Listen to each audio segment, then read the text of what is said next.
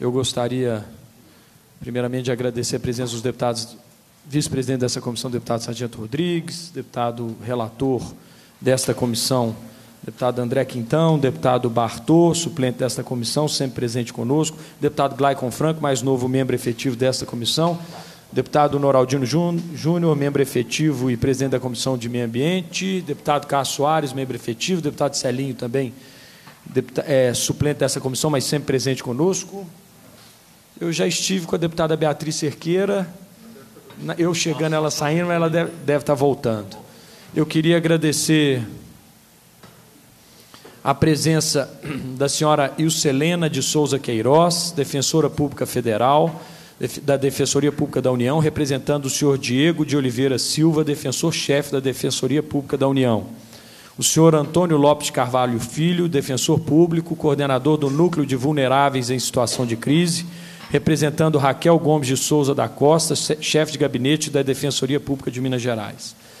O senhor Mário Parreiras de Faria auditor fiscal do trabalho da Superintendência Regional do Trabalho e Emprego em Minas Gerais, o senhor Marco, Marcos Ribeiro Botelho, auditor fiscal do trabalho da Superintendência Regional do Trabalho e Emprego em Minas Gerais, e também o senhor Daniel Dias Rabelo, auditor fiscal do trabalho também da Superintendência Regional do Trabalho e Emprego em Minas Gerais. Agradecendo a todos pelo, pelo, pela presença. Já fez a parte inicial aqui toda, deputado Sargento Rodrigues? Então vamos à presidência nos termos do parágrafo 1 do artigo 132 do Regimento Interno. Dispensa a leitura da ata da reunião anterior, considera a aprovada, solicita a sua subscrição e determina a anexação das notas taquigráficas. Esta reunião se destina a ouvir a Defensoria Pública do Estado de Minas Gerais, a Defensoria Pública da União, o Ministério Público do Trabalho, a Superintendência Regional do Trabalho e os auditores a respeito da investigação sobre o rompimento da barragem do Córrego do Feijão em Brumadinho em 25 de 1 de 19 e a receber, discutir e votar proposições da comissão. Comunicação lida no plenário da Casa em 27 de março de 2019 e publicada no Diário Legislativo em 28 de março de 2019. Deputado Inácio Franco informando sua renúncia à vaga de membro efetivo da CPI da barragem de Brumadinho. Deputado Sávio Souza Cruz, líder do Bloco Minas, tem história, indicando o deputado Glaicon Franco para membro efetivo da CPI da barragem de Brumadinho, na vaga do deputado Inácio Franco, ciente designa as comissões. Seja bem-vindo, deputado Glaicon Franco. A presidência informa o recebimento de ofício da deputada Beatriz Cerqueira, publicado no Diário do Legislativo de 21 de março de 2019, que encaminha análise do movimento atingidos por barragens sob sobre o crime da Vale em Brumadinho.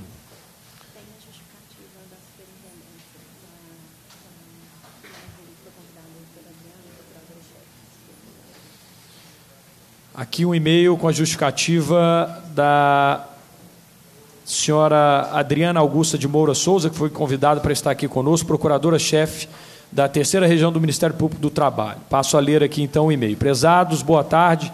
Infelizmente, não será possível o comparecimento de nenhum dos procuradores do trabalho que integram um grupo especial de atuação finalística no caso do rompimento da barragem de Brumadinho, pois no, nos dias 28 e 29 de março ocorrerá o Congresso Nacional dos Procuradores do Trabalho em São Paulo.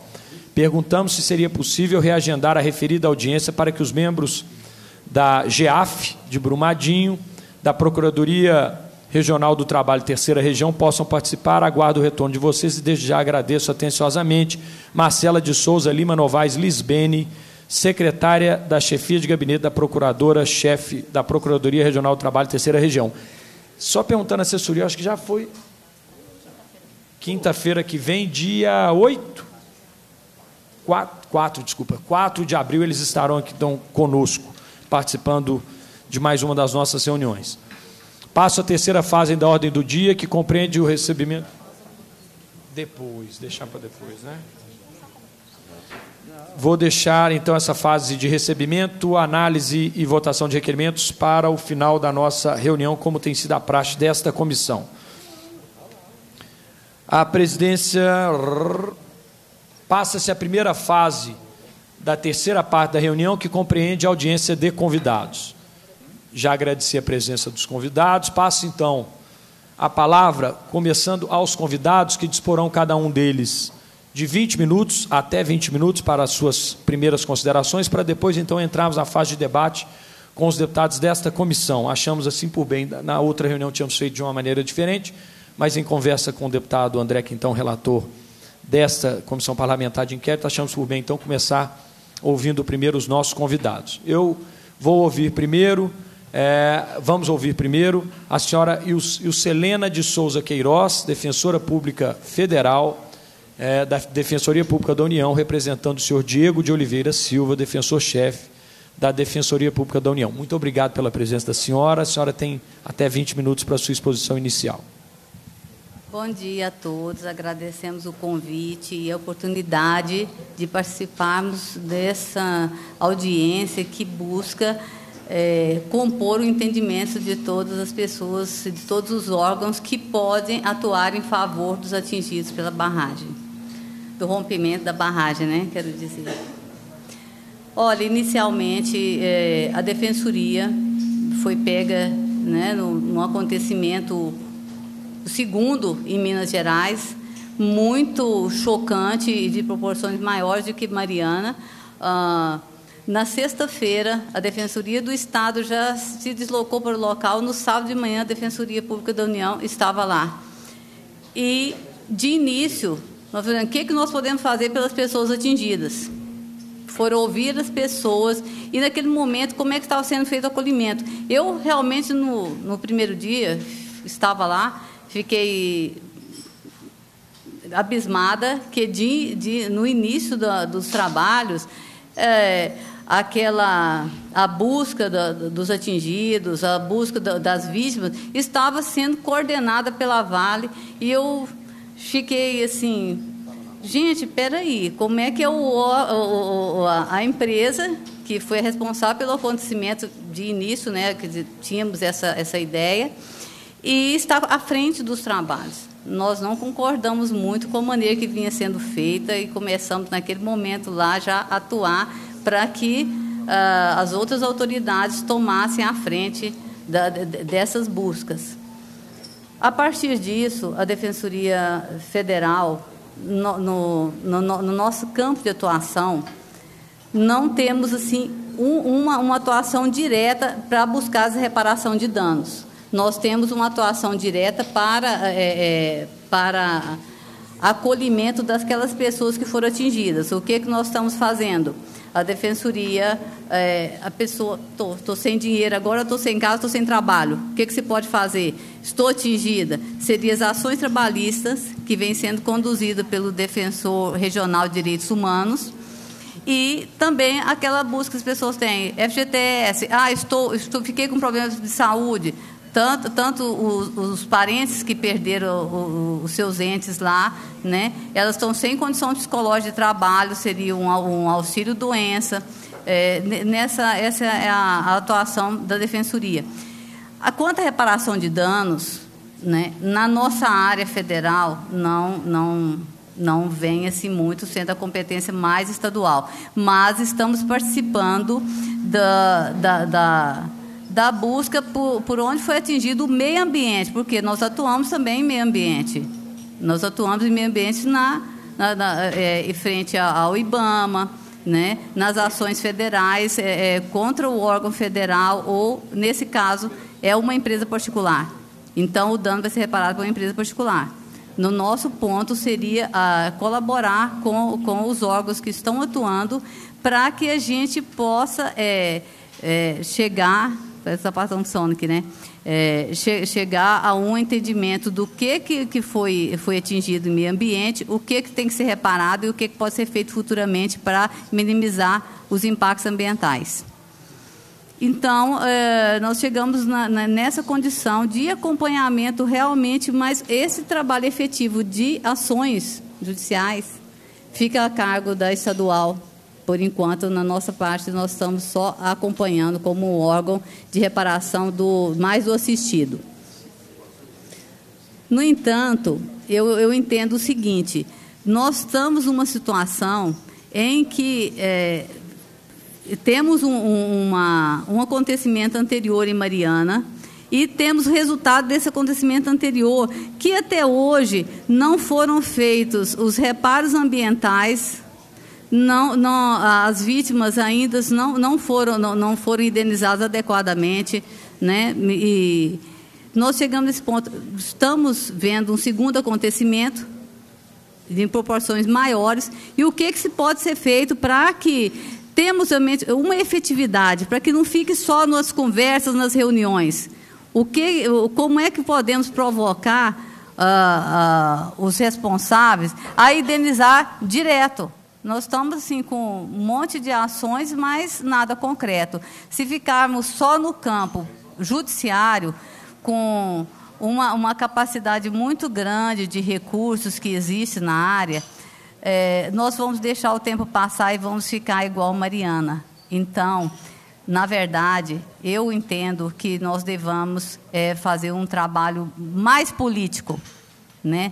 para que quem tem esse poder de legislar, né? de cobrar, de fazer cumprir, que, que realmente a gente tome um outro caminho para um, uma, uma, uma compensação direta e imediata a essas pessoas. Então, é, eu creio que a Defensoria está pronta para ajudar, para colaborar na, na parte administrativa, né, com o nosso conhecimento, nossa capacidade, e o que nós já vimos até agora, que vimos acompanhando desde o início essa questão. E hoje debater aqui o que vocês proporem, o que nós podemos é, é, fazer em favor disso e o que a gente entende que seja cabível. Mas de imediato eu creio que nós teríamos que endurecer, infelizmente, gente, é, é incrível esse esse esse discurso, mas o endurecimento das leis, uma, uma, uma, uma atuação mais efetiva do legislativo, eu creio que seja muito necessária no momento. E, por enquanto, eu acho que eu vou deixar seguir os debates para que eu possa depois manifestar ah, sobre, sobre o que vai ser colocado pelas demais autoridades presentes. Muito obrigada. Nós é que agradecemos a participação da senhora Ilcelena de Souza Queiroz, defensora pública federal.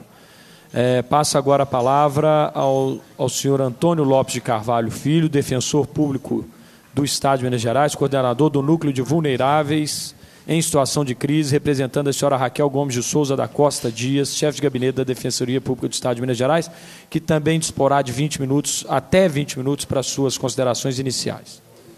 Obrigado a todos, obrigado pelo convite. É, cumprimento a todos, senhores deputados, senhores convidados, público presente, povo de Minas Gerais.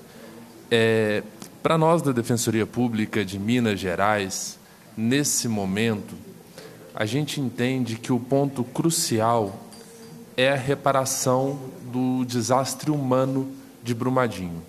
A gente tem uma cidade que foi toda desmantelada por esse rompimento da barragem, com uma, é, uma diversidade de danos muito grande. É importante que a gente, nesse momento, que, que já passa alguns dias da reparação, que a gente consiga dar à sociedade e ao atingido uma resposta efetiva do Estado enquanto poder público. Então, isso envolve todo mundo junto, porque estamos sim no mesmo barco e devemos ter a consciência de que temos que remar em direção ao mesmo rumo, que é a reparação desse dano, para que a gente consiga entregar para as pessoas o direito delas. É verdade que algumas perdas serão irreparáveis. O dano morte, a morte, ela é impossível de haver uma reparação porque tira a vida de uma pessoa, isso é um dano que, que não se repara, mas que pelo menos se compense a dor dessas pessoas. As pessoas que perderam propriedades, que perderam casas, que estão desabrigadas, desalojadas, é imprescindível que a gente consiga entregar para elas uma nova moradia que seja digna, que seja nos padrões que ela tinha ou que seja de um padrão melhor. Que a gente consiga com isso superar esse momento de crise com a certeza de que a tragédia existiu, que ela não seja esquecida, para que não seja repetida, mas que ela seja superada, que as pessoas consigam tocar a vida para frente, para que com isso é, a vida seja novamente possível, a felicidade seja possível. Nesse momento, então, é, a gente também está consciente de que a aplicação de estratégias antigas, que são normalmente fundadas em danos de uma dimensão muito menor, de uma diversidade também muito menor, não se aplicam ao caso. Se a gente pensa uma responsabilidade civil tradicional, é, a gente não vai ter uma, um resultado efetivo para isso, porque a gente tem toda uma cadeia de danos. Olha, uma pessoa que teve o comércio dela afetado, porque nos dias posteriores à crise ela não conseguiu abrir porque a cidade estava num luto absurdo, extremo, um sofrimento inimaginável. Essa pessoa teve um dano econômico muito grande.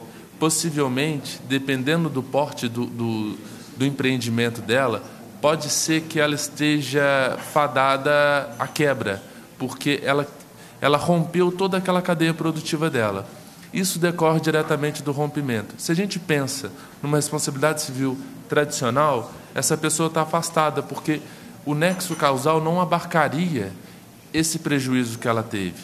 Por isso que a gente precisa de soluções novas, soluções que passam por pensar a dinâmica desse dano, que passam por entender a diversidade e a magnitude. Cientes disso, a gente da Defensoria Pública do Estado de Minas Gerais tem trabalhado incansavelmente em entender essa problemática e criar um mecanismo que seja efetivo, célere, justo, para conseguir entregar para as pessoas uma reparação integral. A gente entende neste ponto, então, que a gente precisa construir uma coisa que seja é, aplicada ao máximo de pessoas possível, para que depois, individualmente, seja feita a sintonia fina, os ajustes daquilo tudo, para que a pessoa consiga, dentro de um espaço de tempo que seja o menor possível, a reparação dos danos dela. A gente precisa entender que várias casas foram destruídas, várias, várias moradias foram destruídas. Então a gente precisa pensar: olha, precisamos reparar moradias. Como conseguiremos padrões para reparar moradias? Tendo sido determinados os padrões, a gente vai organizar a recepção dessas pessoas para que falemos: olha, a moradia foi determinada dessa maneira. Você tem a possibilidade de extrajudicialmente com o nosso auxílio, buscar a reparação de sua moradia. A gente está te oferecendo essa alternativa. É um caminho diferente, é um caminho novo, mas a gente precisa te oferecer. Por quê? Porque a gente entende que a pessoa ela é um ser autônomo. As pessoas é, precisam ser vistas como as pessoas conscientes, capazes e que têm sim potencial de superar a crise. Se a gente considerar toda a população envolvida como pessoas é, objeto de tutela, a gente não consegue o empoderamento dessa comunidade. A gente não consegue fazer com que eles sejam os atores principais. Nós do Estado precisamos criar oportunidades para que essas pessoas busquem, com o nosso auxílio, é claro, porque a gente está aqui para isso, é, a reparação desse dano eu tenho muita esperança que isso seja um caminho muito proveitoso. É claro que a gente trabalha com o desconhecido num dano dessa magnitude. Está todo mundo aqui num momento que a gente é, tenta desbravar um caminho. Desbravar caminho é uma coisa muito difícil, mas a gente também tem a consciência que utilizar é, soluções que foram pensadas numa sociedade muito é, que não era tão industrializada quanto a nossa, que não tinha um potencial de dano tão grande, a gente não vai conseguir uma resposta efetiva. É, eu preciso falar isso para os senhores deputados, dar essa satisfação para o povo de Minas Gerais, que a Defensoria Pública de Minas Gerais pensa sim a construção de um processo é, coletivo de empoderamento, o que a gente tem trabalhado com todas as outras instituições, mas que a gente quer estar junto do povo para, nesse momento, ser um elo de conversa para que ele consiga a reparação efetiva de todos os seus prejuízos. É, a reparação de prejuízo do atingido, para nós, é a tônica do momento, é o nosso principal foco.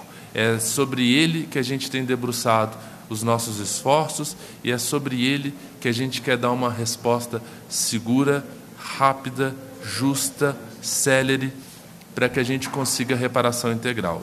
Por isso, é, eu também tenho que fazer um pedido que a gente vai precisar de todo o apoio dos senhores deputados, porque a gente está num momento de virada de rumo, a gente está num momento de entrar pelo desconhecido. E quando a gente entra no, no, desconhecido, a gente precisa do apoio de todo mundo que tem a mesma vontade, que é salvaguardar o direito do povo mineiro, que é superar esse momento de tragédia e é trazer para Minas Gerais dias mais tranquilos, dias melhores, que a gente tenha certeza que as atividades econômicas são feitas de maneira responsável, sem que causem danos absurdos ao povo mineiro.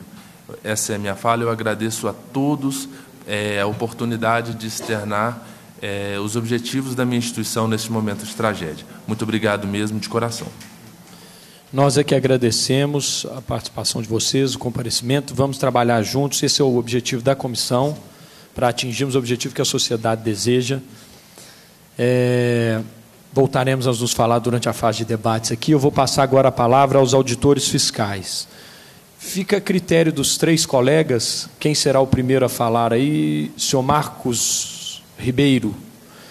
Vocês disporão também dos 20 minutos iniciais. Se necessário for um pouco mais, não tem problema, é só solicitar à presidência. Combinado? Vamos lá. Muito obrigado mais uma vez pela presença. Obrigado. É, excelentíssimos deputados, deputada Beatriz, é, senhor presidente, a gente agradece a oportunidade de falar aqui e contribuir com essa comissão. E nos colocamos à disposição para outras oportunidades em outros momentos. Bem, é, gostaria de ter acesso à apresentação. Ah lá. Entrou não? Nessa não, né? Ainda não. Espera aí que nós vamos tentar resolver esse problema. Quer que chame a... Precisa chamar. já esteve lá, é tirado. Né?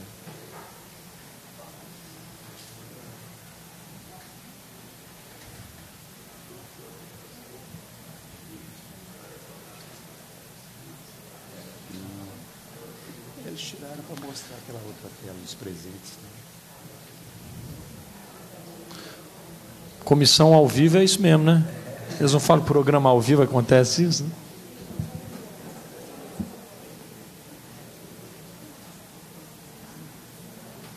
Já deve estar vindo aqui a turma da nossa assessoria. É, vamos suspender a reunião, vamos suspender a reunião por um minuto só até a chegada dos nossos assessores de computação, hein?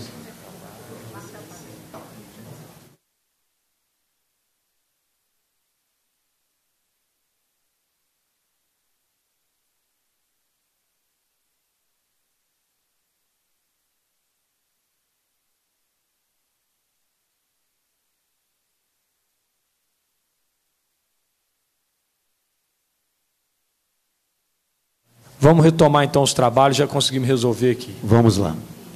É, eu inicio falando que esse acidente é um acidente de trabalho. É o maior do país e talvez um dos maiores do mundo. Então, iniciamos a fiscalização exatamente no dia do acidente, estivemos lá presente no dia do acidente. Na outra semana também por algumas vezes.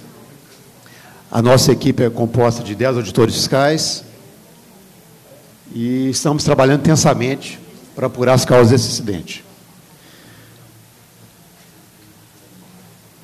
Eu acho que é. Estou com uma dificuldade técnica aqui. ah, ok. Conseguiu? Consegui.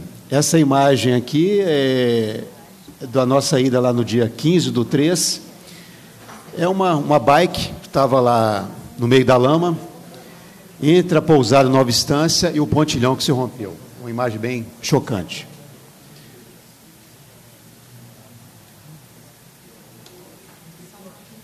Bem, só para a gente é, nivelar um pouquinho os conhecimentos aqui, a imagem está um pouquinho distante, mas a, aquela imagem da esquerda a gente tem uma barragem, estou vendo ali a crista da barragem, a esquerda é o talude jusante, a direita é o, o material que é barrado, né, que é represado.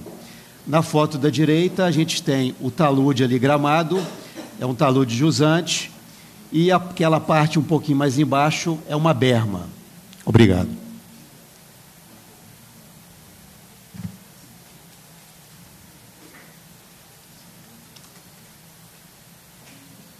Não foi. Ah, tá. Agora acho que vai aos poucos. Isto, por favor.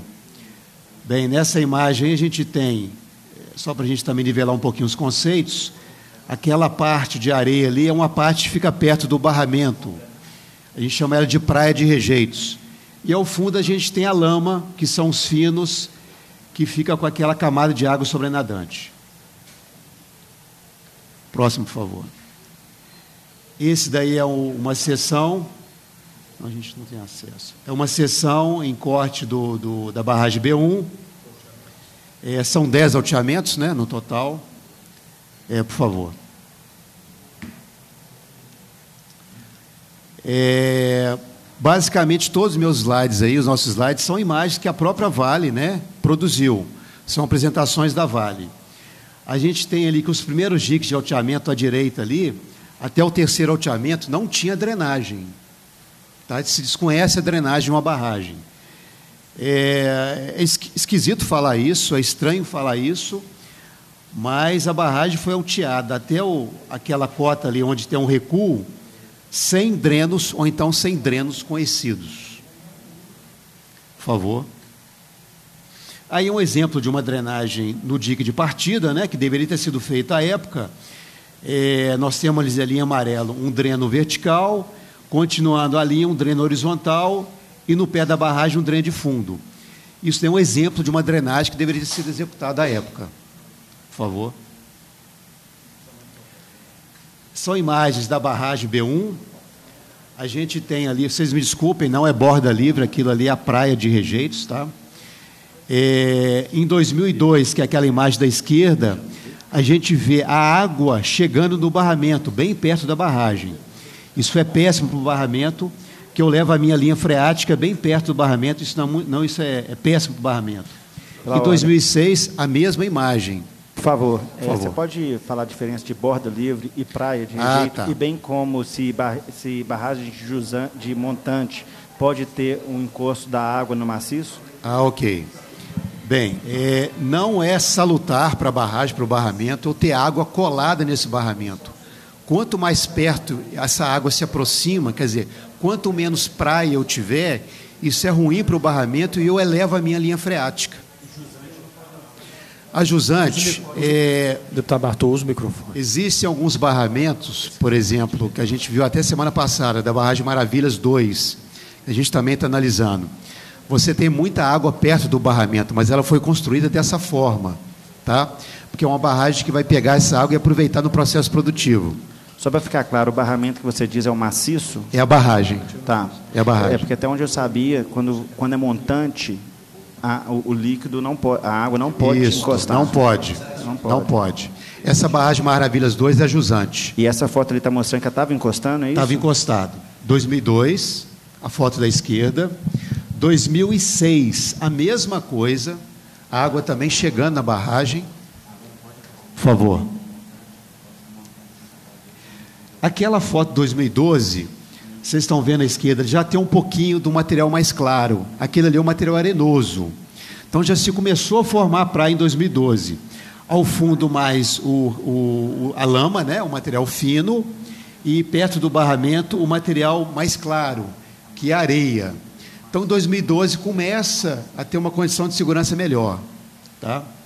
Mas em 2015, no relatório produzido na, na, na, na revisão periódica né, de 2015, revisão, revisão de segurança de 2015, é, o texto é pequeno, não dá para ler, mas já fala ainda numa praia de 100 metros. Mas a praia devia ser no mínimo de 150 metros.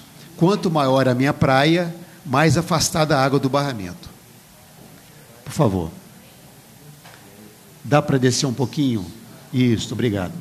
Só Essa imagem é de 2014. Só para esclarecer, a praia é justamente a parte seca, onde o líquido não pode encostar Isso. no maciço, e o maciço é realmente a barragem. Isso, tá? perfeito. Porque quando a água encosta no maciço, ela encharca o maciço e deixa o maciço mais frágil. Perfeito. E no caso de montante, ela é muito mais frágil, tem que ter, tomar muito mais cuidados do que perfeito, de jusante. Deputado. Perfeito.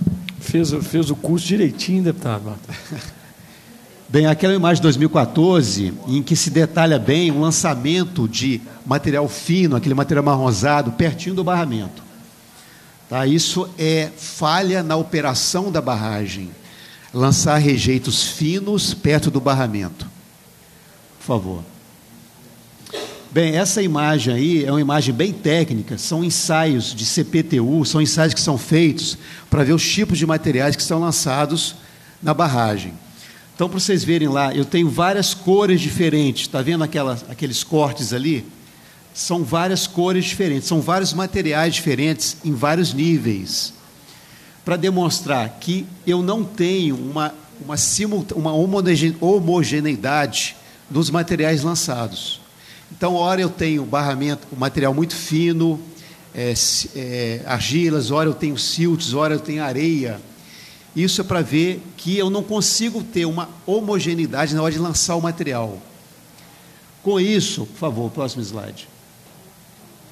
Com isso, essa aí já é uma, uma sondagem que foi feita, que mostra vários materiais diferentes lançados, inclusive muito argila, que é material fino lançado perto do barramento. Isso é muito ruim, por quê? Por favor, o próximo slide. Quando eu tenho camadas de argila lançadas, eu prejudico que a água percole e chegue nas camadas é, inferiores. Eu mantenho com isso lençóis suspensos de água. Eles chamam de lençóis empoleirados. Isso é muito ruim porque eu levo a água também para perto do barramento. Por favor. Uma, uma pergunta. É... Ô, deputado Bartô, só, só para melhor condução, deixar para a gente fazer isso ao final das. Tá bem? Obrigado. Por favor, deputado, anote as perguntas. A gente Isso, claro. É. Esse daí é um corte bem recente, da, uma sessão bem recente da barragem, em que eu mostro lá várias linhas azuis, é como se eu tivesse vários lençóis empoleirados. Esses lençóis chegando no barramento, chegando na barragem. Por que, que eu tenho esses lençóis? Exatamente por causa das camadas de argila, que retém essa água e não permite que ela percole. Por favor. Bem, como a, a Vale precisava rebaixar esse lençol freático, rebaixar essa água, porque ela iria fazer o descomissionamento da barragem, né? iria retirar aquele rejeito lá de dentro, para lavrar aquele rejeito novamente, ela precisava então ter algumas alternativas. A primeira alternativa colocada foram os DHPs, os drenos horizontais profundos. Bem, eram 29 DHPs que foram projetados, por favor foram projetados 29 DHPs, mas ela só conseguiu executar 13. Ela teve dificuldade com dois DHPs. Na hora de executar a perfuração com a máquina, é, eu tenho que injetar uma água né, e vou furando com a broca, com a perfuratriz. Só que na hora de furar, ela encontrou uma camada muito resistente, possivelmente é, canga, possivelmente um material de enrocamento, no talude no talude, é, como é que eu vou dizer, a montante do barramento, aquele em contato com a lama, com o rejeito. Então ela não conseguiu perfurar essa camada, essa água então foi subindo pelo barramento e foi surgir a 10 metros de altura. Tá? Então ela fez como se fosse um furo no barramento e foi surgir bem mais acima. Com esses dois problemas, o que, que aconteceu? Eles interromperam os DHPs. Tá? Essa solução proposta. Por favor, próximo slide. Bem, outra solução proposta era os postos de rebaixamento, que são furos verticais. Tá? Com isso, eles iriam se instalar bombas para retirar essa água de dentro do barramento. Bem, essa, essa solução, eles chegaram a pegar algumas propostas comerciais, nos falaram, inclusive, que fizeram, é, como é que vou dizer, orçamentos até de empresas no exterior, para executar esse serviço, mas não chegou a ser executado. Por favor, o próximo. Bem, então saímos agora da drenagem interna da barragem e fomos para a drenagem externa da barragem, é, que são as drenagens superficiais. Nesse caso ali, a gente vê aquela água barrenta, aquela água com material, aquilo ali é água, sendo, o material sendo carregado dentro da barragem para fora. Isso também não é saudável para o barramento. Próximo. Bem, essas imagens próximas, gente, são de vários anos de relatórios de segurança, né? inspeções anuais, semestrais, que mostram problemas na barragem. Então, naquele caso, eles são canaletas assoreadas, né? vai descendo o material pelo, pelo talude e vai depositando ali aquele material, prejudicando a drenagem da água superficial. Próximo. É, essa é uma canaleta trincada. Isso também não é bom, que a água passa por ali, passa pela trinca e vai para o barramento. Próximo. É, aí são drenos internos, né, que vão chegar nas canaletas externas. Aquela foto da esquerda a gente vê um, um, um tubo é, quebrado, o da direita também é um tubo quebrado, possivelmente pelo trânsito de gado, de cabeça de gado que existia no, no, na barragem. É, chegaram a nos falar que cerca até de 60 cabeças de gado, 80 cabeças de gado transitavam pela barragem. Parece até brincadeira, mas ocorria isso. Por favor. É, essa outra imagem é acúmulo de água em canaletas por problemas na é, com declividade errada das canaletas. Próximo. Essa daí é a bacia de dissipação. A água que chegava lá no pé da barragem, pelo extravasor, ela ia para a barragem B6, que é aquela barragem de água, que ficava, ficava bem do lado da B1. Então a gente vê uma péssima condição de, de conservação da bacia de dissipação. Próximo. Essa daí já a barragem, já a imagem do extravasor, é, que trazia água lá de cima da barragem, né? E levava para a bacia de dissipação, também com problemas de conservação. Bem, e vários outros problemas que eram citados ano após ano, que mostra uma conservação é, deficiente da barragem. É cupizeiro, formigueiro, pisoteamento da grama por gado, falhas na grama, vegetação arbórea nos taludes, inclinação errada de bermas. Próximo.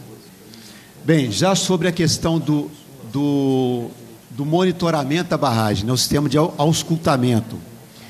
A gente tinha problemas com inclinômetros, é, eles não estavam fixos, não estavam assentados na fundação da barragem, logo não mostravam resultados coerentes. Próximo. Questão dos piezômetros, estão falados, né, estão discutidos na imprensa é, vários problemas com piezômetros, como piezômetros sem leitura, talvez danificados, piezômetros que não constavam da carta de risco, que não, nós tivemos muitos problemas de correlação entre numeração de piezômetros no campo e da carta de risco.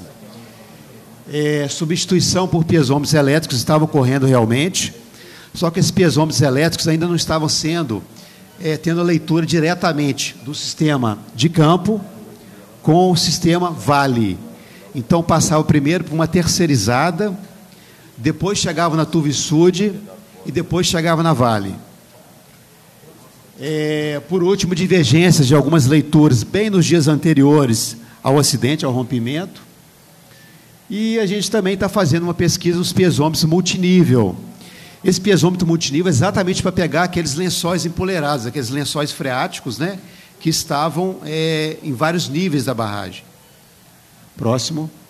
Bem, problemas também no radar. Tem várias imagens conflitantes que a gente também está apurando, né? E para a gente ter uma posição mais concreta referente ao funcionamento desse radar ou não. Detalhe melhor disso, por favor. O radar. Bem, o radar é, uma, é, uma, é um equipamento é, eletrônico que vai gerar, ele vai ficar vasculhando, né? o barramento o tempo todo, fazendo uma, uma pesquisa no barramento o tempo todo, e essa imagem vai para um telão, fica dentro de uma central de monitoramento. Tá? Quando eu tenho movimentos do barramento, caiu uma parte do, do talude, alguma coisa se movimentou que, que é significativa, ou o radar pega, pega e fica registrado. Bem, sobre a estabilidade da barragem, como é que a gente faz aquele cálculo, tá? É, existem alguns fatores de segurança que são para barragem drenada, quando a drenagem está funcionando bem. Não é esse caso, que a drenagem era deficiente. Então a gente começa a fazer o uso de parâmetros não drenados. Tá? Infelizmente, na nossa NBR, a gente tem é, parâmetros, fatores de segurança para parâmetros drenados e não para parâmetros não drenados. Então, nesse caso, a NBR ela joga pro, no caso, pro projetista da barragem. Em situações não drenadas, devem ser feitas boas práticas de engenharia.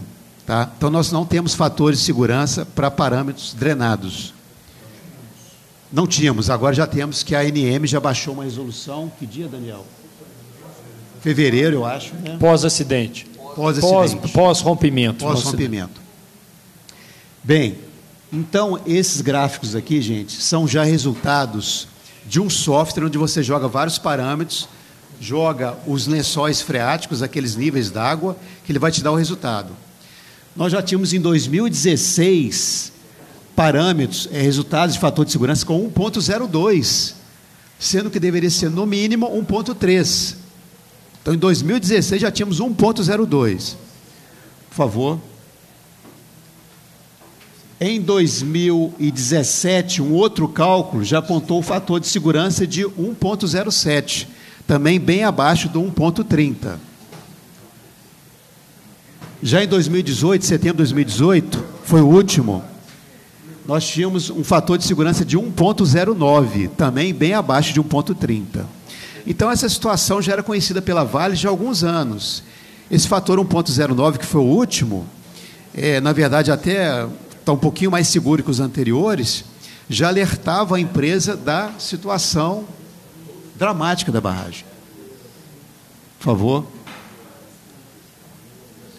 Bem, é uma explanação rápida, a gente não dá para falar tudo, né, de todos os nossos resultados preliminares, mas a gente está disponível aqui e, se necessário outras vezes, a gente volta, retorna, explica para os senhores outros detalhes mais técnicos. Muito obrigado ao doutor Marcos Ribeiro Botelho, auditor fiscal do trabalho. Eu perguntaria se os seus dois colegas querem fazer uma observação inicial. Por favor, doutor Mário Parreiras de Faria. É, bom dia, bom dia, senhores deputados, senhora deputada. É, eu só queria é, lamentar que mais uma vinda nossa aqui para discutir rompimento de barragem. Parece que nós não temos memória histórica. A gente não aprende com as coisas. É, eu tenho 35 anos e pouco de Ministério de Auditoria Fiscal. É a quarta barragem que a gente vê rompendo, que a gente analisa. O Daniel teve comigo na barragem de Acolana em 2014, o Marcos esteve comigo na barragem de Mariana em 2015. Né? Em 2001 nós tivemos uma, um rompimento de uma barragem da mineração Rio Verde, com cinco mortos.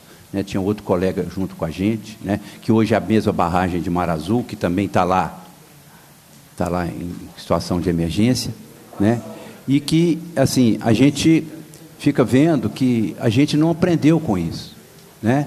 86 foram sete mortos, acharam só um corpo, tem seis desaparecidos até hoje na barragem da Itaminas, na barragem de Fernandinho. Né? E a gente não aprende com isso. O que a gente precisa de buscar ao final, quer dizer, claro que nós estamos buscando uma equipe de 10 auditores, que nós estamos nos debruçando assim sobre milhares de documentos, é um trabalho assim de garimpagem. Nós temos que montar montar um quebra-cabeça, porque essa barragem era muito antiga, por exemplo, diferente de Mariana. Mariana ela rompeu, ela tinha 8 anos de idade, essa aqui tinha 46 anos de idade. Né? Então, assim, ela tem vários projetos diferentes, enquanto que Mariana era um, tinha, tinha, só praticamente um, uma empresa só fazendo os alteamentos dessa barragem. Claro que Mariana tinha 51 milhões de metros cúbicos, essa aqui era 12,7. Mas, assim, é, a, a, nós estamos buscando os fatores técnicos, as discussões técnicas, né, pessoal nosso está se debruçando sobre isso. É um trabalho realmente muito difícil. Mas o que a gente precisa discutir, né, quais são as decisões organizacionais que foram tomadas pela empresa para deixar que esses sinais que foram dados ao longo da história desse sistema não fossem valorizados pela empresa. O que, que explica isso? Né? Esse acidente, ele, esse acidente de trabalho ampliado, ele é um acidente de causas organizacionais. E isso a gente precisa ficar muito, muito claro com isso. Né? São decisões que são tomadas tá certo? Pela, pela gestão da empresa, de forma que esses sinais, sejam alguns sinais fracos ou sinais fortes, como a gente está vendo aqui, quando, quando o, o engenheiro Marcos aqui muito bem explicou, por que, que eles não são valorizados pela empresa? Quais as razões? Né? Aí a gente precisa ver isso. A gente desconfia quais são as razões, né? mas assim, a gente precisa, a gente precisa ter um aprendizado. Né? Eu já tive aqui nessa, nessa casa né? para discutir a melhoria da, da, da, da, legislação de barragens, infelizmente não foi, não, não foi possível na época, né? por uma série de razões, né? mas a gente precisa de ter isso. Né? Claro, nós vamos ter que mudar, nós vamos ter que mudar os parâmetros de avaliação de barragem, nós temos que mudar esses paradigmas, esses fatores de segurança, eles não nos servem mais, eles não nos dão segurança, não nos dão segurança, esse fator 1.5 não dá segurança para ninguém, tá? e não é possível que os auditores que vão verificar verificar os dados da barragem vão se debruçar sobre os dados fornecidos pela própria empresa para dar os seus laudos. Né?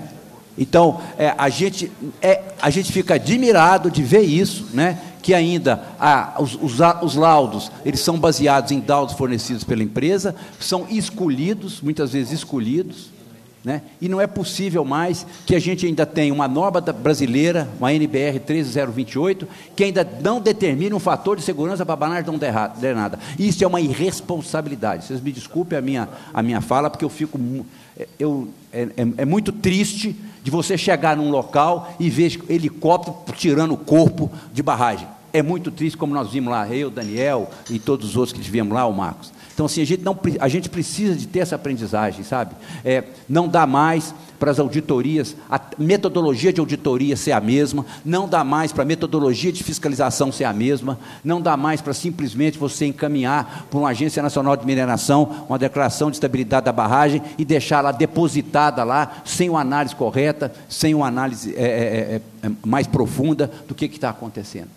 Né? Eu acho que toda a sociedade tem que ter, nós temos essa responsabilidade né, de exigir que as instituições que são responsáveis pela pela determinação de fatores técnicos, né, ou de formas, ou de metodologias de fiscalização, ou mesmo metodologias de auditoria, elas têm que mudar porque não dá mais, e nós estamos vendo, é por, por isso que nós estamos vendo aqui né, hoje, né, nós estamos sofrendo, os mineiros todos estamos sofrendo né, com, essa, com, essa, com esse verdadeiro derretimento das barragens em Minas Gerais. Né? Parece que as barragens estão derretendo todas. O que, é que aconteceu? Se estavam todas seguras em setembro, em novembro, agora estão todas inseguras? Será que nós tivemos aqui um, um, um, uma precipitação de tal forma que todas as barragens se saturaram de uma hora para outra, tem alguma coisa errada. Né? Então, a, a, nossa, a, nossa a, a, a, proposta da auditoria né, e do nosso grupo é explicar os fatores técnicos, colaborar com as, com, a, com, a, com as, com as instituições. Nós não estamos, né, a, auditoria fiscal não está aqui para apontar culpado, nós não somos polícia, nós não somos juízes. Nós queremos, queremos apontar as explicações que são, né, que, que, que, que as explicações que para, esse, para esses fenômenos, o que está acontecendo? Né? Ah, ninguém aqui é contra mineração, nós não somos contra mineração, mineração dá emprego, dá royalty, 5% do PIB brasileiro vem da mineração, mas nós precisamos de ter uma certa é, é, aumentar a nossa responsabilidade de forma a garantir a sustentabilidade desse, de, de, de, dessa, dessa, desse é, setor econômico né, que é tão importante é, para nós e para o Brasil. É isso que eu queria dizer, porque é, no sentido de dar mais um fechamento assim do ponto de vista da gente pensar aqui, né, enquanto os senhores deputados, né, enquanto representantes do povo, nós aqui, né, e não, não podemos mais deixar a gente ficar sofrendo desse jeito, né, e, e até porque da mesma forma, os auditores também estão subindo em, forma, em barragem, como nós, nós subimos, né, Daniel? E subimos três dias depois, nós ficamos sabendo que a barragem que a gente tinha subido estava com fator, estava com fator de segurança muito baixo, e a gente podia ter, podia, naquele dia lá, né, Daniel, nós podíamos ter sido engolidos, a gente não sabia. Né?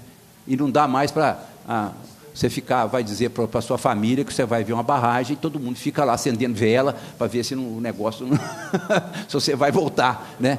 Assim como os trabalhadores que ficaram lá extremamente impactados, né? É o Desculpa a minha, não. a minha, minha sinceridade, o meu desabafo, mas aqui a gente não quer apontar dedo acusador para ninguém, mas a gente precisa discutir isso de uma forma bem bem clara, né, como a gente melhora a sustentabilidade do setor, né, como a gente melhora essas regras é, de, de, de, de, avaliação é, dessas barragens. Muito obrigado mais uma vez. Nós é que agradecemos até pelo, pelo desabafo sincero, que eu tenho certeza que vai contribuir muito para o nosso trabalho aqui.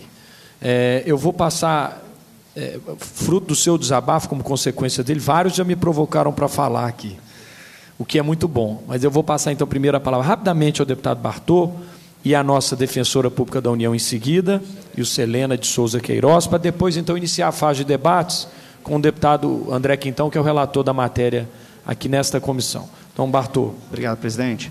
É, senhor Marcos, eu acho que o que o senhor esse desabafo do senhor aí, uhum, comentando a respeito de como que falta regulamentação para as barragens, etc. Eu vou te falar uma coisa, acho que não tem ninguém técnico aqui na plateia nós aqui também não somos técnicos nisso, mas ficou claro para todo mundo que houve desleixo e negligência por parte da empresa com a apresentação formada. A gente não precisa de regulamentação, a gente não precisa de fiscalização, a gente precisa entender que tem necessidade de responsável, responsabilidade de quem está fazendo isso, e aqui nós estamos exatamente para poder apontar os dedos mesmo para culpados e pegar esses culpados e poder mostrar que com a punição efetiva se prevê tudo isso que está acontecendo aí. Porque isso que está acontecendo aí, que eu falei, eu não sou técnico, não, não preciso de regulamentação regulamentação, não precisa entender regulamentação, não, mas eu sei que tem muita coisa errada aí, e é isso que a gente tem que ir para cima. O poder do Estado tem que ser na punição, em vez de fazer, criar um tanto de mirabolantes, e falar com procedimentos, e de repente o procedimento muda e tal, etc. Então é nisso que eu acredito, só queria deixar isso claro. Obrigado. Obrigado, presidente. A nossa, muito obrigado, deputado Bartô, a nossa defensora pública da União Federal, da Defensora Pública Federal e o Selena de Souza Queiroz também, por favor. Olha, eu pensei que estava mais preparada para enfrentar essa audiência pública, mas eu falo que aqui eu estou tremendo porque o acontecimento foi na sexta, no sábado eu estava no local conversando com as pessoas, é, eu e alguns outros defensores federais e estaduais. E a primeira coisa que nós apuramos foi que dois meses antes a empresa tinha feito um levantamento de possíveis perdas humanas e materiais e de todas as áreas que poderiam ser atingidas. Conversando com as pessoas, isso aí não foi informação de ninguém, foi, foi de quem estava no local, dos que sobreviveram, tá? Então, é, essa responsabilização da empresa, eu, eu acho que é, é até incontestável, porque ela realmente ela conhecia, ela sabia dos riscos. Há dois, dois meses antes, ela já sabia da iminência do acontecimento. Aí eh, nós deparamos durante o trabalho de busca da documentação, o que os auditores falaram. Eu quero fazer um, uma ressalva aqui, porque eu gosto muito da auditoria do trabalho. Eu entendo, acho esses auditores, já trabalhamos com eles em outras ocasiões, muito competentes, muito dedicados e com muito conhecimento. E aí me vieram aquela coisa, ah, a documentação foi, per, foi, perdida pela empresa no, no, rompimento da barragem. Ah, presta atenção, né? uma empresa vai guardar a documentação só naquele local lá, é certeza que eles têm essa documentação. Só o que eles vão fornecer? Não, não adianta, gente. Nós temos que ir atrás do que eles não querem fornecer. Eu acho que é aquela hora de, de, de simplesmente se você chegar na empresa igual a, a a Polícia Federal tem o hábito de fazer nas investigações, fazer, inclusive se vê aqui na Lava Jato, chegar, confiscar todo o material, pegar tudo que tiver, porque por mais que os auditores queiram fazer, eles não vão ter acesso a, a essa documentação. Como no dia seguinte, eu notei lá no local que a, a Vale estava tentando é, direcionar, inclusive até as buscas, sonegando informação ali dentro para as pessoas que estavam atingidas, para os familiares chegavam atrás das pessoas, para as próprias autoridades que estavam no local. Tanto é que eu tive que fazer um apelo, falei, escuta aqui, eu quero saber direitinho como é que está funcionando isso aqui. Você, eu quero fazer meu trabalho e vocês vão ter que me dar a informação que eu quero. Então, a gente teve que bater pé para conseguir levantar o mínimo para atender as pessoas. E é, estava simplesmente assim. Eu falei, não pode ficar na mão desse pessoal. Não pode. Tanto é que eu até apelei para o Ministério Público e falei, escuta aqui, tem que tirar essa investigação, esse acolhimento inicial da mão da Vale. Como é que eles podem estar direcionando isso aí? Porque eu visitei a área fora, fora da, da, da área a, a, primeira atingida, que foi a própria empresa, fora da empresa, as pessoas lá é, tentando entrar, que não tinha como, a lama é muito compacta, procurando familiares, é, e não tinha ninguém procurando, não tinha, o, não estava sendo feita essa busca. Então, assim, de cara, a gente ficou horrorizado com o que vimos. E temos visto que a cada dia que passa fica mais difícil qualquer reparação, porque se a gente for manter nesse campo que eu já falei anteriormente, né?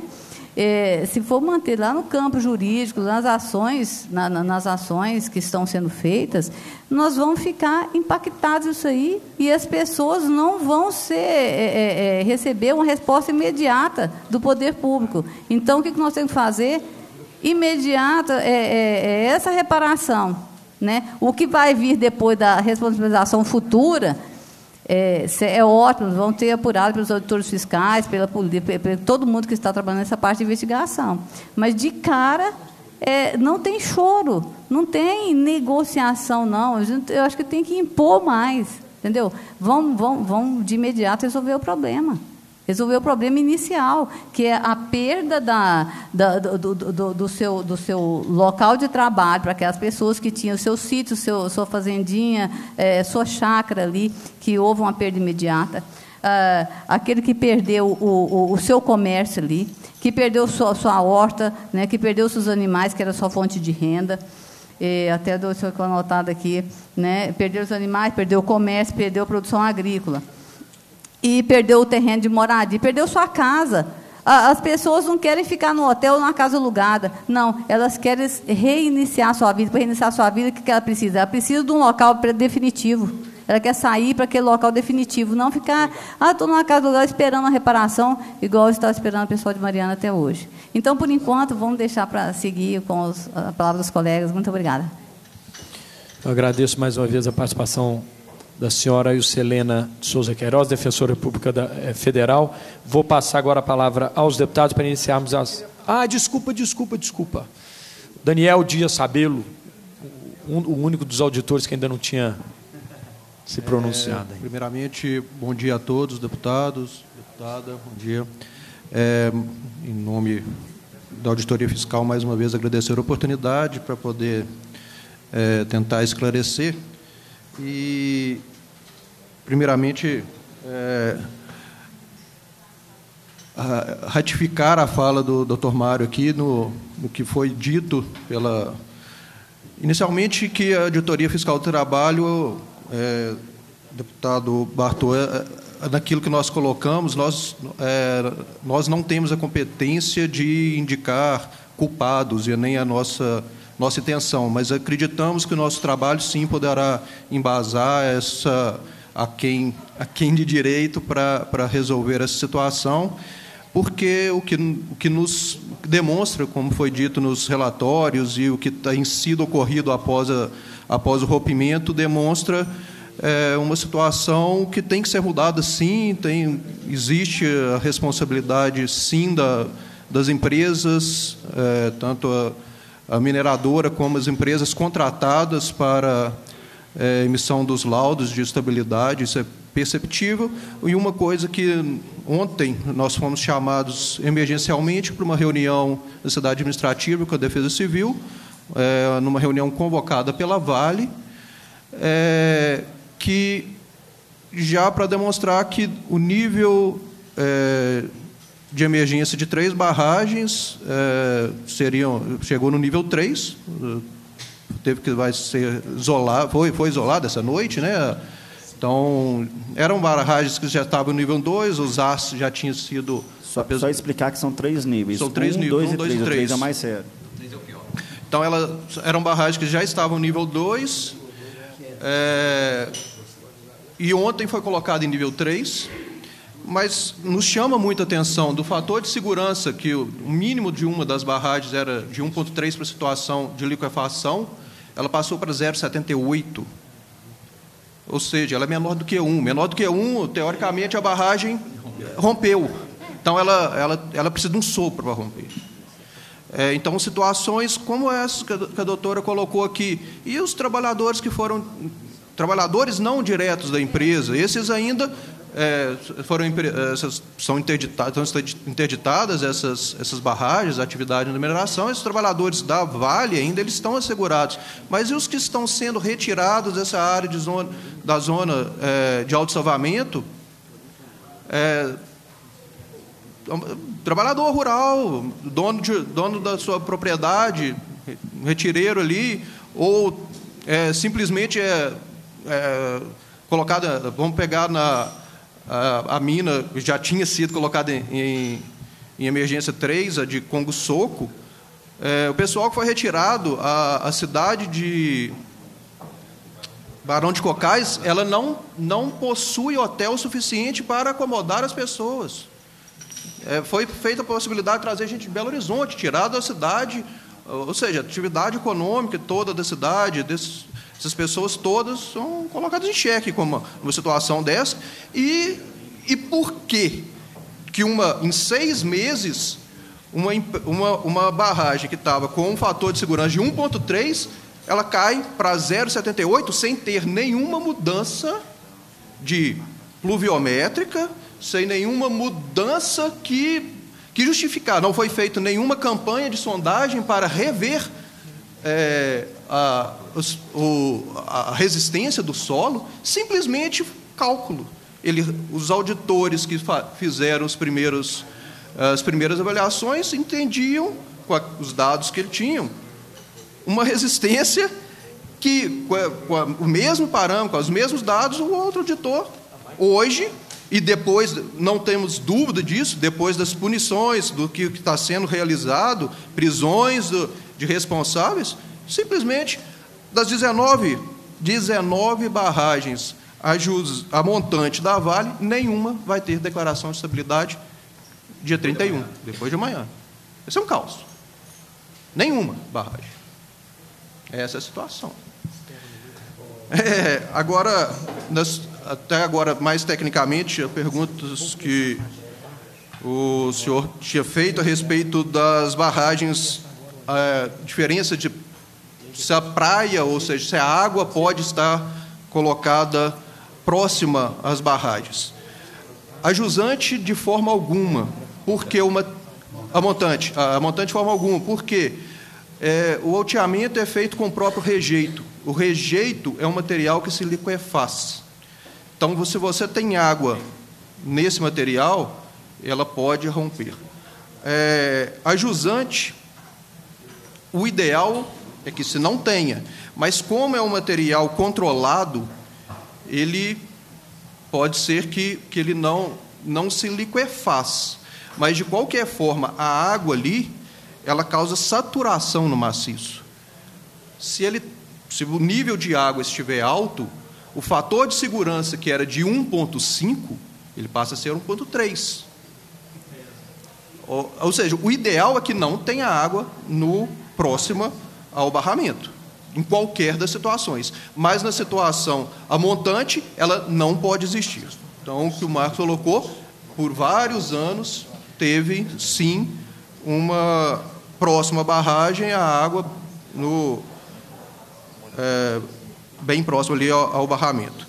É, o senhor tinha perguntado a diferença de praia e borda livre. A praia eu acho que já ficou bem claro o que, que é. A borda livre é o nível que tem que ser mantido de toda a barragem até a, a, a crista é, máxima, para que contribuições de chuva, uma chuva decamilenar, ou seja, a chuva que seria a maior chuva é, estatica, estatisticamente possível, ela comporte. E às vezes, se tiver alguma outra barragem é, montante desta, que comporte a, aquela contribuição no caso de rompimento. Então, isso tudo tem que entrar no cálculo. Então, essa borda livre, essa, a barragem, ela nunca pode chegar até a crista, a quantidade de rejeito é, máximo. É, e só mais um detalhe do radar, que o senhor também havia perguntado. O, o radar, ele, ele pega a imagem inicial, aquilo como ele pega o início e ver qualquer movimentação, tanto é, vertical, lateral, uma, um recalque o grande problema da barragem é, de feijão, barragem B1. Os animais estavam lá. Eu tinha o tempo inteiro passando animal, como que. É lógico que eu tinha movimentação. Então, esse ajuste do radar, até hoje, eles não conseguiram fazer adequadamente. E isso está tendo o mesmo problema hoje em, em, em Barão de Concais, na Sul Superior. É, o radar ele está dando divergência é, a um outro sistema que eles que eles estão estão monitorando, parecido, mas os dois estão dando divergência. Ou seja, é uma tecnologia muito nova ainda. É, ela, ela consegue é, ver variações de um milímetro no barramento, mas que precisa de ajustes e isso ainda está sendo realizado. Então, o radar ainda ele nem é uma, uma obrigação para as empresas, mas que causa essa, essa dificuldade ainda, esses ajustes. Então, era só esses esclarecimentos e agradecer a oportunidade. Nós é que agradecemos sua presença e a participação também, senhor Daniel Dias Rabelo, auditor fiscal do trabalho. Vamos agora entrar na fase de debate. Estão muitos aqui já prontos a, a fazer perguntas, questionamentos. Primeiro, na ordem, deputado André Quintão, relator da matéria, deputado Sargento Rodrigues, vice-presidente, deputado é, tinha me, pedido, né? Pode ser depois, então, deputado Noraldino Júnior, é, deputado Celinho, deputado Cássio, deputado Glaicon, enfim, vamos embora, vamos para a fase de debate aí. Deputada Beatriz, como mulher, passará na frente de vários aqui se solicitar, na hora que quiser. Vamos lá, deputado André Quintão.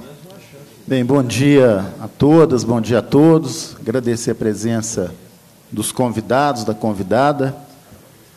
E antes de entrar na, na dimensão mais aqui das dúvidas, perguntas, sugestões, é, hoje nós deparamos com notícias é, bastante é, diferenciadas em relação a este assunto. De um lado, o sofrimento da elevação e o temor da elevação do nível de segurança foi aqui relacionado dessas de Nova Lima, de Ouro Preto, de barragens. E por outro lado, nós tivemos a notícia que a mineradora Vale encerrou o quarto trimestre de 2018 com lucro líquido de 3,7 bilhões de dólares, cerca de 15 bilhões, salto de 391% em relação ao observado ao mesmo período do ano anterior. Em todo o ano, o lucro somou 6,8 bilhões de dólares, aproximadamente 27 bilhões. Estou falando de lucro, não é de faturamento. O valor é 24,6% superior ao observado um ano antes. Do ponto de vista da receita, somou 36,57 bilhões de dólares, então aproximadamente 150 bilhões de reais. Os investimentos, no entanto, tiveram queda de 1,64%. E em gestão de barragens, foram aplicados cerca de 150 milhões de reais. Ou seja, numa receita de 36 bilhões, o nível, o valor de investimento em gestão de barragens, 38 milhões de dólares, 150 milhões de reais. Então, esses dados eu acho são bastante ilustrativos é, dessa situação aqui, inclusive apresentada. Mas eu acho essa é, audiência de hoje muito importante e para os convidados entenderem a, um pouco a lógica do nosso trabalho. Nós estamos numa fase de alinhamento de informações com instituições que, desde o primeiro dia, já estavam é, em atuação na região em Brumadinho. Então, nós estamos colhendo as informações do estágio das investigações e também das iniciativas e aí nós temos um, um roteiro, e é esse roteiro, inclusive, que eu vou perseguir do ponto de vista do relatório, que é no sentido de entender o fato que aconteceu, por que aconteceu, quem foi responsável pelo acontecido. Esse é o, Né? Dele deriva, inclusive, as recomendações, as punições, as reparações. Então, esse é um ponto importante. Inclusive, já no início, eh, nós fizemos eh, requisição de documentos junto à perícia que está sendo realizada Polícia Civil, Polícia Federal. Gostaria também de fazer junto aí à auditoria, porque tem dados aí também que podem contribuir nesse, nesse trabalho. É, num segundo momento, nós temos a preocupação com a reparação. Porque não adianta só identificar a causa e, e as famílias, porque a tragédia humana, o drama humano, ele é, ele é latente, ele é nítido, ele é incalculável. Então, o que nos inspira, além do fim da, da impunidade, não deixar que pare qualquer dúvida quanto a isso, é também o cuidado com as pessoas. Porque, infelizmente, no Brasil, a gente sabe que as tragédias passam, as famílias ficam, as pessoas ficam, caem no esquecimento, surge uma outra tragédia e isso não é acompanhado, infelizmente. Então, a, a nossa. Então, o dia de hoje é muito importante.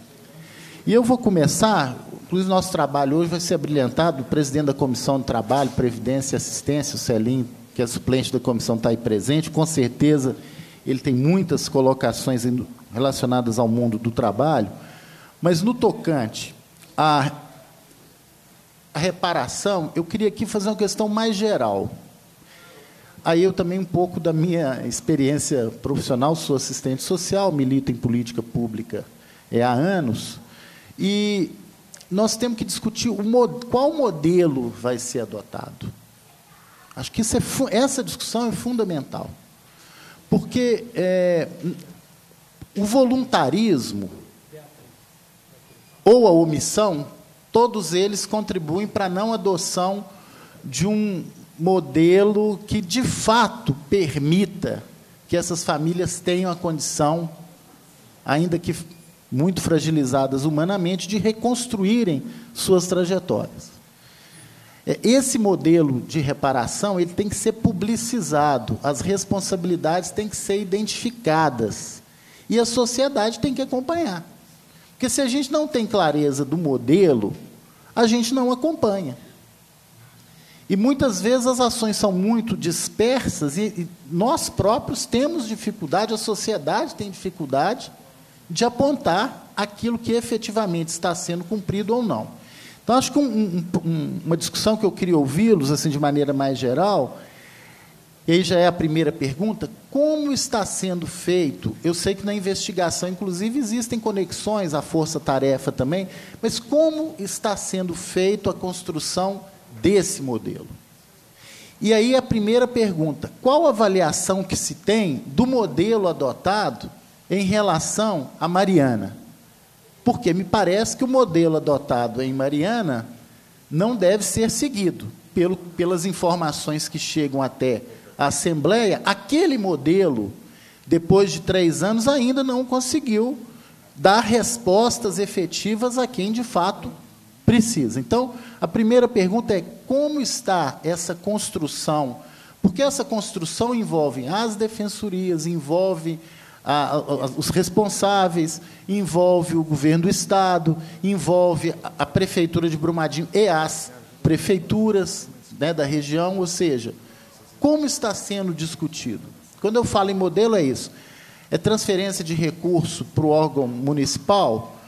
É a Vale fazer diretamente? É, é construir uma fundação, como foi o caso da Renova? É, não é fazer nada disso? Qual é, é o Estado assumir uma responsabilidade de coordenação disso? Então, essa é uma pergunta, para mim, é, estratégica. Né? Depois, óbvio, nós vamos saber aqui o, o detalhamento. Então, a primeira, não do ponto de vista hierárquico, mas nós levantamos aqui algumas questões, primeiro para as defensorias. É, nós queríamos saber qual a referência legal e institucional que vocês estão é, utilizando para referenciar as reparações possíveis. Qual que é o marco, inclusive jurídico, legal, que vocês é, estão adotando? É, muito vinculado a isso, e a doutora Silene mencionou, é, se vocês já teriam sugestões é, no âmbito legislativo que pudessem calçar melhor seja em que nível for, estadual ou federal, o próprio referenciamento para as reparações.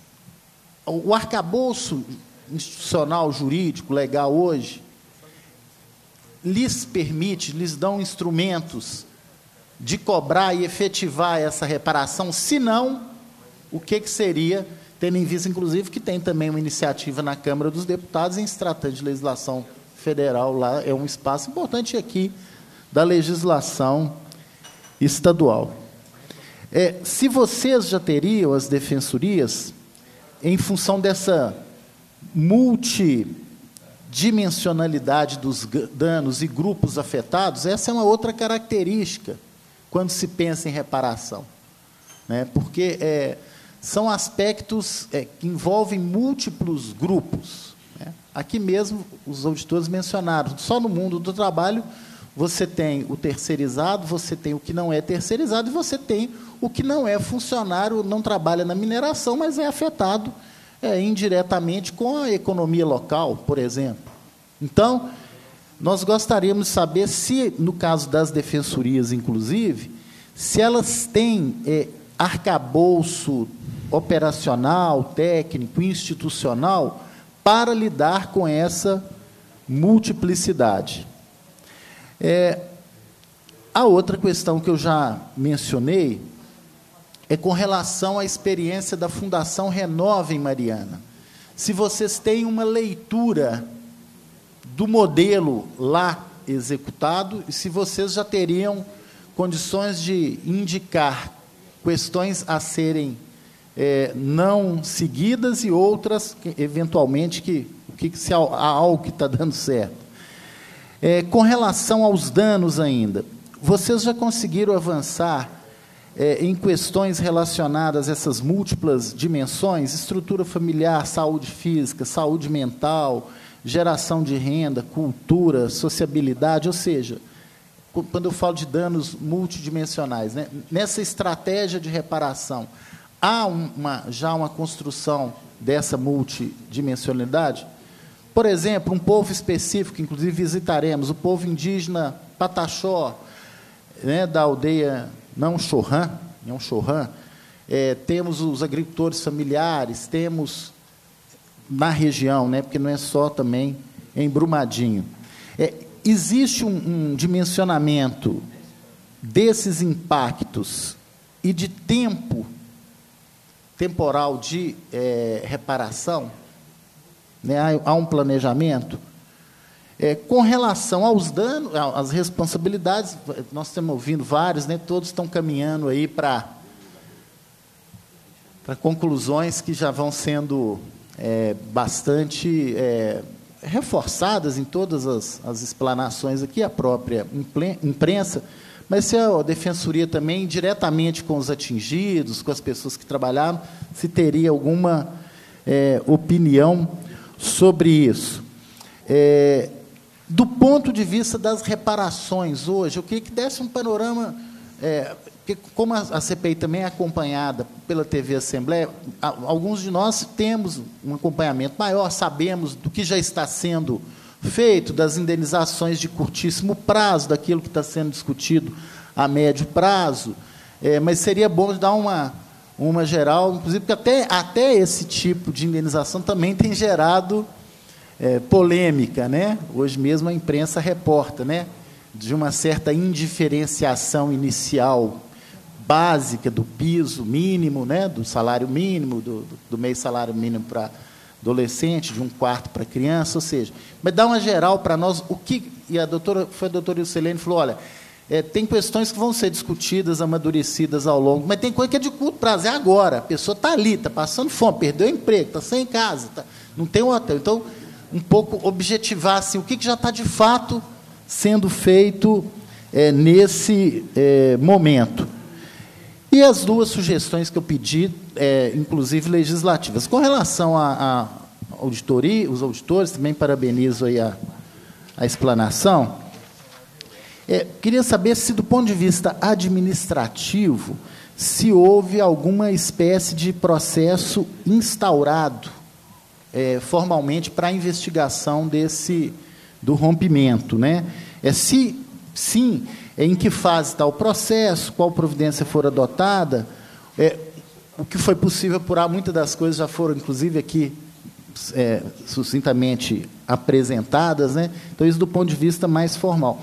Uma outra questão é, que não ficou claro ali para mim, se é, determinadas situações já tinham sido objeto de atuação anterior da Superintendência Regional de Trabalho e Emprego em relação à mina Córrego do Feijão, da, da Vale. Se sim, se já teria tido alguma recomendação é, específica, inclusive de questões que, para nós, né, tendo senso comum, nos parecem é, uma questão de um refeitório, por exemplo, situado é, logo ali ao lado, né, abaixo da. Né, então, tem coisas que no, nos parecem muito assim, nítidas, né, de, de impróprias. É, um capítulo também, já foi um pouco, o doutor Daniel começou a, a falar com relação às terceirizações. Né? É, havia, num passado recente, denúncias e ou atuação em relação é, à terceirização de atividade fim ou de é, impropriedades do ponto de vista da relação com os terceirizados, é, a terceirização contribuiu ou agravou é, a situação de alguma medida relacionada à segurança do, no trabalho, quando se analisa a questão da segurança no trabalho em geral, o fato da terceirização está ali muito presente, isso agravou alguma questão? Até que ponto, como que esses trabalhadores terceirizados é, serão tratados em relação a indenizações, reparações, é, eles, como fica a situação deles em relação aos demais trabalhadores, é, em relação aí do, no sentido mais amplo do trabalho também, dos impactos, como vocês avaliam, né, os impactos na região, isso também já foi aqui mencionado, se vocês estão com alguma é, um estudo, com alguma coisa mais sistematizada. Mariana, quais foram os aprendizados né, é, de Mariana para que não sejam adotados é, nesse momento? Com relação à indenização, é, a relação da lei recentemente aprovada, 3.467, 2017, que rasgou a, a CLT, é, tem uma conexão, pode restringir algum tipo de é, indenização, reparação à, à situação de Brumadinho. Então, um diálogo do momento atual com a reforma trabalhista, que eles chamam de reforma trabalhista, que foi aprovada pelo Congresso Nacional.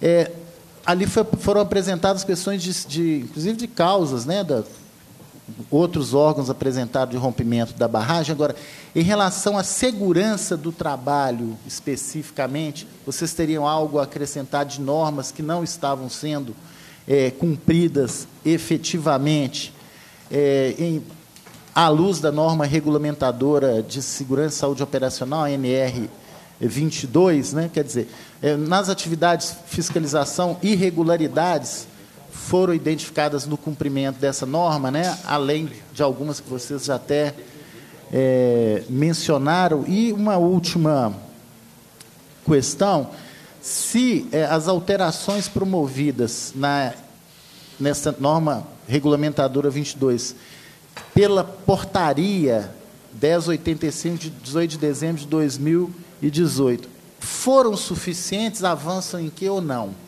Ou teríamos a mesma linha? Vocês viram que eu guardei uma correlação para a defensoria e também para vocês, do ponto de vista, à luz do que vocês têm, chega-se até nisso. O que, que poderiam é, alargar, em função, inclusive, da dimensão do crime, da tragédia, do, do, do que ocorreu, né? que também é, foi a primeira afirmação, talvez nem precisássemos aqui aprofundar, foi um, é um dos maiores, se não maior, né, acidente de, é, de trabalho ocorrido. Então, é, são essas as indagações iniciais, tem outras aqui, mas até para ouvir também os, os demais deputados e deputadas, inclusive da nosso presidente da Comissão do Trabalho, eu fico por aqui agradecendo muito, e não só agradecendo, nos disponibilizando. Essa é uma CPI colaborativa, Nós não vamos inventar roda, nós queremos integrar o que está já sendo feito. Né? Então, essa construção de modelos, por exemplo, nós temos inclusive equipe técnica também na Assembleia, que pode, nesse diálogo, é, contribuir e participar. Muito obrigado.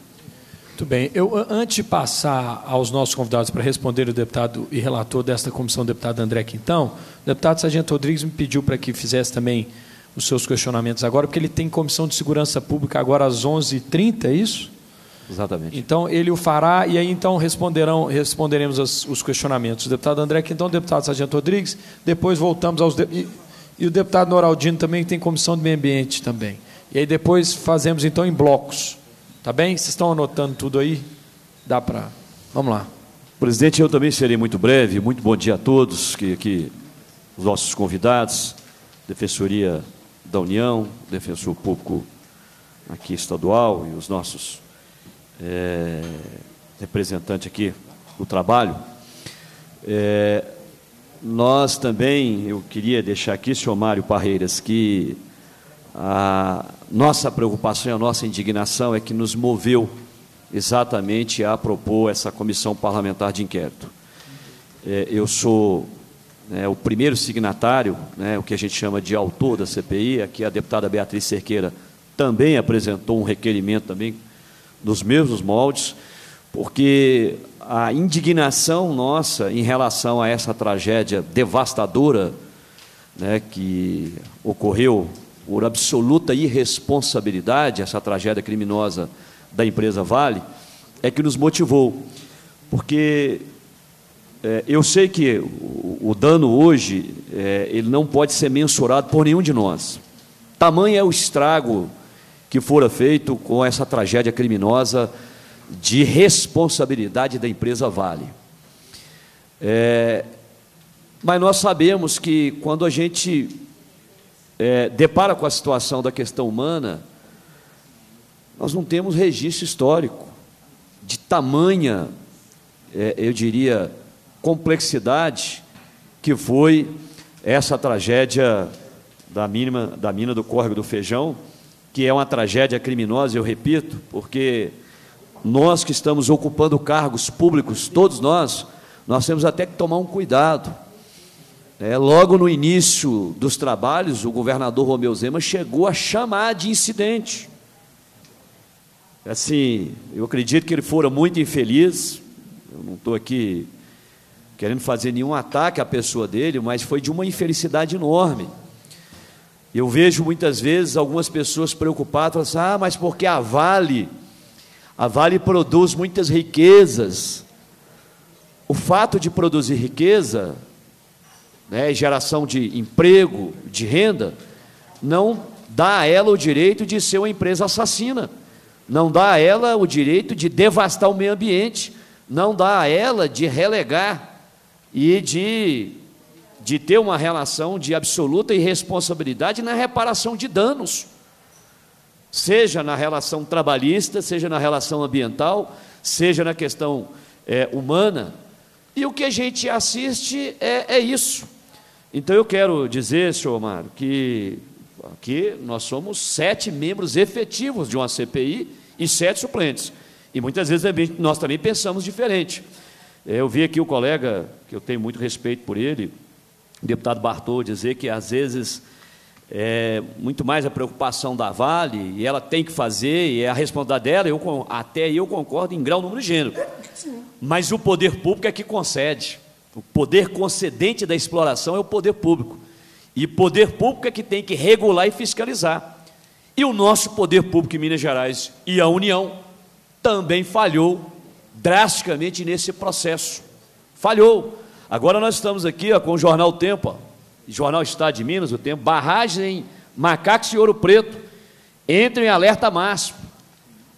Eu, como presidente da Comissão de Segurança Pública, cuja defesa civil está afeta à Comissão de Segurança Pública, deputado Celino Citrocel, presidente da Comissão do Trabalho, deputado Noraldino Júnior, presidente da Comissão do Meio Ambiente, e a deputada Beatriz Cerqueira, presidente da Comissão de aliás, membro da Comissão de Direitos Humanos, então nós todos aqui temos uma preocupação, inclusive com temáticas que afetam todas essas comissões. Né? É, e Nós estamos aqui com requerimentos já recomendando os presidentes de comissões para que façam visitas imediatamente a essas, a essas represas e que a gente chame imediatamente, porque a CPI ela tem um objeto determinado e não dá para a CPI sair apurando tudo. Né? Não dá para sair apurando tudo. Então sobrecai né, na responsabilidade nossa de ouvir a população, ouvir imediatamente, fazer visita em loco, porque eu andei conversando aqui na semana passada, no termo do trabalho da CPI, ah, o pessoal de Nova Lima, vários comerciantes, lideranças comunitárias vieram aqui, me cercaram, e obviamente a gente tem que dar atenção a essas pessoas. Parei no plenarinho, já vamos aportar um requerimento agora, lá na Comissão de Segurança Pública, às 11h30 horas, para realização de audiência pública imediata. O que, que a Vale está fazendo? Assim, as ações desastrosas da Vale não param. Isso, Helena, não param. Eles continuam achando que são donos de tudo e que acham porque geram emprego e renda, ICMS e, e, e, e os demais tributos, eles podem simplesmente chantagear o Estado, chantagear as pessoas, chantagear as famílias, os seres humanos. Não podem. Por que a proposição de uma CPI, e talvez muita gente que desconhece o poder de uma CPI, fala assim: ah, não, mas o MP estadual já está apurando, a Defensoria Pública da União do Estado já estão cuidando da, da, da área civil, da, da, da, da relação, da, da correlação do nexo causal, o que foi ali para providenciar a reparação de danos, seja ambiental, seja com as famílias. Porque a CPI ela tem poderes de autoridades judiciais próprios. Enquanto um delegado leva seis meses para quebrar um sigilo bancário, nós quebramos o sigilo bancário aqui na leitura de um requerimento. E requeremos documentos, requisitamos documentos. Nós já aprovamos aqui a convocação do senhor Fábio Schwartzman. E se ele não vier, a CPI vai pedir à polícia para ir lá buscar ele e trazer ele para ser ouvido aqui. Porque os estragos, e aí eu quero, senhor Mário, apenas dizer ao senhor que a indignação nossa também é também nesse sentido. Foi por isso que nós provocamos a CPI, batemos o pé e falamos, exigimos a instalação da CPI. Porque passamos o mandato passado aqui inteiro sem nenhuma CPI, motivo tinha de sobra. Motivo tinha de sobra. Eu mesmo tentei aportar cinco requerimentos de CPI e foram arquivados. Então eu quero apenas dizer ao senhor que o desabafo do senhor tem eco aqui na CPI, porque nós, quando propusemos a instalação, nós queremos realmente também buscar olhar a questão do reparação de danos, olhar que, as famílias, que essa é em primeiríssimo lugar, e é bom que todos os membros da CPI saibam disso, né, seja suplentes ou efetivos, saibam que o maior bem jurídico chama-se vida. Então, primeira, primeiro norte nosso tem que ser as vidas humanas, né, apurar responsabilidade criminal, lutar né, e ajudar no que for necessário a reparação de danos com documentos, com informações, com depoimentos, porque aqui foi bem lembrado pela Helena né, de Souza, é, as auditorias, na semana passada aqui nós tivemos o delegado da Polícia Federal dizendo do crime de uso de documento falso e do documento falso que foi colocado ali pela Tuve Sut e entregue pela Vale, numa ação criminosa assim deliberada.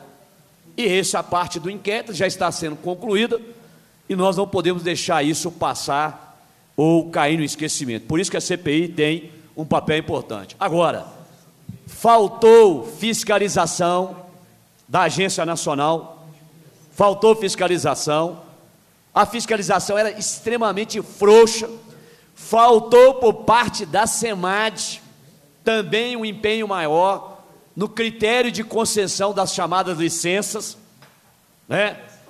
E nós estamos aqui, inclusive, aguardando a cópia da ata, que, segundo denúncia do próprio jornal O Tempo, que houve reunião entre funcionários da Vale e membros da SEMAD para tratar de como seria a simplificação dessas licenças. Nós queremos ver essa ata. Porque se ela não tiver nada, eu mesmo chego aqui e falo: olha, a ata chegou aqui e não há absolutamente nenhum documento que comprove a participação. Mas nós temos uma denúncia que foi colocada. Cabe à CPI investigar, cabe à CPI exaurir essa questão, até para a gente ter tranquilidade de falar: olha, nós fomos responsáveis em apurar. Então eu quero dizer o seguinte: falhou a SEMAD, nesse processo todo, de não houve um enrijecimento. Nós queremos ouvir aqui os membros do COPAN. Como é que funciona esses membros do COPAN? Quais são os critérios? Como é que são essas pessoas? Como são escolhidos? Para saber, por parte deles, porque em uma das licenças, apenas uma mulher que estava lá falou assim: não, não concordo. E era exatamente a questão da mina do feijão. Então, quero dizer para o senhor dessa indignação que nós temos, compactuamos, temos que atuar fortemente. O poder público errou, foi negligente o poder público. Agora, a Vale não. A Vale não é negligente, não é imprudente, a Vale é assassina. Essa é a visão que eu tenho da Vale. Seja pelo crime culposo, seja pelo dolo eventual, a Vale é assassina e ela tem que pagar por isso. Ela tem que pagar por isso. Nós não podemos permitir que isso continue. Então, a Agência Nacional de Mineração não fiscalizou, a SEMAD não foi criteriosa na eliminação, na, porque do lado de fora há uma pressão enorme por parte de grandes empresários para flexibilizar a legislação ambiental no Estado e no país? Ah, isso é fato, e o lobby é fortíssimo. O lobby da Vale, das mineradoras, é poderosíssimo. Então nós temos que ter isso em mente e não perder isso de vista. Por fim, a Assembleia, a Assembleia poderia também ter votado um pouco antes, a matéria não votou. Pelo menos acordou em tempo, né? Pelo menos acordou para que outras tragédias não se, se, se venha como desdobramento e não dizer que nós não tenhamos. Nós aprovamos um, uma legislação, eu diria, a mais avançada do país nesse sentido, que é o que nós aprovamos aqui a lei. O governador sancionou imediatamente porque ele viu a gravidade da situação. Mas eu quero dizer aos senhores e à senhora que nós temos essa indignação, ela é, também é muito forte, porque a minha grande preocupação, a maior preocupação que eu tenho são com as famílias com a parte mais fraca, com a chamada parte hipossuficiente, que numa demanda com a Vale poderosíssima. Eu tomei conhecimento, presidente, quero aqui compartilhar com os senhores, com os demais colegas deputados, que já tem consultores da Vale aqui dentro da Assembleia, indo repartições nossas aqui, saber de que forma está sendo aprovado o requerimento. Bom, Talvez os que me conhecem aqui sabem do meu, né, das minhas providências que são imediatas. Não, não queira eu cruzar com esse cidadão dentro de uma sala dessa daqui, invadindo uma sala dessa daqui das nossas, da nossa consultoria e assessoria. Porque esse cidadão será colocado para fora por esse deputado. Eu posso até não ter respaldo aqui dos demais membros da, da CPI, mas eu vou colocar para fora, que é muito atrevimento, muito atrevimento, consultores da Vale percorrer aqui corredores para saber se requerimento está sendo aprovado de um jeito ou do outro. Tamanha é o afronta desses irresponsáveis que causaram essa tragédia. Então, por fim, presidente, eu só queria deixar aqui consignado que a indignação nossa é que nos levou a criar essa CPI e nós não ah, vamos abrir mão de fazer um trabalho sério, honrado, mas acima de tudo, buscando os responsáveis pela tragédia criminosa da Vale que ocorreu em 25 de janeiro de 2019. Eu vou passar a palavra ao deputado Bartô e em seguida, então, na, uma fase para que os senhores e a senhora respondam. Depois retornamos aos deputados. Deixando. Desculpe, falei deputado Bartô? Não, é o deputado Noraldino, perdão, por uma concessão da nossa deputada Beatriz Cerqueira. Ela vai entrar no segundo bloco de, do debate aqui por conta de uma concessão dela. Vamos lá, deputado Noraldino. É, senhor presidente, convidados, público presente, ouvintes da TV Assembleia, eu tenho muita satisfação em participar dessa CPI e acredito que a CPI vai trazer resultados concretos dentro da função que foi criada a CPI. Eu ouvi atentamente aqui os colegas e os convidados a usarem da palavra e eu queria fazer alguma algumas ponderações em cima de algumas falas. Primeiramente, o nosso colega Bartô. Eu concordo, Bartô, que inevitavelmente é, vai haver um avanço é, dos critérios de exigência de certificado de estabilidade, tanto pelas empresas responsáveis por esses certificados, quanto das empresas também responsáveis pelas barragens. Mas uma fala do deputado Bartô que eu não concordo é isentar o poder público, não é isentar, é, é ter uma posição diferente de um papel que é de extrema importância do poder público, que é o papel de regulamentar e de fiscalizar. O, o Daniel aqui usou da palavra e colocou uma e fez uma ponderação, uma analogia que é uma realidade. Como que as barragens que representam o mesmo critério de estabilidade não teve nenhuma alteração física ao longo no, nesses últimos meses, barragens que eram atestadas e certificadas como segura há poucos meses atrás Hoje, a possibilidade, e eu conversei com os técnicos da Vale e também com os técnicos da Secretaria de Meio Ambiente e do Ministério Público, a possibilidade de todas essas barragens não ter a declaração de estabilidade é uma possibilidade real. Nós estamos vendo aí a cada dia, toca a sirene, ontem tocou a sirene, nível 3 de macacos. Isso quer dizer o quê?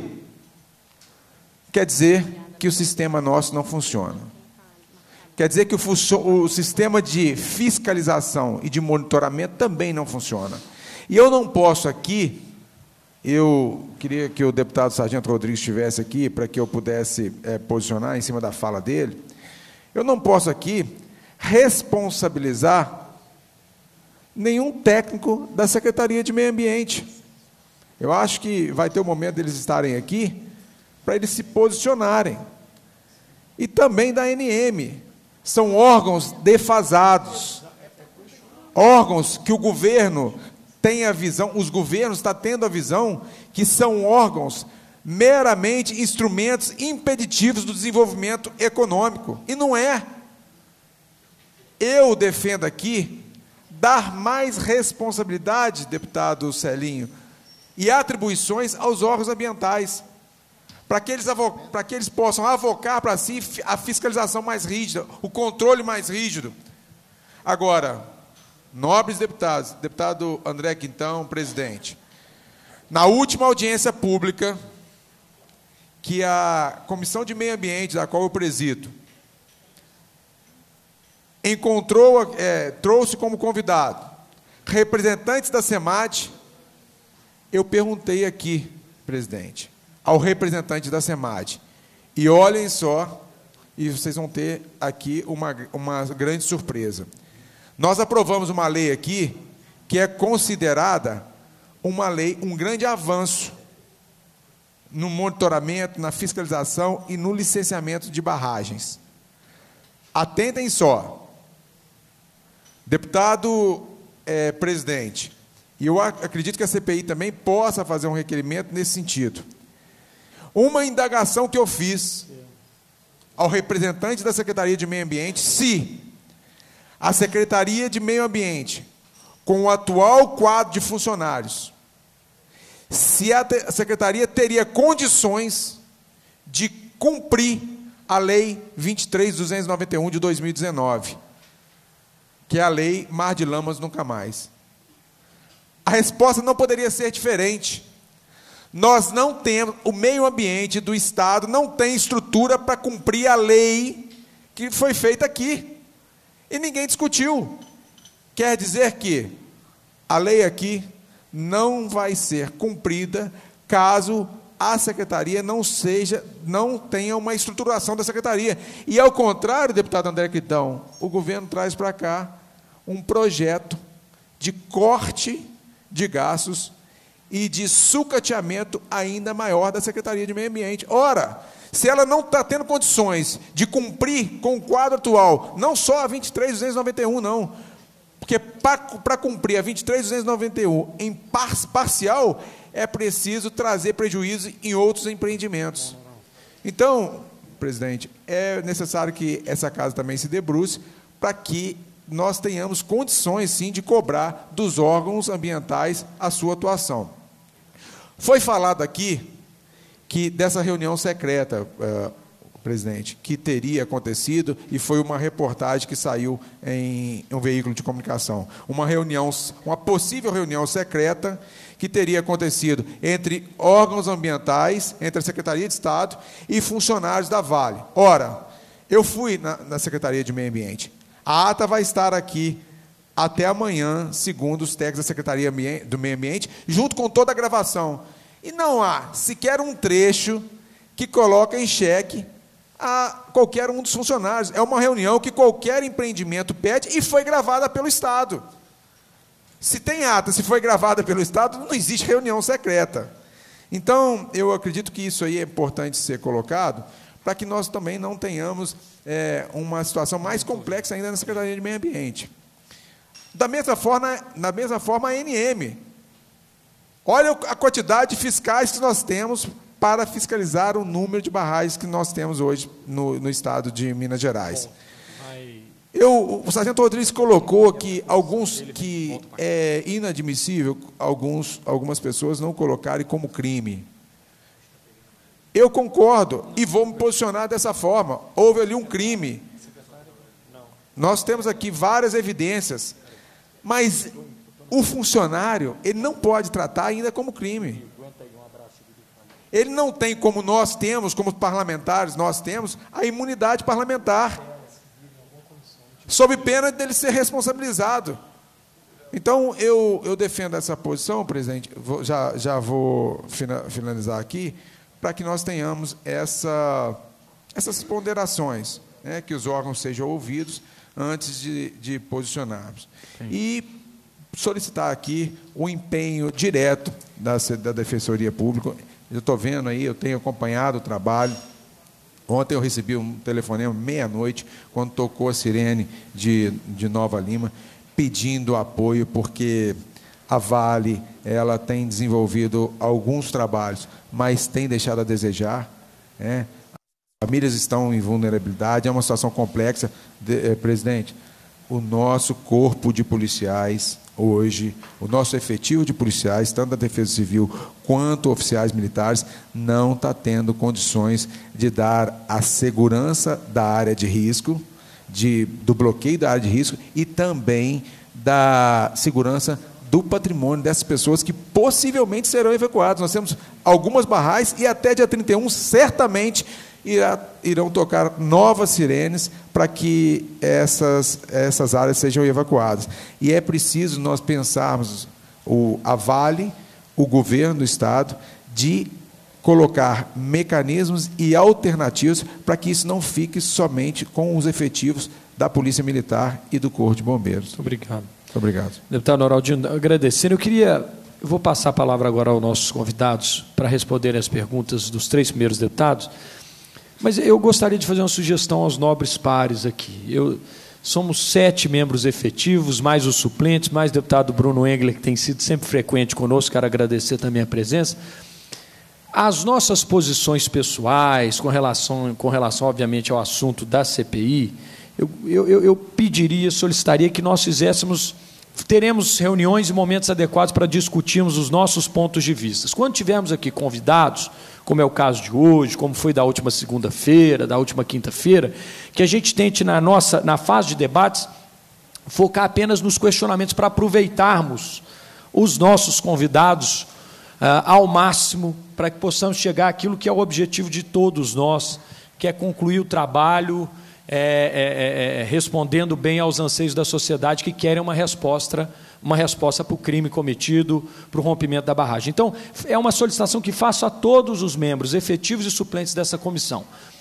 O posicionamento de cada um é, é de direito, obviamente, e nós teremos o foro, o momento adequado para cada um poder externá-lo. Mas, enquanto aqui, quando estivermos na fase de debate com convidados, para aproveitarmos os convidados que que mantivéssemos o foco o objetivo nos questionamentos, nas sugestões, nas dúvidas, para com aqueles que estão aqui nos ajudando, auxiliando nesse trabalho da CPI, tá bem? E esse não é um recado, esse não foi um recado tá. à Vossa Excelência, só, só, só, mas a todos os membros. Tá, tá? Presidente, eu só, eu, as minhas ponderações eu, eu tive que fazer porque foi uma justas uma posição... e pertinentes em, em, relação a alguns funcionários que é. não estão aqui para se defender. Eu, eu, eu, só não acho que o momento é o momento adequado. Mas não foi um recado. Vossa Excelência sabe da liberdade que temos, da amizade que temos, mas eu acho que é, surgiu essa oportunidade de falar isso agora, acho que era bom a gente definir isso aqui, tá? Deputado Bartô, deputado Glaicon, deputado Celinho, o Cássio, que estava aqui até agora, Bruno, Beatriz, André, Sargento Rodrigues e todos os outros.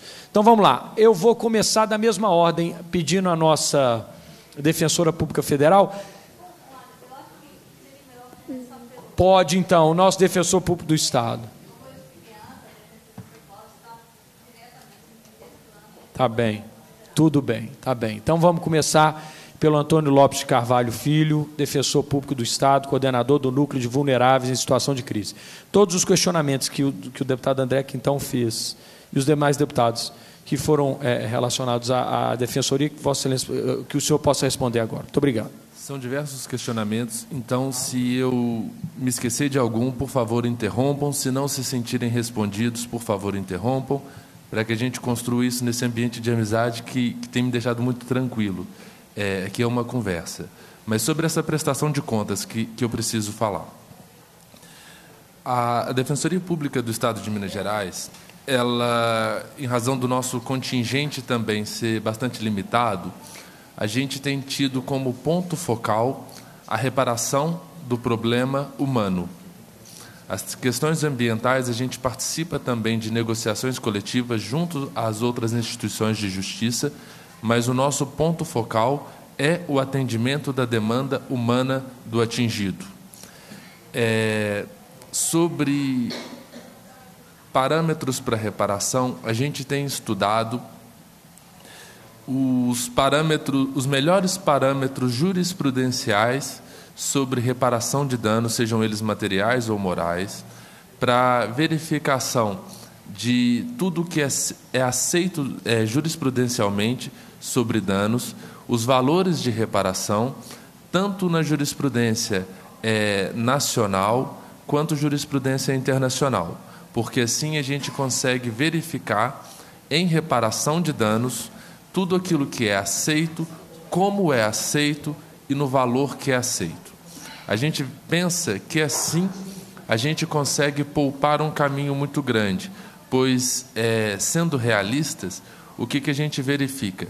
Se a gente vê que o resultado, que o dano morte gera uma responsabilidade civil dentro do estado da técnica dessa maneira, a gente não pode aceitar patamar inferior, mas a gente fazer um pedido que seja absurdamente além ao que é aceito hoje, em vez de ajudar a pessoa do atingido, ele simplesmente é, descambaria para uma disputa judicial que duraria anos e que isso não representaria nenhum avanço para a reparação da pessoa do atingido.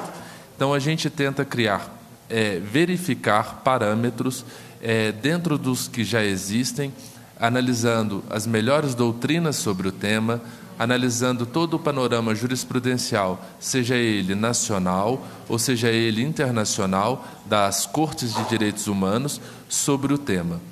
Outro ponto específico que é bom falar. A gente organizou é, uma rodada de conversa com outras defensorias estaduais do Brasil sobre a atuação em momentos de tragédia. Nós convidamos a Defensoria Pública do Estado do Rio de Janeiro e a Defensoria Pública do Estado de São Paulo para conversarmos sobre é, a atuação nossa em Brumadinho e a atuação deles, seja no, nos eventos climáticos acontecidos em, se não me engano, em 2011 na Serra de Petrópolis, que também gerou um desastre humano devastador, seja no, no, no avião da TAM que caiu em São Paulo, no acidente do metrô em São Paulo e também no Rio de Janeiro em uma em uma evacuação em razão de, da implantação de uma siderúrgica. E também, mais recente e igualmente doloroso, o caso que aconteceu do incêndio no centro de treinamento do Flamengo. Então a gente fez essa conversa conjunto para trocar experiências, para entender essa atuação nesse momento de tragédia, para que a gente consiga ter subsídios teóricos, técnicos e humanos capazes de responder à altura para que a população tenha os direitos reparados. Sobre é, a questão da, da legislação, isso é uma visão pessoal minha. Eu acho que sobre o ponto especificamente de responsabilidade civil, a legislação brasileira é suficiente se devidamente interpretada.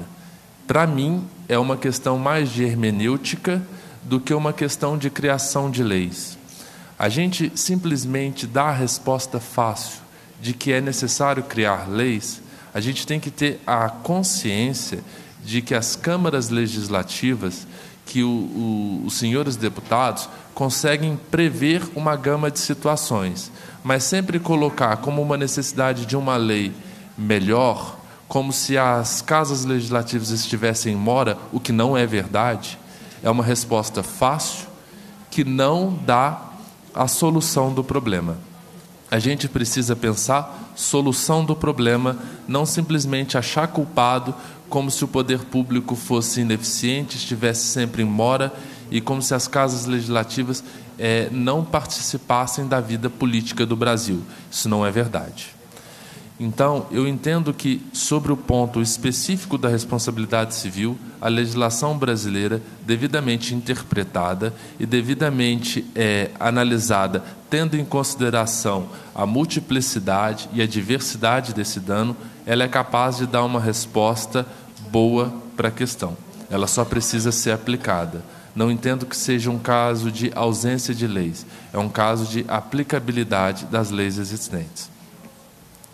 Fazendo um paralelo com o desastre de Mariana, a tragédia de Mariana, o que, que eu entendo? E eu, como uma pessoa que trabalha desde outubro do ano passado no desastre de Mariana, é, não, não peguei no início, peguei já é, mais encaminhado. Eu considero que há uma valorização um tanto quanto excessiva e retórica da participação coletiva. É imprescindível que haja participação popular. Isso é, é um ponto pacífico. Mas a gente condicionar tudo à formação de um consenso com uma multiplicidade muito grande de pessoas, é, comunidades imensas, a gente inviabiliza a reparação, porque o consenso ele começa a ser usado como um mecanismo de se afastar a reparação. Olha, eu não estou reparando porque não se chega no consenso. A gente dá para o causador do dano uma resposta fácil para que ele não repare o dano, porque ele vai ter sempre colocado é, aquela resposta boa de ser dita no momento. Olha, não fiz porque não me foi dado a diretriz. Então, se a gente amplia todas as vezes essa questão para que seja só feita a reparação com a participação de tudo e todos e a criação de um consenso, quase que a unanimidade, a gente chega num ponto utópico sobre reparação que é na retórica absurdamente bom de se ver, mas que em efetividade a gente não consegue nenhuma.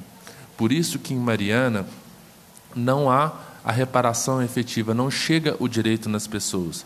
Criou-se uma estrutura formal de muito consenso, de muita deliberação, mas que não se chega o direito nas pessoas.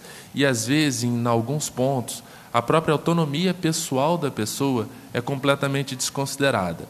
Pensemos, uma pessoa atingida pelo desastre, ela passa a ter direitos patrimoniais, que são direitos disponíveis ela, em tese, é, poderia nem mesmo buscar reparação civil. Digo isso num panorama jurídico.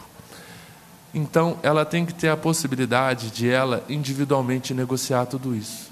Se ela fica atrelada à formação de um consenso, e suponhamos que o direito que ela tenha tido violado seja um direito que não repercuta tão grande na, de, de maneira tão grande na comunidade, ela passa a ter pouco poder político de condução daquela reparação. Então ela vai ficando sempre em segundo plano.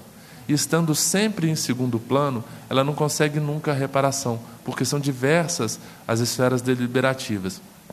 E nisso, o que, que acontece? As pessoas se cansam de participar de tudo isso.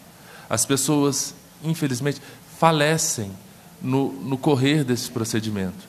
Então, é, com o tempo, vai esmaecendo tanto o apoio popular, porque novas tragédias vão surgindo que focam, é, que tem o foco da sociedade, e a pessoa se perde nesse, nesse emaranhar. E às vezes ela não tem recursos psicológicos, financeiros, de participar deste procedimento de reparação. Então, isso tudo milita em favor do causador do dano, porque ele não consegue reparar. A gente tem que entender, então, que a gente tem um dano imenso de responsabilidade civil de empresas solventes. A gente só precisa fazer com que esse dinheiro que vai ter que ser destinado à reparação chegue no atingido da maneira mais rápida, célere e pelo menor caminho. Porque quanto mais a gente amplia esse caminho, mais há esse labirinto e todo, e todo ponto que se para, perde-se um pouco dessa reparação. Então a gente dificulta todo esse procedimento. É, eu acho que eu esclareci o senhor. O senhor tem mais algum questionamento? Sinta-se à vontade para falar, porque eu, eu acho que eu consigo esclarecer melhor o senhor prestar contas para o povo sendo questionado. Sim, é, permita, presidente. É, com relação ao público hoje já atendido, o que, que já está sendo efetivamente, quantas pessoas estão sendo é, beneficiadas, ou seja, qual que é o universo hoje de curto prazo dessa Sim. reparação? Esse universo de curto prazo. Eu não vou ter os números estatísticos para passar para o senhor aqui, não me recordo. Mas o que eu vou explicar então a atuação da defensoria até esse momento. É, no primeiro momento a gente fez uma demanda de acolhimento. Então a gente estava, estamos até hoje, mas estávamos mais presentes no campo para dar primeiras informações e um atendimento meio que até psicológico dentro dessa história, dessa vertente psicossocial de conversa, de abraço, para que a pessoa se sentisse respeitada, querida e como ponto focal da defensoria. Num segundo momento, a gente começou a atender as demandas jurídicas que surgiam em razão do rompimento da barragem. A regularização de guardas de crianças que perderam familiares, a, a regularização de uniões, uniões estáveis é, com pessoas falecidas, porque isso vai repercutir patrimonialmente agora. Então a gente precisa regularizar essas situações. A gente está também fazendo a realização de inventários das pessoas que faleceram então a gente tem feito a regularização jurídica de tudo, de todas aquelas pendências que surgiram em razão do rompimento da barragem. Paralelamente, a gente participa junto ao Ministério Público Estadual, Ministério Público Federal, Defensoria Pública da União, que está aqui do meu lado, e movimentos sociais, da criação de um processo coletivo, o mais amplo possível, para abarcar todo e qualquer dano que seja gerado os conhecidos, os não conhecidos no momento e os que venham a surgir com o tempo. Porque a gente sabe que alguns danos também não existem no momento, mas que surgirão. A própria limpeza de rejeitos da, da área afetada pode ser que cause danos patrimoniais, pode ser que cause danos à saúde. Então a gente sabe que alguns danos já são conhecidos, outros serão no momento, serão no momento oportuno quando surgirem. E a gente tem feito também na Defensoria Pública Estadual é, um grupo de estudos para que a gente é, verifique os parâmetros existentes no país, os melhores parâmetros, sempre os mais generosos e sempre pensando na vítima como ponto focal. A gente entende que pensar é, simplesmente na empresa não é é, tanto para puni-la como para colocá-la numa, numa situação de simplesmente punição pela punição não é, o, não é o nosso ponto focal. Nosso ponto focal é a promoção da dignidade e da reparação da vítima. Faremos a promoção da dignidade, da reparação da vítima e a promoção dos direitos humanos das vítimas da maneira que seja melhor para as vítimas. Então, este é o nosso ponto. E a gente cria, a gente verifica assim que precisamos passar por uma coisa que seja efetiva. Então, a verificação dos parâmetros mais generosos, mais factíveis, que abarquem todo e qualquer dano, mas sempre deixando uma válvula de escape.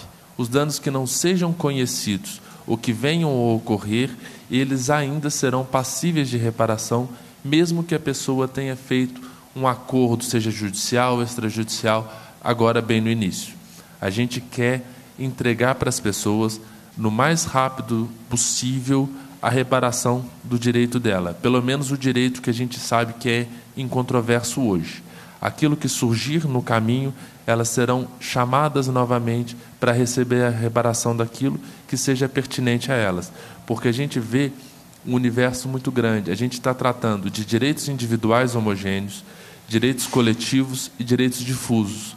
Cada um tem um credor diferente. Então, a gente foca hoje, primordialmente, a Defensoria Pública do Estado de Minas Gerais, nos direitos individuais homogêneos, que são aqueles que as pessoas são credoras.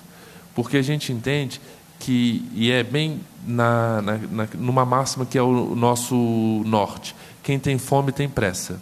A gente precisa reparar rapidamente. Porque é, um, um exemplo que a gente tem usado. Imaginemos um adolescente que tenha perdido familiar nessa tragédia. Isso é uma tragédia nacional, mas é uma tragédia familiar também. Imaginemos esse adolescente, se ele conseguir ser reparado moralmente do, desse dano absurdamente grande, ele pode, por exemplo, investir em educação, ter uma formação boa e daqui a alguns anos ser um grande profissional. Mas se ele se perder nesse tempo numa, esfera, numa espera indefinida, ele pode se perder nos meandros da vida, não consegue uma formação e mesmo que daqui a alguns anos ele receba uma pequena fortuna, ele é uma pessoa que não se formou, que não tem uma profissão, que não tem uma estabilidade de vida. Isso então ela tem ampliado o dano que ela sofreu. A, a reparação no menor tempo possível, para nós, é uma forma de reparar melhor. A, a espera indefinida, para a gente, não é uma reparação de danos. Eu acho que eu esclareci o senhor. Sim. É, agora, do ponto de vista, por exemplo, no campo das indenizações, Sim. doutor, é, o que já foi acertado, o que está pendente, nessa linha, inclusive, de imediato? Sim. A gente não pode realizar nenhum procedimento de indenização também de uma maneira prematura. A gente precisa ter bem estabelecidos, bem negociados, bem fundamentados todos os parâmetros de indenização e a verificação de todo o contingente de possíveis beneficiários. Então, para a criação de um procedimento é, quase que inaugural no país, por uma demanda tão grande e tão diversa, é, esse tempo de maturação de 60, 60 e poucos dias, a gente entende como, ele, como se ele fosse de uma pressa excessiva. A gente tem está quase finalizando esses parâmetros, mas colocar ainda um carro que a gente não tem tanta segurança sobre a solidez dele em movimento já nesse primeiro momento, a gente entende como inseguro e passível de criar violações de direitos. Então, para que é, a reparação não seja violadora de direitos, a gente entende necessário sedimentar melhor esses fundamentos. Mas adianto para o senhor que também é uma preocupação nossa, social, que isso muito em breve vai ser colocado em movimento para que a gente já tendo muito bem fundamentado consiga realizar essas reparações no menor tempo possível. A gente entende que mais tardar em 20 dias tenhamos todo um estudo, pelo menos preliminar, e resguardado por cláusulas abertas que serão capazes de, de abarcar todo e de qualquer tipo de dano, conhecido, não conhecido ou futuro, para que isso seja já testado na sociedade e, e feitas as indenizações devidas. Nas indeniza... Para o procedimento mesmo de indenização, como a gente é, vê como o melhor caminho a, o, o procedimento pautado no diálogo e extrajudicial e por isso mais flexível e, e menos formal é, informal no, no, no bom sentido do termo, pois aberto à participação da própria pessoa, a gente entende que em um mês a gente já consiga reparações efetivas. Muito obrigado. Eu que agradeço. A defensora pública gostaria de responder Sim. alguns, por favor. Sim. É, eu vou até passar os dados que eu colhi com, com o meu colega, né? Eu gostaria de falar para o doutor, o deputado André, que, então, que hoje de manhã também vi a reportagem sobre, sobre os lucros da Vale, né? E teve um, um detalhe que, que foi colocado que é, não seria repassado para os acionistas aqueles lucros, já visando as indenizações pelos desastres que eles estão enfrentando no Brasil e os que virão ainda, né, em tese, está, está aí, que pode ocorrer. Então, nesse ponto, quer dizer, eles já estão esperando que seja dada uma resposta à responsabilidade deles e que seja dada uma resposta adequada, né, e nos parâmetros que realmente necessários. E eu creio que a maioria aqui já, já conhece é, o, o, que foi feito até agora, mas eu gostaria de ler aqui, o colega mandou, que é o colega que está à frente dos trabalhos, né? Pagamento emergencial mensal. No dia, doutor André, o deputado André até já havia colocado isso, né? No dia 20 de 2 de 19 foi realizado acordo entre as defensorias públicas, o Ministério Público, a Advocacia do Estado e Vale, os dois Ministérios Públicos, federal e estadual. As duas defensorias, né? e a Advocacia do Estado e a Vale. Deverão ser pagos os seguintes valores: um salário mínimo por adulto, eh, meio salário mínimo por adolescente, um quarto salário mínimo por criança. Esse acordo foi feito junto ao juízo, então é um acordo que já está assinado, é um documento de força executiva. Né? Todos os residentes do município de Brumadinho têm direito a receber esse valor. Nos demais municípios que seguem o leito do rio Paraupeba, até o município de Pompéu, terão direito os que residem até um quilômetro do rio. Quais documentos são necessários para receber? Comprovante residência, CEMIG, Copasa, SUS. Quer dizer, a pessoa tem um, um, documento que comprova que ela morava naquela região, né? mesmo até, até uma inscrição na, na, Secretaria de Saúde, é, no INSS, qualquer coisa, que muitas vezes alguns perderam isso tudo. E título de eleitor, matrícula em escola e faculdade, ou cadastro da Secretaria Municipal ou Estadual de Agricultura, como é mater. Então, os, os, pequenos produtores aí, né, às vezes recebeu até um, uma, um cursinho, uma formação para um trabalho. Ele tem algum documento, qualquer documento que seja, que comprove que ele estava produzindo ali, recebendo ali, ele tem direito, esse é um documento válido. Documento de identidade, conta bancária, assim. É preciso um comprovante de endereço para o pessoa da família, sendo que os filhos menores receberão precisamente na conta da genitora. O juiz entregou para a Vale a lista de, de, de eleitores do Brumadinho, mas não é exigido o título de eleitor. Quer dizer, isso aí é só mais um, um, um, um meio de, de, de é, é, reconhecer quem tem esse direito ou não. Né? Desde quando o valor é devido? no acordo ficou assim, ó, desde o dia do rompimento, 25 de janeiro. Assim, a Vale já está devendo um mês de pagamento. O juiz, as defensorias e os ministérios públicos deixaram claro para a Vale, em audiência, que esse valor já deveria estar sendo pago e todas as providências para o pagamento são urgentes. Até o dia 4 do 4. Quer dizer, nós estamos, assim, na iminência de vencer esse prazo. Né? A Vale deverá, deve apresentar ao juiz relatório que comprove que já está recebendo documentos e realizando os pagamentos e que tem adotado todas as medidas para pagar o quanto antes. Aí, nesse ponto, gente, eu, eu coloco uma coisa que é o, o, a nossa vivência dia a dia, né, eh, eh, nas ações judiciais, é o que, que acontece. É, o ente que, que está condenado ou que fez um acordo para um pagamento tal tal. Chegar o, o dia de comprovação, o dia de, de, de, o prazo, o prazo estabelecido, e ela não fez. Aí o juiz vem, aplica uma multa. Só que essa multa, que lá, ah, está uma multa de tanto, mas aí tinha uma pessoa, ele apresenta um documento, não, mas eu já estou fazendo isso, estou fazendo isso, aconteceu por causa disso, e aí vai se protelando, ao final do processo, essa multa, ela não é executada, entendeu? E aí, eu, eh, como o, o colega colocou, realmente nós temos lei, o problema é fazer essa lei funcionar, é a aplicabilidade da lei que está sendo o grande problema do Brasil, é, em um todo, é fazer essa lei funcionar.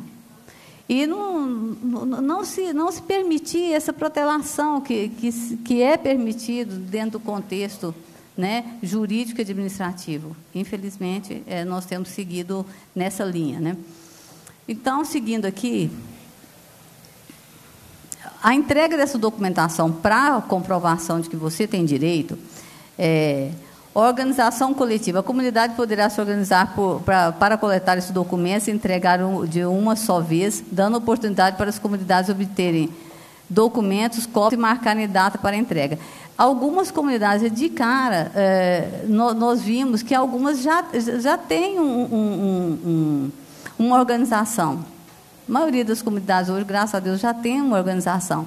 Então, essas organizações que já existem, elas estão atuando. Onde não existe, está sendo promovida é, emergencialmente um, uma, uma, uma, um, um conselho comunitário para ajudar isso aqui. Mas, individualmente, isso, isso não é impeditivo e, e não é obrigação para que, que se faça é, é, essa apresentação. A Vale vai instalar postos de atendimento que já devem ter sido instalados, né, próximo à comunidade, para receber os documentos e processar o pagamento. Então, independente de, de, de, se ter um conselho comunitário, as pessoas vão entregar direto para a Vale, ela ter, teria, tem a obrigação de estar recolhendo essa, essa documentação e não esperando que leve lá. Eles têm que estar no local para receber. Tá? Em audiência a ser realizada no dia 21 do 3, a Vale deverá apresentar o local e data de abertura dos postos. Não tem essa, essa informação ainda, se foi nessa audiência foi realizado, não sei se o doutor tem. Tem? Essa audiência do dia 21 do 3? Não, né? Pois é. Então, isso é uma coisa se apurar se realmente foi feito. Eu creio que sim, porque o, o, o Judiciário vem pontuando bem é, é, as datas e tudo direitinho, não deixando que se protele. Qual o prazo para recebimento da, da, documentação? A Vale não informou em quantos dias após a entrega do dinheiro estará na conta da o, é, após a entrega da documentação, né, o dinheiro estará na conta da pessoa. O juiz informou que deverão ser apresentados relatórios mensais informando quantas pessoas se inscreveram, quantas receberam e em qual prazo. Por quê? É, nós temos um levantamento. Não posso falar que ele seja que, que eles tenham realmente é, é, é, abrangido todas as pessoas que foram atingidas, todas as pessoas que, direto ou indiretamente, têm direito a receber. Mas é, foi feito um levantamento e outros estão sendo é, feitos, né, para que se possa fazer um bater os dados e chegar a uma conclusão. Faltou pessoas? Elas têm direito de buscar depois? Tem. Tem que buscar. Né? E se faltou, nós também estamos atuando para que não falte ninguém, para que todo mundo seja reparado. Quanto à, repercussão futura, que eu achei interessante isso aqui, que foi feito também, um, um, esse, esse, uma assessoria técnica, né? As comunidades escolherão entidades que construir, construirão junto a elas as medidas que serão necessárias para o processamento de indenizações e reparação integral de danos causados. Esse aí não é essa reparação imediata, essa imediata foi a que foi colocada do pagamento desses salários. Essa é a que vem depois. É o, o, que, o, que, o que vai levantar o que já foi, os danos causados que virão a repercutir futuramente. É, o meu colega me passou agora há pouco que é, essas entidades já, já estão sendo escolhidas já, já foram apresentados, já foram colhidos, é, é, é, é, tem um edital aí, né, e que, que já, já, já tem as, os, os entes inscritos para que seja escolhido o que vai atender melhor a comunidade, né. Essas assessorias realizam exames, estudos e atividades que permitam conhecer a extensão dos danos individuais e comunitários. As defensorias e o Ministério Público atuarão também em diálogo com as assessorias, mantendo sempre atuação junto às comunidades para garantir que haja verdadeira reparação. Então, ele colocou aqui uma coisa bem interessante. Não se esqueça, o mais importante agora é o pagamento emergencial e assessoria técnica. Sugestão. Uhum. Então, o, o, que, o que nós temos aqui, uma coisa que ele deu uma sugestão interessante, é, como já falei, a reparação objetiva, nós já temos isso na legislação, é fazer cumprir. Né? É, ele está, colocou um ponto aqui, o colega, reduzir o desequilíbrio econômico entre as comunidades atingidas e as mineradoras, obrigando custeios de assessoria técnica escolhida pela comunidade. Eu, nesse ponto, eu acho interessante o seguinte: nós já estamos com essa reparação imediata, né, doutor? O, o deputado, aliás, deputado André colocou assim: o que, que já foi feito? Então, o que já foi feito foi isso. E então eu acho que a Assembleia também, o Legislativo deu uma resposta imediata já com uma legislação que eu peço perdão, mas eu não ainda conheço. Mas é, nós temos o seguinte: Sobre reparação do meio ambiente, eu até notei uns detalhes aqui. Né? Nós temos reparação humana, já está encaminhada. Eu não sei se é a eu espero que seja, que eu creio que na prática é, é, o que eu falei, não se permitir a Vale que protele isso, não se permitir que faça uso da, da, da, da, da dos vários meios processuais que permite você protelar um processo, né? para que, que, que não, não se perca aí em anos e anos de discussão. Então, que isso seja feito logo. Mas aí é, eu gostaria de colocar um pedacinho aqui sobre a reparação do meio ambiente. É uma coisa que a gente tem que trabalhar junto com o IBAMA, né? junto com, com, com todos os técnicos. É, de imediato teve uma notícia que o colega estava no local e viu isso aí, foi ver né, os defensores estaduais e federais, em que a Vale simplesmente para barrar a, o avanço da, da, da, lama no Paraupeba, começou a fazer, tirar as coisas e jogar num terreno de área rural. Quer dizer, é, alguém vai ser atingido futuramente? Vai. Aí entra a fiscalização. Né? Nós temos que fiscalizar o que ela está fazendo, o que ela está fazendo, porque de imediato ela tentou conter o dano ali, é, mas criando um novo dano. Aí as pessoas daquela da região lá falam assim, não, aqui nós não aceitamos que coloque essa lama, que esse rejeito que você está tirando aí, você está querendo conter. Aonde vai ser colocado, hein, gente? Aí que é o grande problema. Então, nós temos todo um trabalho para fazer que não é pequeno, ele é enorme é, se for pegar na, na área da reparação ambiental, ela francamente, nós vamos precisar de muito estudo, de muita atuação, né, para que, para onde vou colocar isso? É possível tirar essa lama? Se não é, é, tem um risco de contaminação? Se não tem, como é que nós vamos transformar essa área para que ela seja útil a, a, a, ao município, à comunidade, ao país todo, né? Então, é, essa, essa é uma questão assim importantíssima, que você vai sair daquela questão do, da reparação do cidadão é, atingir diretamente e para o que vai ser futuro. E nós estamos numa situação parecida no país, no, no estado, em primeiro lugar todo, e em vários lugares do país, né? Aí vem o seguinte: na, na, na mudança da, da, do, do, da maneira de se minerar no país, no, no, país, em Minas, nós precisamos continuar com a mineração, é importante para o Estado. Nós somos o Estado, nosso nome já fala, Minas Gerais, né? É, vamos deixar de, de, de, ter uma produção de mineradora, mas se para seguir isso aí, não podemos permitir o modelo atual. Né? Já tem uma legislação mudando isso aí. Agora, o impacto, até que se, se mude, vai, vai ter um impacto tanto econômico, de, de, de trabalho, de, de, de, economia, de impostos, de muitas, muitos, né, agrícola, de criação animal, tudo isso, que vai ser atingido, não vai ter jeito. Né? Nós vamos ter que ser corajosos o suficiente para mudar totalmente o estilo de mineração aqui, para que seja, para que nós também exijamos do, do, das empresas, antes de se permitir que se faça, que continue um trabalho, que se faça um, um, um, uma exploração dessa, que nós tenhamos uma, uma, uma, uma, uma como é que fala, gente? Desculpa, que me, me perdi na, na, no, no que eu queria colocar.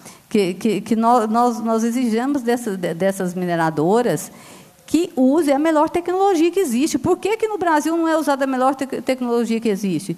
Tem tecnologia de alto nível com muito menos risco? Tem. Mas ah, a gente naquela história que vem vindo de somos um país emergencial e tudo, nós precisamos crescer e para crescer, mas para onde nós vamos deixar crescer, é, colocando em risco a, a vida humana? E ambiental, porque aliás o ambiente faz parte da vida humana. Nós vamos precisar desse ambiente para a sobrevivência do planeta. Já temos os desastres para tudo quanto é jeito aqui, já destruímos o ambiente o suficiente. Então, para fazer essa mudança, eu creio que não tem como ser feita sem impacto. Bem. Vai ter impacto, vai ter perda de divisas. E aí a gente entra no, no que o.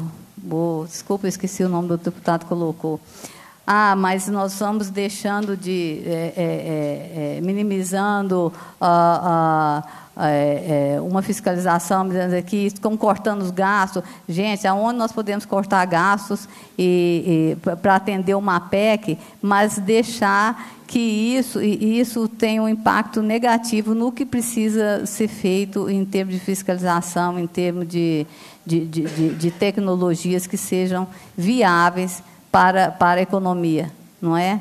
Então, Bem. eu deixo esse questionamento. E eu gostaria de falar, o deputado André então, quanto aos indígenas, eu acho que eu vou deixar para o ponto ao começar a falar da questão dos indígenas. Tá bem. Tá certo? Obrigada. Eu, sou, sou, eu gost, vocês gostariam de pontuar alguma coisa? Eu estou à disposição.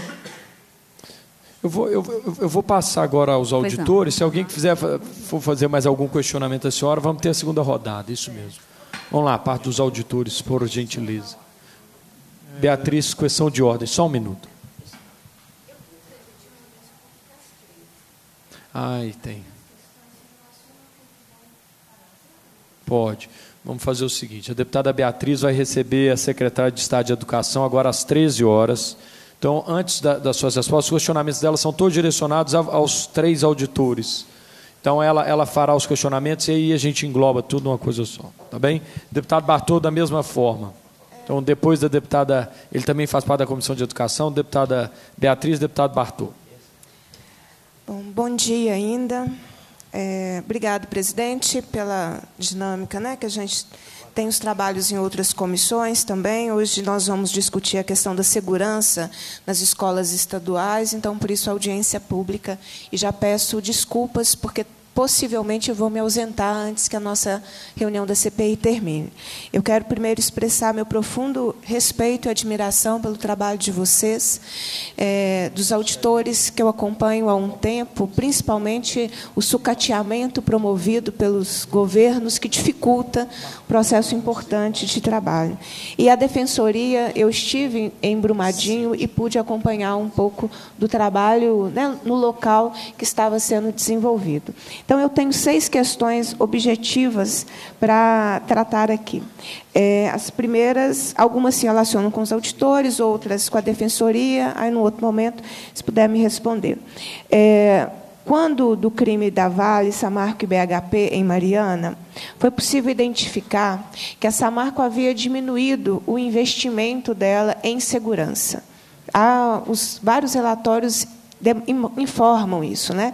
Ela diminuiu, nós estávamos no momento que o minério, é, o preço baixou, ela precisava manter sua lucratividade, e uma das questões que ela fez foi ter diminuído o investimento da empresa em segurança. Eu gostaria de saber se os auditores já identificaram comportamento semelhante em relação é, à Vale. Segunda questão é em relação ao modelo de reparação. Aí seria para a defensoria, no momento aí oportuno, que pudesse estar nos respondendo. É, Ainda sobre o crime da Vale, Samarque BHP em Mariana, foi realizada um, uma negociação no Tribunal de Justiça, homogeneizando, né, tornando único o processo de reparação ou de indenização. Eu gostaria que vocês pudessem nos dar o posicionamento em relação a isso, porque é, o acordo na minha visão, ele fez um rebaixamento da possibilidade real de cada atingido identificar. Não é igual. Não é igual é, a, a, o, o que cada o que cada pessoa sofreu com o crime não pode ser homogeneizado. Como o Tribunal de Justiça homologou um acordo, não sei se foi com a Renova é, ou diretamente com as mineradoras, mas houve, uma, houve um, um nivelamento, e um nivelamento por baixo, de valores baixos, que a partir desse acordo homologado no Tribunal de Justiça, dificultou muito que as pessoas pudessem, de fato, demonstrar todo o prejuízo que aquele crime lhes causou. Eu faço uma observação, André, presidente, todos os demais, que valeria a pena a gente ter conhecimento desse acordo, que ele é um acordo que foi muito prejudicial, na minha visão, aos atingidos, para que a gente também fique atento que isso, essa, esse modus operandi de negociar por cima e nivelar aquilo que o trabalhador ou que a família tem direito, não se repita em novos crimes cometidos pelas mineradoras. Então, era o segundo ponto. O terceiro ponto, é, também tendo como parâmetro o crime cometido pela Vale, Samarco e BHP em Mariana, eu me recordo que no mesmo mês, que foi novembro de 2015, é, a Samargo começou a encerrar seus contratos com as terceirizadas. E eu tive a oportunidade de encontrar pessoas que estavam atingidas pelo crime, porque perderam suas casas em Bento Rodrigues, a família perdeu e a pessoa perdeu o emprego, porque era terceirizada. No mesmo mês. Isso aconteceu no mesmo mês. Então, eu queria saber é, se né, vocês já identificaram encerramento de contratos com terceirizadas e demissões em relação à Vale agora, né, num crime reincidente dela é, agora, é aqui em, em Brumadinho. É, a quinta questão que eu queria trazer é uma pergunta muito objetiva que eu tenho feito a todos que é, são de órgãos públicos aqui. Porque uma questão que me chama muito a atenção, eu não quero que novas, novos crimes aconteçam, nem novas tragédias. Mas qual, como o Estado está equipado para lidar com essa dinâmica, porque nos tornamos um estado de barragens. Então, é uma pergunta objetiva para as defensorias e para a Superintendência Regional de Trabalho, se hoje o número de, de profissionais efetivos é um número que é, está de acordo com a complexidade e a necessidade de trabalho de vocês. Se não é, o que, que falta? Né? É aqui, quando vieram as corporações, bombeiros, polícia militar, civil, eles nos disseram o déficit de profissionais efetivos para o dia a dia de trabalho. É a mesma pergunta que eu queria é, fazer para vocês, sobre, né, que se relacionam aí às condições de atendimento à população. É, quinta questão, eu queria que ficasse mais claro quem está fazendo esse cadastro do salário mínimo. É, porque um dos mecanismos que as mineradoras utilizam é o controle pós-crime. E, portanto, ela vai filtrando quem tem direito, ela vai negligenciando as pessoas. E até hoje, tem pessoas do crime da Vale, Samarque, BHP e Mariana que não tiveram os seus direitos separados. Então, quem está fazendo? É a Vale diretamente? É alguém contratado por ela? É quem fiscaliza a criminosa que está em contato com as vítimas do seu crime nessa questão em relação ao cadastro? Porque isso, no caso de Mariana, gente, até hoje ainda está em discussão judicial pessoas atingidas que a Vale, Samarca e BHP não consideram como atingidas. Então, me preocupou essa questão. É, penúltimo ponto é Existem, ou pode ser importante que a CPI aponte, mecanismos concretos que impeçam as mineradoras, e aí no caso específico é a Vale, é, de controlar, manipular ou mesmo indicar assessorias técnicas. Eu estou lidando com situações de mineradoras em outras regiões e a mineradora incide ela faz um processo de pressão, de manipulação, muitas vezes para que a comunidade consiga é, indicar ou escolher a assessoria técnica que, no fundo, está ligada a ela. Então, é a mineradora que presta assessoria técnica daquilo que a assessoria técnica deveria confrontar os seus interesses. Então, a pergunta é essa, né? porque eu acho que pode ser importante para a gente, né, ao final, para que nós possamos fazer aqui os encaminhamentos ao final dos nossos trabalhos da CPI. É, e a última questão eu recebi diretamente, eu tenho é, convidado movimentos sociais atingidos que possam acompanhar os trabalhos diuturnamente da nossa comissão. Então, eu quero relatar para vocês a situação que me chegou de pessoas que estão atingidas em Brumadinho, me parece que notadamente em relação ao cadastro. É, Estão acontecendo situações nos postos de atendimento e no 0800 da Vale, insistindo que o atendimento tem que ser individual. Além disso, não estão utilizando o formulário aprovado e estão fazendo o cadastramento das pessoas. Estão fazendo o cadastramento das pessoas, o que estava desautorizado pelo juízo. É, a Sinergia está fazendo o cadastramento pela Vale a pessoa acaba me ajudando a responder minha pergunta aqui, se é isso mesmo. Né? As informações das pessoas estão sendo armazenadas pela Vale e poderão ser utilizadas contra as pessoas na medida que a manipulação dessas informações podem constranger as pessoas a fazer acordos menores do que o que poderia fazer. Então, é, são questões que nos foram trazidas por pessoas que estão diretamente atingidas pelo crime da Vale.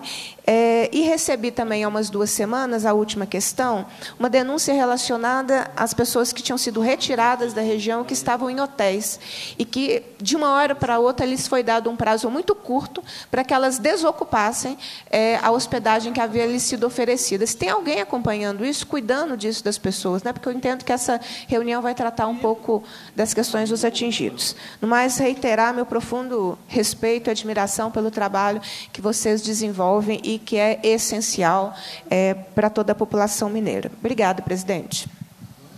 Muito bem. O deputado Bartô também fez essa solicitação por conta da comissão agora às 13 horas.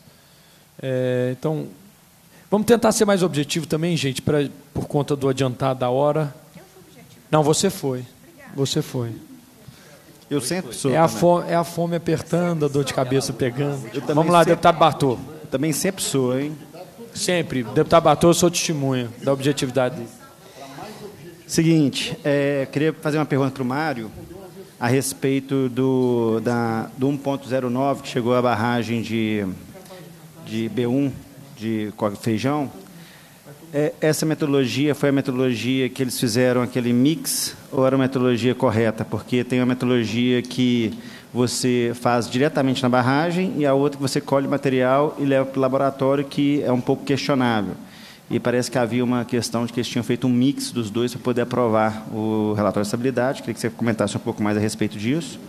Sobre a barragem de fundo, também queria fazer uma pergunta para, todos sobre a questão da barragem de Fundão, parecia que havia quatro anos que estava sem responsável técnico e saber se isso é uma prática comum e, e se também aconteceu isso também no caso do Córrego do Feijão.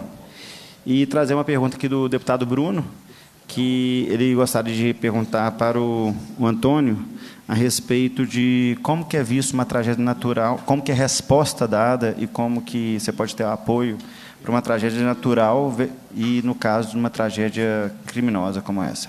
Pela ordem, só para explicar. Vai lá, é, aqui, por uma questão jurídica, como eu não sou membro da comissão, não posso fazer pergunta, pedi para o Bartô fazer essa pergunta, porque o senhor, no seu discurso, citou que está buscando a melhor jurisprudência, que eu acho que tem que ser buscada, e citou o exemplo do Rio de Janeiro, de Petrópolis, e eu me lembro bem da tragédia de Petrópolis, que meu pai mora lá, então eu, eu acompanhei de perto, inclusive um amigo dele chegou a perder parentes, e foi uma tragédia realmente colossal. É, muita gente veio a perder a vida, veio a perder a casa, teve um impacto econômico muito grave na região.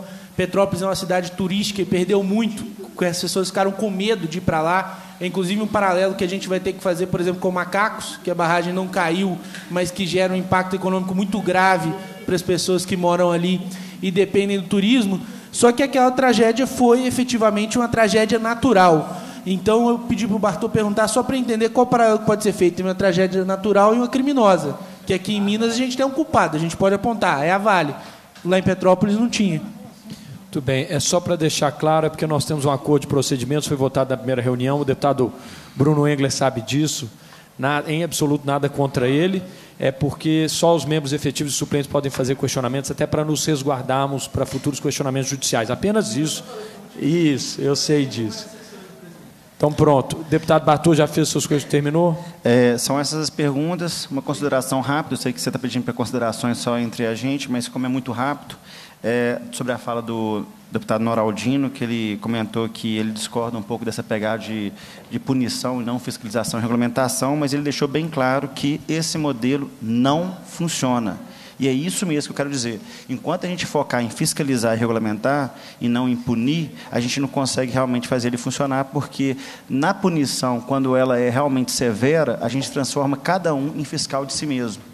E então é nisso que eu acredito, pois fiscalizar barragens, por exemplo, que são, é, é, é, são estruturas dinâmicas, você teria que deixar praticamente um fiscal para cada barragem, fora também lanchonete que tem salmonela, vão pôr um fiscal em cada lanchonete e por aí vai. Então não tem como a gente desempenhar é, valores para fiscalizar e sim é, punir severamente. Obrigado. Pela Muito ordem, bem. presidente, só porque eu não vou por falar favor, novamente. Beatriz. Só deixar um convite amanhã para toda a nossa CPI, todos que puderem acompanhar. Amanhã, às 9h30, nós discutiremos a situação de Barão de Cocais, numa audiência pública. Né? Nós temos vários requerimentos aprovados de situações de mineradoras em outras localidades, que eu já tenho um compromisso de acompanhamento é, desde o movimento popular que eu faço parte, movimento sindical. Então, amanhã, 9h30, nós estaremos em audiência pública, que não é da CPI, é de outra comissão, mas estaremos discutindo a situação de Barão de Cocais. Tá bem? Muito bem. É, será aprovado até um requerimento aqui ao final da reunião, sugerindo às comissões de Direitos Humanos, Segurança Pública e Meio Ambiente que façam visitas a, a essas barragens que estão agora com risco de rompimento. É, nós vamos mudar um pouco a, a, a forma do trabalho aqui para podermos otimizar o tempo. Deputado Celinho do Citrocel e deputado Glaicon Franco farão os questionamentos. Vocês estão anotando tudo aí? Estão dando conta de anotar para responder em seguida? Mesma coisa de cá? É porque senão vai agarrar também dos outros dois deputados aqui. Vamos fazer de uma vez só e aí depois passamos a resposta aos convidados. Deputado, é, deputado Celinho primeiro, depois deputado Glaicon. Quero cumprimentar a todos, a todas, boa tarde. Agradecer a presença da Defensoria Pública, do Ministério do Trabalho, dos auditores fiscais. E quero aqui é, dizer que eu compartilho da tristeza do auditor fiscal do Mário, quando ele externou da tristeza dele de voltar à Assembleia para discutir mais uma vez o acidente. E o Mário, eu falo isso porque o Mário, no acidente de Mariana, o Mário veio aqui na Assembleia, eu era subrelator da apuração daquele acidente, e ali o Mário ajudou a, ao nosso mandato a posicionar no relatório. Infelizmente, Mário, tudo que nós fizemos não foi suficiente para evitar novos acidentes. E eu quero compartilhar da sua tristeza, da sua preocupação. Mas quero também parabenizar todos os auditores fiscais pela exposição colocada, porque muito foi colocado aqui, né, que o Ministério do Trabalho ele não tem competências para indicar culpado. Mas tudo colocado hoje para nós aqui dá toda a direção de apurarmos os responsáveis, os criminosos, por mais um acidente de barragem em Minas Gerais. Dá para a gente buscar essa responsabilidade. E ficou muito nítido para mim, e aqui os deputados também viram com tanta tranquilidade, e eu, quanto presidente da Comissão de Trabalho e Previdência Social, não posso deixar de registrar isso aqui, presidente, quando foi mostrado na exposição dos auditores fiscais as alterações constantes, ano a ano, dos fatores de segurança do trabalho. Isso, para mim, ficou muito claro, a responsabilidade disso. Eu vou fazer algumas perguntas aos auditores fiscais, mas também que possa servir para a Defensoria Pública Federal. E eu quero aqui, de certa forma, talvez nem vou alcançar resposta para todas essas perguntas que eu vou fazer. Mas, se não for possível respondê-las, eu quero solicitar a presidência dessa comissão para que a gente possa requisitar documentos e informações aos dois órgãos públicos aqui presentes. Primeiro pergunta. É sabido que o Ministério do Trabalho ele foi anexado ao Ministério do Planejamento. Ministério? Economia. Piorou. Quais as condições hoje da Superintendência do Trabalho de Minas de acompanhar e fiscalizar as condições de trabalho na mineração, nas barragens e outras empresas? Qual é essa realidade? Qual é essa condição do Ministério do Trabalho? Porque, para mim, essa, essa CPI ela vai buscar colocar, chamar os responsáveis, mas ela se propõe muito forte a tentar evitar um novo acidente e tirar essa pressão dos, em cima que está dos trabalhadores, das trabalhadoras, dos servidores, da sociedade onde tem mineração. Essa sociedade hoje está vivendo uma pressão constante e que a gente tem que tirar isso da cabeça deles, porque a todo momento você só vê depoimentos tristes que eu não sei se eu acordo ou se eu amanheço participante de um acidente com vítimas fatais, como aconteceu. Segunda pergunta, bem objetivamente, como o presidente pediu, qual empresa ou quais empresas que estavam instalando equipamentos nas barragens, na barragem de feijão? Exemplo, medidores de unidade, piezômetro. Quem são essas empresas? Segunda pergunta. A Vale estava usando ou usou explosivos na área de mineração ou área próxima? A instalação na mesma linha do deputado André Quintão, que ele fez essa pergunta, e eu achei muito oportuna a pergunta dele, mas eu quero tentar esclarecer ainda mais a, minha, a nossa dúvida. A instalação de restaurante e outras unidades de operação abaixo da barragem é correta no ponto de vista de segurança? Perguntando aqui aos auditores fiscais, ao Ministério da Defensoria Pública, Quais as atividades operacionais, Mário, podem ser toleradas, podem ser admitidas abaixo da barragem? Quais as atividades? Se tem, se pode alguma atividade ficar abaixo da barragem, quais seriam elas? E quais são as normas regulamentadoras que tratam a respeito dessa questão de colocar atividades abaixo da barragem. Eu quero ainda perguntar se os senhores têm conhecimento de denúncias das condições de trabalho ou da barragem feitas pelo movimento sindical. Eu sou sindicalista, participo do movimento e eu ouvi reclamação, manifestação, registro de vários sindicatos, de várias categorias, quanto à preocupação das condições de trabalho dos trabalhadores, das trabalhadoras das minas.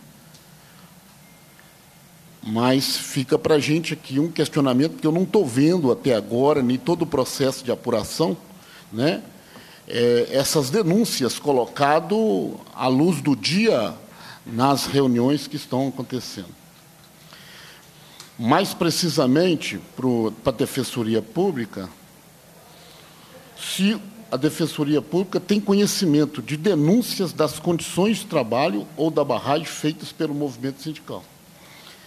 A Vale realizou estudos sobre o custo das vidas e no caso de rompimento com vítimas fatais, como foi colocado aqui. Qual o sentido de tais estudos? Eu estou querendo saber que sentido que tem esse estudo e para que serviriam. Queria ouvir isso do Ministério da Defensoria Pública. E quais os indicadores deste estudo que foi feito pela, pela Vale? valores que a gente precisa também saber, porque é importante no processo da gente construir um relatório o mais preciso possível. Mais uma pergunta com relação ao movimento sindical. Os sindicatos, representação dos trabalhadores, o movimento sindical está participando dos processos de negociação? Junto com a Defensoria Pública, junto com todos os órgãos?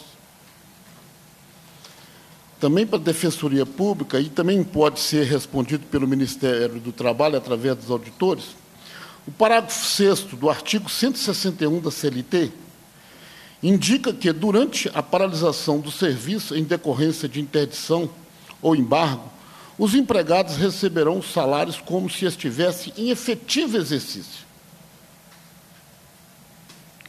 Tal preceito está sendo cumprido pela Vale, pelas empreiteiras, pelo serviço terceirizado, quando do acidente? Mais uma pergunta, penúltima. Recebemos denúncias de assédio às famílias no sentido de forçar acordos desfavoráveis à sociedade e às pessoas que sofreram danos. Se a Defensoria Pública Federal tem conhecimento desses fatos. E quais recomendações, tanto do Ministério do Trabalho quanto da Defensoria, possa ser dada aos trabalhadores e às famílias para garantirem os seus direitos? São perguntas assim que eu preciso, se não tiver condição de respondê-las agora, mas que a gente possa até talvez requisitar para a gente concluir uma opinião com relação a essa questão desse acidente que deixou todos nós, de certa forma, consternados, revoltados, e que fatos dessa natureza não venham mais acontecer. Presidente, são essas perguntas que eu gostaria de apresentar hoje nessa CPI. Muito obrigado, deputado Celinho. Anotados aí. Último deputado a perguntar, deputado Glaicon Franco. É, senhor presidente, demais membros, deputada Beatriz Cerqueira, nossos convidados. Na verdade, eu me sinto muito contemplado pela fala dos nossos companheiros deputados, em especial do nosso relator, e eu tenho algumas questões pontuais que eu acho que vai poder contribuir para a relatoria é, dessa grave, dessa grave questão que aflige o povo mineiro. E, e inicialmente, senhor presidente, eu queria é, dizer que estou aí substituindo o nosso colega deputado Inácio Franco e espero poder contribuir é, para que essa comissão possa dar as respostas necessárias à população mineira, em especial aos moradores de Brumadinho e aquelas populações que moram próximos à margem do Rio Paraupeba que foram afetadas. É, quando o nosso relator, o deputado André, coloca a questão do, do modelo a ser implantado, é, porque nós vimos que lá em Mariana a coisa não está sendo bem encaminhada. Isso, essa questão, doutor Antônio, não ficou muito clara para mim, o modelo, como é que vai ser adotado.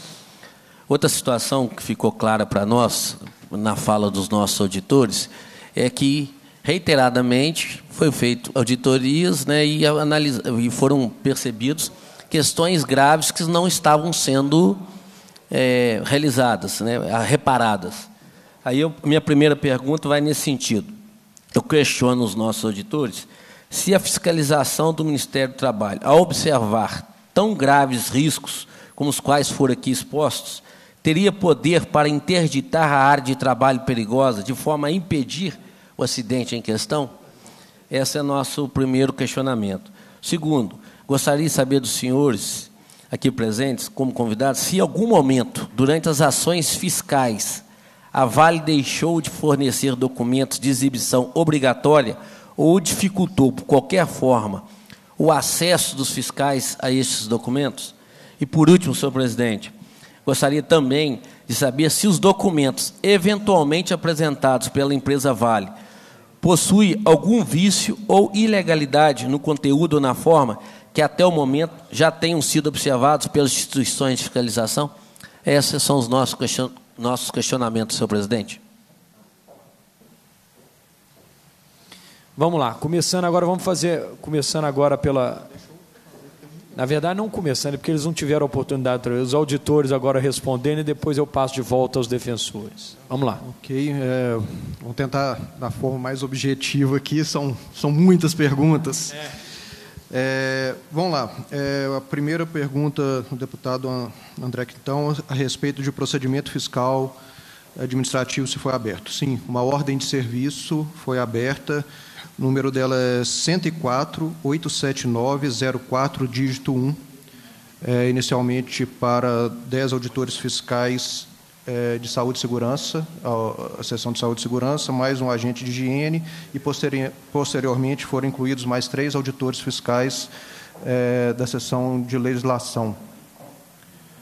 É, se a empresa havia sido fiscalizada anteriormente é, não houve nenhuma fiscalização nessa unidade da Vale é, desde a adquisição dela em 2001. É, essa empresa, ela já, essa mineração, uma mineração já existia lá, a Vale adquiriu em 2001 e desde então não houve nenhuma fiscalização. É, aí, respondendo várias perguntas, eu acho que de vários deputados, é, porque não houve fiscalização. É, primeiro, por, pelo número de auditores fiscais de trabalho que hoje nós temos aqui na Superintendência é, em Belo Horizonte de Saúde e Segurança, são 25 auditores para fiscalização, não de, NR, não de barragem, nem de NR22, fiscalização de 37 normas de saúde e segurança. Ah, ou seja, o mundo do trabalho em relação à saúde e segurança, nós temos 25 auditores lotados na superintendência, em Belo Horizonte, e um total de aproximadamente 80, se não me engano, 87 auditores no estado inteiro. 87 de saúde e segurança, se não me engano, esse número, é, em atividade externa. É, a grande maioria hoje, somos, são 19 gerências no estado, 11 delas têm quatro ou menos auditores para fiscalização. Municípios, é, superintendências com subscrição de algumas, Montes Claros deve ter hum. mais de 90 municípios. Patos de Minas tem um auditor numa, numa área que tem uma vasta atividade econômica, um auditor apenas é, na gerência. Então, esse é o cenário, é, porque nós não conseguimos. Fizemos, sim, várias fiscalizações, principalmente após o rompimento da barragem de Fundão, é, foi, foi um, tivemos um foco maior em barragem, porque, sinceramente, não era nosso foco. A NR22 ela tem, se eu não me engano, são 37 capítulos, né? 37 cap... é, itens. É, um deles fala em barragem. Então, é, não, sinceramente, não, nunca foi o foco nosso. Tem, acho que existe na mineração é, muitas, muitas outras é, situações que devemos fiscalizar e barragem é apenas uma delas. Mas sim, depois do rompimento é, da barragem de Fundão, foram feitas fiscalizações especificamente em barragem. Uma delas gerou até interdição, a fiscalização da CSN Casa de Pedra, após a, em 2017, finalizado em 2018. 16, 17? Então, teve sim fiscalizações, é, fiscalização na própria é, Vale, que hoje é, foi colocada em nível 3, as barragens de forquilha. E teve até um. a respeito disso. É, com base nesses relatórios, é possível se fazer interdição? É, como foi feito na CSN. Mas dependemos muito da documentação que nos é apresentada, e é o, o que nós temos falado. É, hoje é uma auditoria externa, o que tem se verificado é que essa, a grande parte das barragens, elas, principalmente é, as montantes, é, dado a declaração de estabilidade, mas para uma barragem que não é, não é estável. E isso tem se demonstrado é, agora, com, principalmente com o vencimento das declarações, que vence dia 31 aí, e que se percebe que grande parte não será dada a declaração de estabilidade dessas barragens. É, outro questionamento a respeito da mudança de legislação, essa suposta permissão de terceirização, se ela afeta de alguma forma saúde e segurança. É, bom, o que o governo federal colocou como a reforma, a, a melhora da, a melhora da é, legislação trabalhista, aí eu pessoalmente e eu acho que grande maioria da auditoria fiscal nós entendemos que de forma alguma teve uma melhora, é, sim uma um, tirou poderes do, do, da parte hipossuficiente dos trabalhadores e o que se deu foi foi é, maior poder ao empregador, principalmente no que diz é, respeito à, negociação, é, ela sobressair a legislação é um ponto, é, porque, apesar de todo o poder do, foi dado aos sindicatos, de outra forma, tirou muito. É, foi dado, é, suposto poder dado, mas foi retirado. É, né, o deputado Celim sabe muito bem disso, da, hoje de os sindicatos se manterem, é, praticamente está impossível com da forma que foi feita a legislação e o poder que se tem do capital das empresas para fazer a negociação, isso influencia diretamente na, é, na legislação trabalhista. E em relação à saúde e segurança, sim, ela, é lógico que isso vai ter, ter modificações e prejuízo, mas especificamente ao, ao acidente da barragem de feijão. Nós não, não vimos em saúde e segurança algum prejuízo por causa da terceirização. Teve em Fundão, em Fundão sim. Porque lá era uma empresa, é, a barragem de Fundão ela estava em operação, diferentemente da barragem de Feijão. Como a Fundão estava em operação, essa atividade, ela, no nosso entendimento, ela foi terceirizada de forma irregular para uma empresa que não tinha capacidade técnica para fazê-lo. É, não tem nem mesmo responsável técnico para fazer a execução do, do alteamento. Então, sim, lógico, lá sim, teve. Agora, pelo menos né, até, até o que nós já conseguimos observar na Vale, as atividades terceirizadas que estavam sendo realizadas na barragem era naquilo que nós entendemos que o que, que a terceirização deve ser, para ser, ser serviços especializados com pessoas que têm uma capacidade melhor de execução do que a própria empresa. E até onde nós vimos o que estava sendo, estava sendo realizado, estava sendo realizado lá de atividade terceira, eram com empresas com competência para isso. Até já respondendo então essa, quais empresas estavam é, executando atividades, me ajudem, mas é, de, de pronto, a FUCRO, que é uma empresa, FUGRO, uma empresa especializada em, em sondagens e, e levantamentos geofísicos. geofísicos. A Geocontrole, também uma empresa, essa é quarteirizada, que estava realizando atividade de sondagem, mas é uma empresa especializada em sondagem. É, atividades corriqueiras de manutenção, Manserve, é, Preserves, preserves. Preserves, que era atividade de manutenção. A Reframax, ela não, no momento, ela não exercia nenhuma atividade, mas várias outras atividades na Vale, e em um episódio da fratura hidráulica, que, que o Marcos colocou aqui, eles tiveram uma ação importante lá.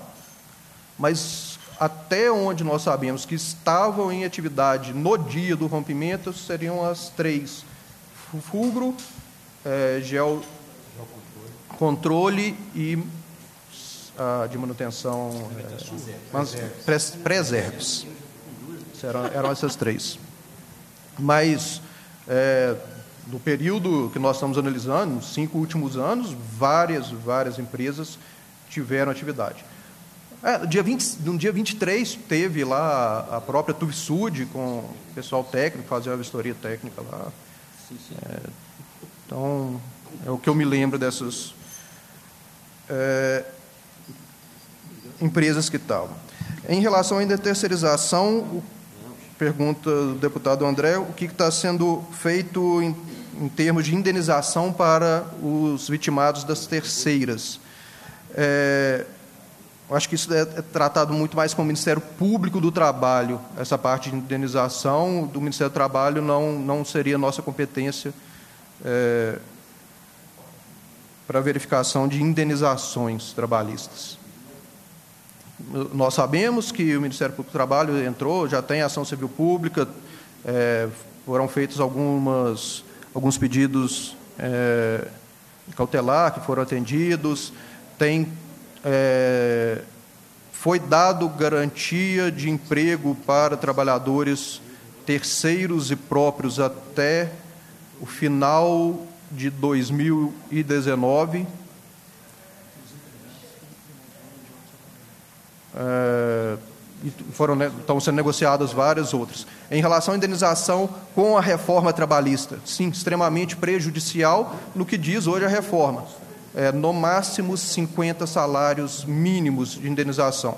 A princípio, a Vale falou que não iria utilizar deste, desta prerrogativa legal que ela tem hoje. É, entendo, mas não sabemos. É, até, até onde nós sabemos, foi pago até agora, um, foi feita uma negociação extrajudicial com um, uma família de trabalhador morto, que foi pago 300 mil de indenização. É, essa é um caso único que, nós, que pelo menos, nós, eu tenho, tenho é, ciência, acho que o Ministério Público pode falar muito melhor sobre o assunto do que nós. É...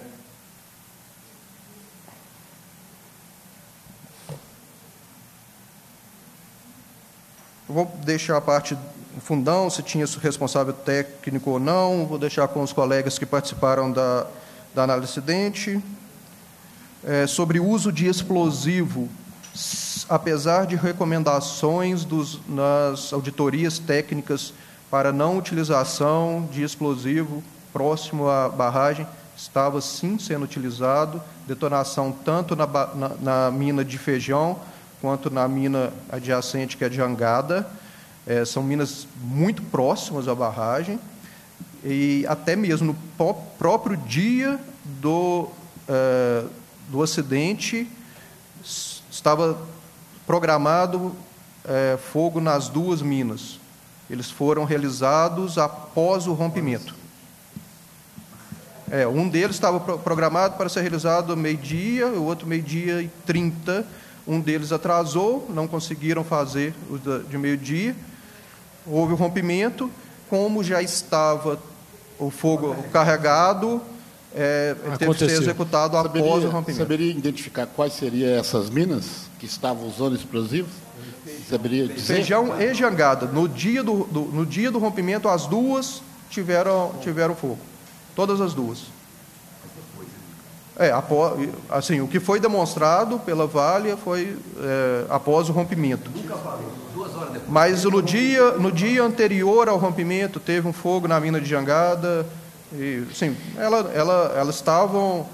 É... Então, afirmativamente, tanto anterior ao acidente como depois foi o uso de explosivos teve uso de explosivo. Teve uso de explosivo. Teve tanto no dia anterior e como uma hora após o, o, o acidente, a, ele estava previsto para acontecer até antes, mas é, por problemas técnicos não foi possível fazer o fogo. Aí rompeu a barragem, então ela, mas já estava carregada. Todas as duas, é, as duas minas estavam com frentes carregadas e foi feito mas é, é uma recomendação, assim, eles seguiram o protocolo que deveria ser. Depois de carregado, o fogo tem que ser executado. Deixar, deixar uma, o local é, com explosivos era extremamente arriscado. Então, é, é, tinha que ser mesmo feita a explosão, porque a retirada de explosivo é, é ainda é uma situação mais arriscada, poderia colocar em, em risco quem estivesse fazendo essa atividade. É lamentável, mas houve, após o rompimento, houve fogo sim. É, sobre áreas de vivência jusante da barragem, é, questionamento de vários senhores, é, não existia nenhuma legislação até então que proibisse é, a instalação.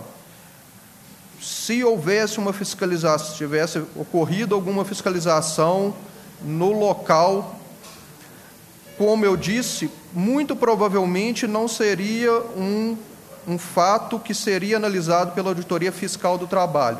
Dentre todos os itens que eu falei, das 37 itens que existe a norma, ah, existe uma de barragem e não era proibido a instalação.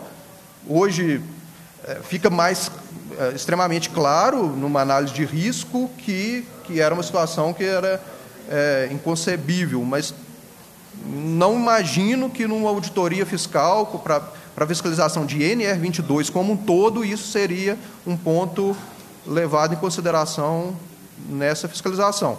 Talvez se fosse específico para verificar a barragem, sim, mas não, como não houve fiscalização na mina, isso é, não foi fiscalizado.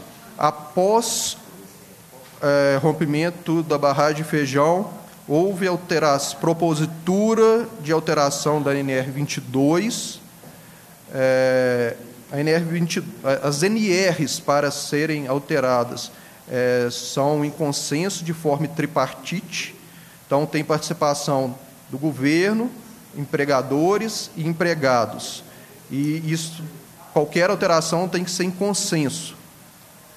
É, apesar de ter sido proposto, foi, foi feito o acordado a alteração da NR 22 nesse ponto, proibindo que tenha é, instalações, é, áreas de vivência ajusante da barragem, ela ainda não foi publicada, mas há uma norma da ANM, resolução, resolução número 4, que proíbe hoje toda e qualquer atividade ajusante. Depois, né? Depois do rompimento. É, ela, a forma que foi publicada essa resolução, ela está mais restritiva até mesmo do que a proposta para alteração da NR22. Hoje, na, é, pela resolução número 4, nenhuma atividade pode ser executada jusante. Nem mesmo aquela, se eu tiver uma, uma mina operando jusante da barragem, pela leitura da, da resolução, ela ela não poderia ter. Então, se eu tiver uma mina ajusando de uma barragem, essa mina ela tem que ser paralisada. Até mesmo acesso, a qualquer acesso, qualquer trânsito, hoje ele está proibido pela resolução número 4 do, da ANM. É, em relação ao questionamento do deputado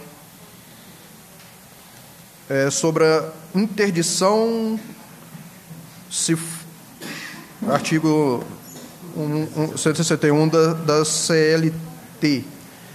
É, o entendimento da fiscalização trabalhista é que não existe nenhuma atividade sendo executada após o rompimento que pudesse gerar a interdição da fiscalização do trabalho.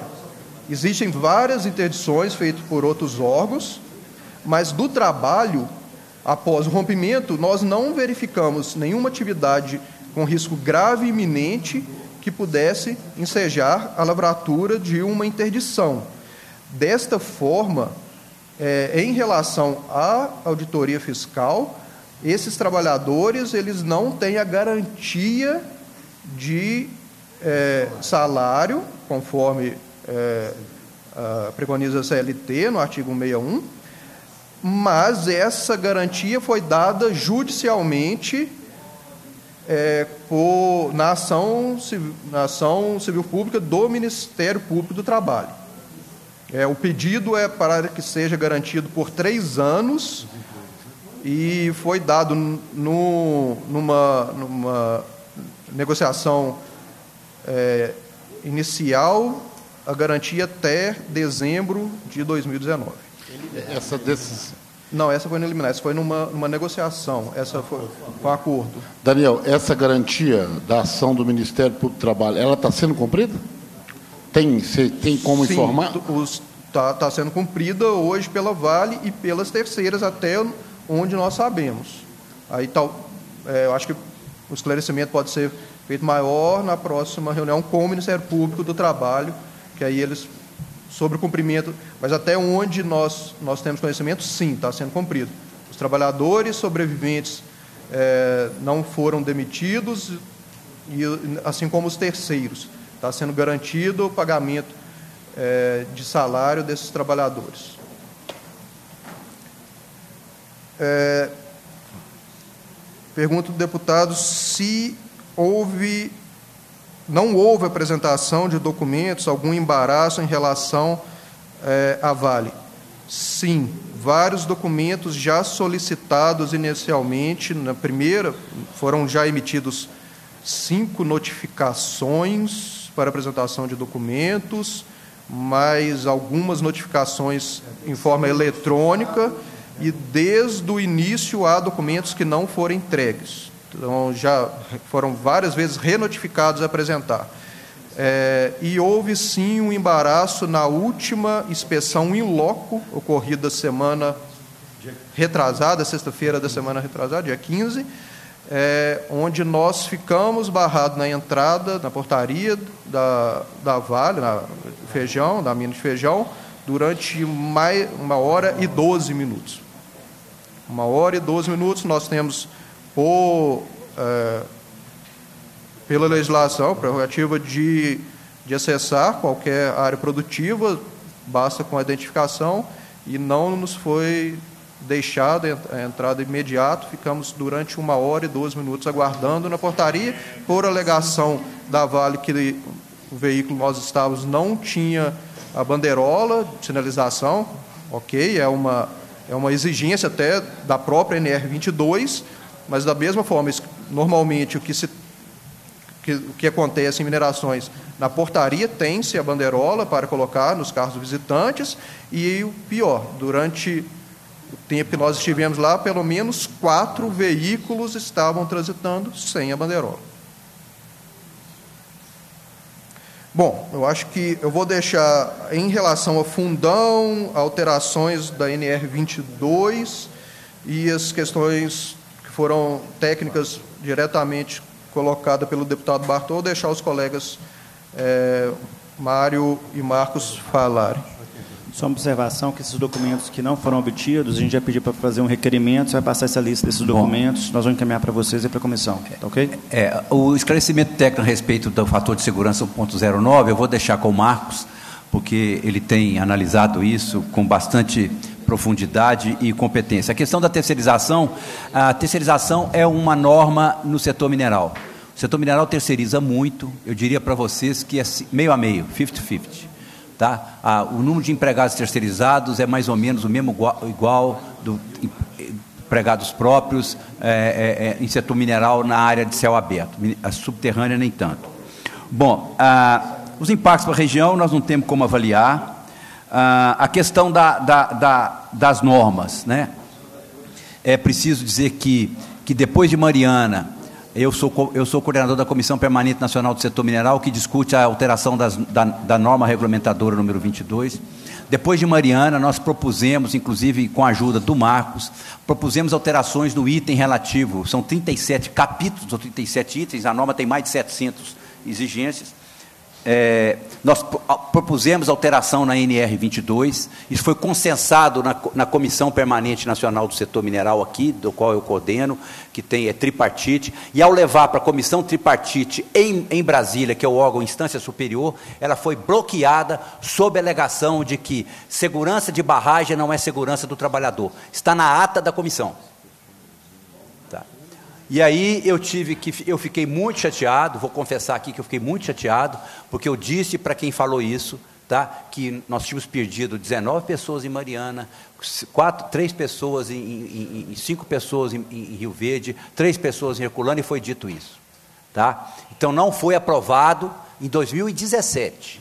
2017. Nós voltamos à carga de novo, tá?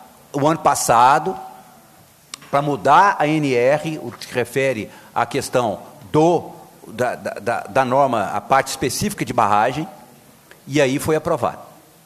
Tá? Aí foi aprovado porque a gente buscou muitos dados, muitas exigências que já estavam consolidadas na portaria 70389 do DNPM.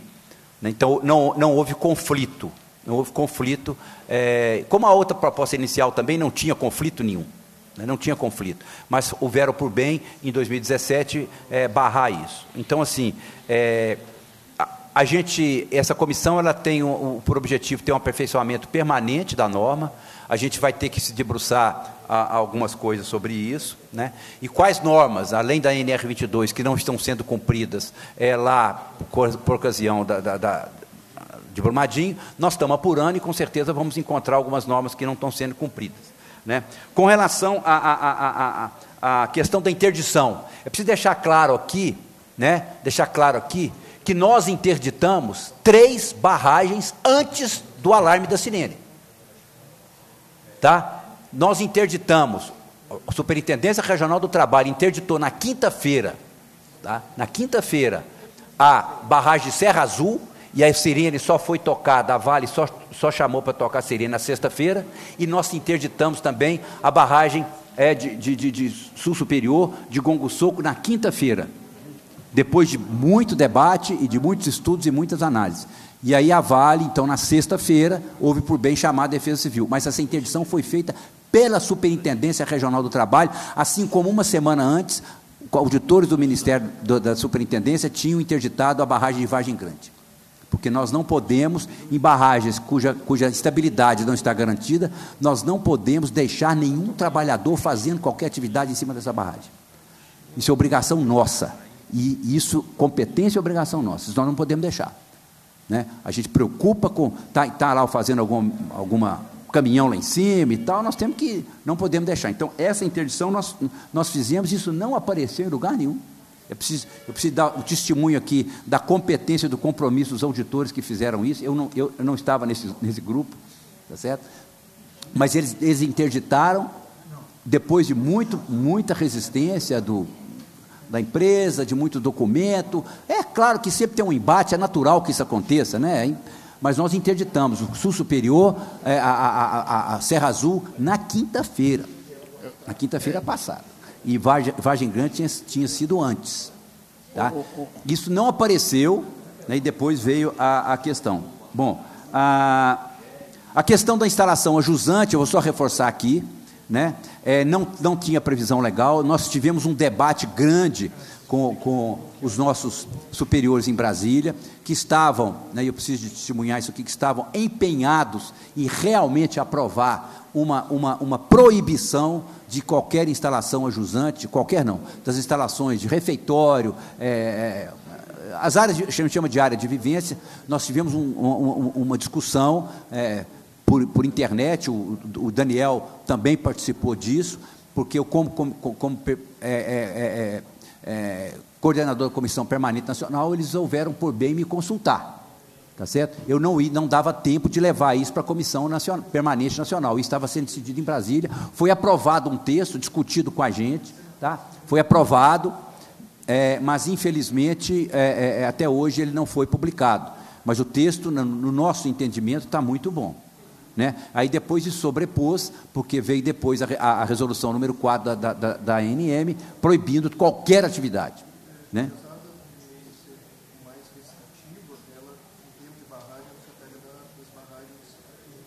É, e aí é, e tem um problema. Apesar da. A, no nosso caso, a gente proibia qualquer tipo de barragem. Na, a, na Agência Nacional de Mineração, ela proibiu apenas as barragens as barragens é é, é, é, é, que estão na Política Nacional de Segurança de Barragem.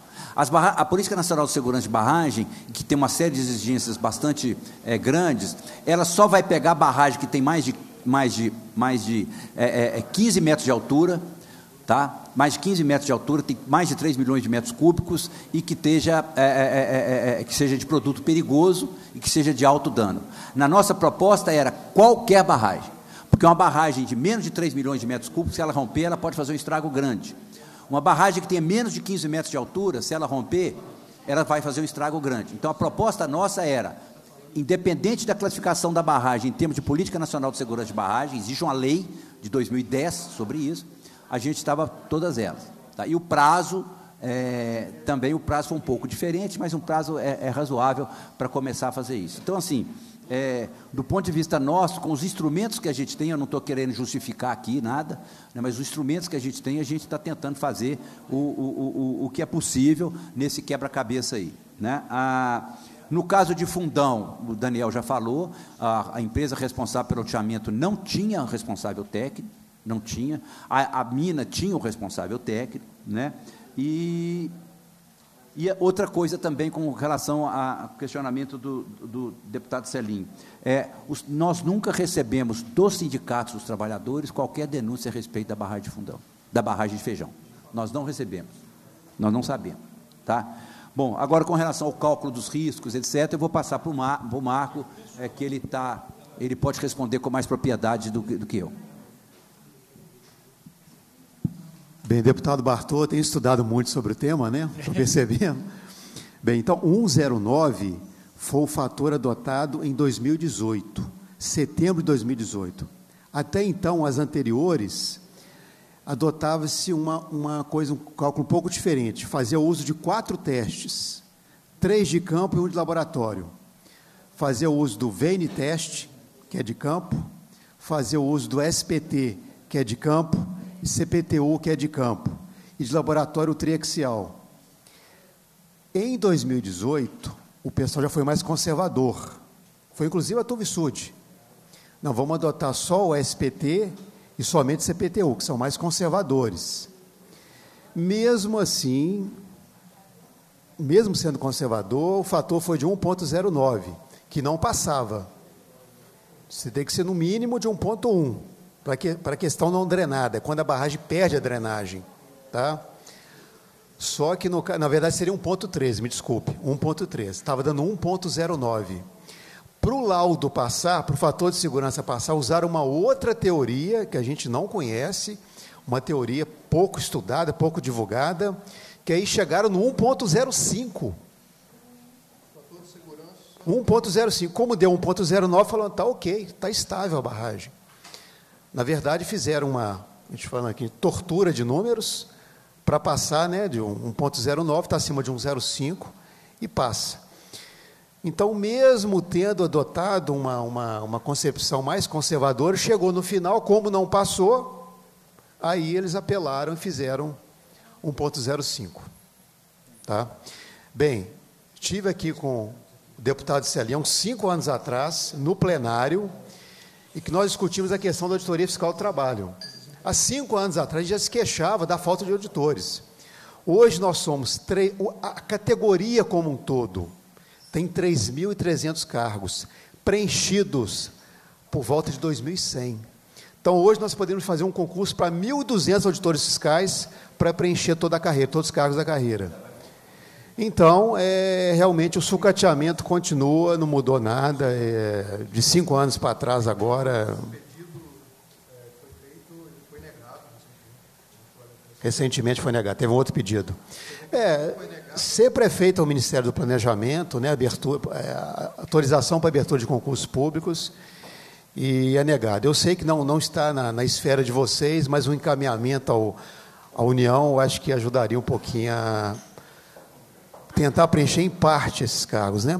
Como nós também, a NM, a SEMAD, só, só é, um o número de, de, servidores é mínimo, né? Só um detalhe para você ver como é que está complicada essa questão. Hoje mesmo o Tribunal de Contas já notificou o governo a respeito do gasto exorbitante em cima do pessoal. Então é até difícil contratar mais gente, porque já está gastando mais do que, do que o permitido.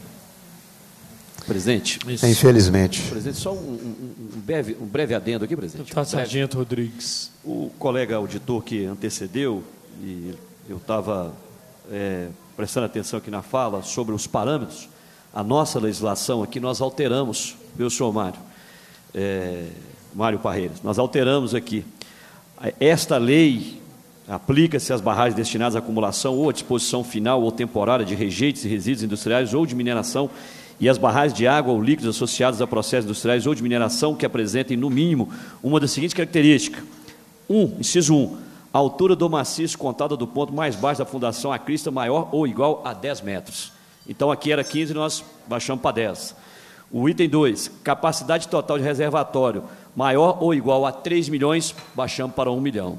Então, esse foi objeto de muito trabalho nosso, muita atenção, é, para vocês entenderem que nós estamos atentos. Né? Obviamente, algumas questões que estão aqui relacionadas à legislação federal serão, inclusive, objetos de relatórios por parte do relator e encaminhamentos finais para o Congresso Nacional da, da, das alterações que nós vamos propor né, em termos de, de trabalho aqui colhido, de, de, de, de, exausto tempo de audição e de, colhe, de colheita de informações. Então, só para deixar claro, a nova lei, que é a Lei 23.291, está ah, em vigência ah, desde o dia 25 de 2 de 2019. Então, 10 metros e, ao invés de um 3 milhão. milhões, 1 milhão. É, agora, considerações finais dos defensores públicos, por gentileza.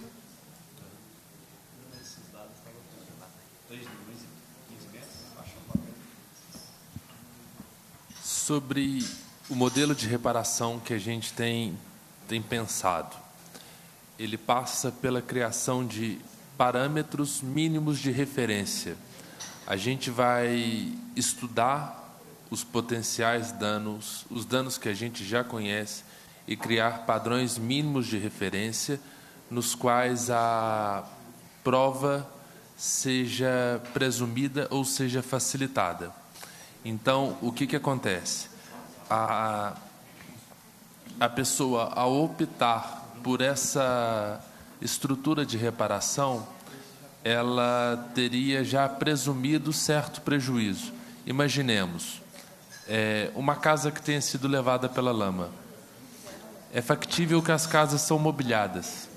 Então, ao, ao se dizer que a casa foi levada pela lama, já se consideraria a mobília, não dentro de um padrão médio ou de, dentro de uma verificação do que a pessoa tinha de mobília dentro de casa, mas dentro de parâmetros de referência para uma casa muito bem equipada.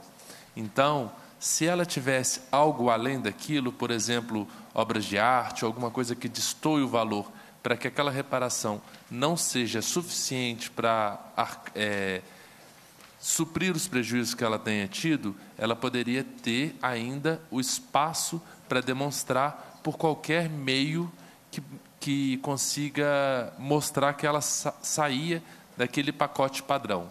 Por exemplo, uma fotografia de um quadro na parede, é, prova testemunhal atestando que, em vez de, de ter uma coisa muito simples, ela teria alguns objetos mais luxuosos.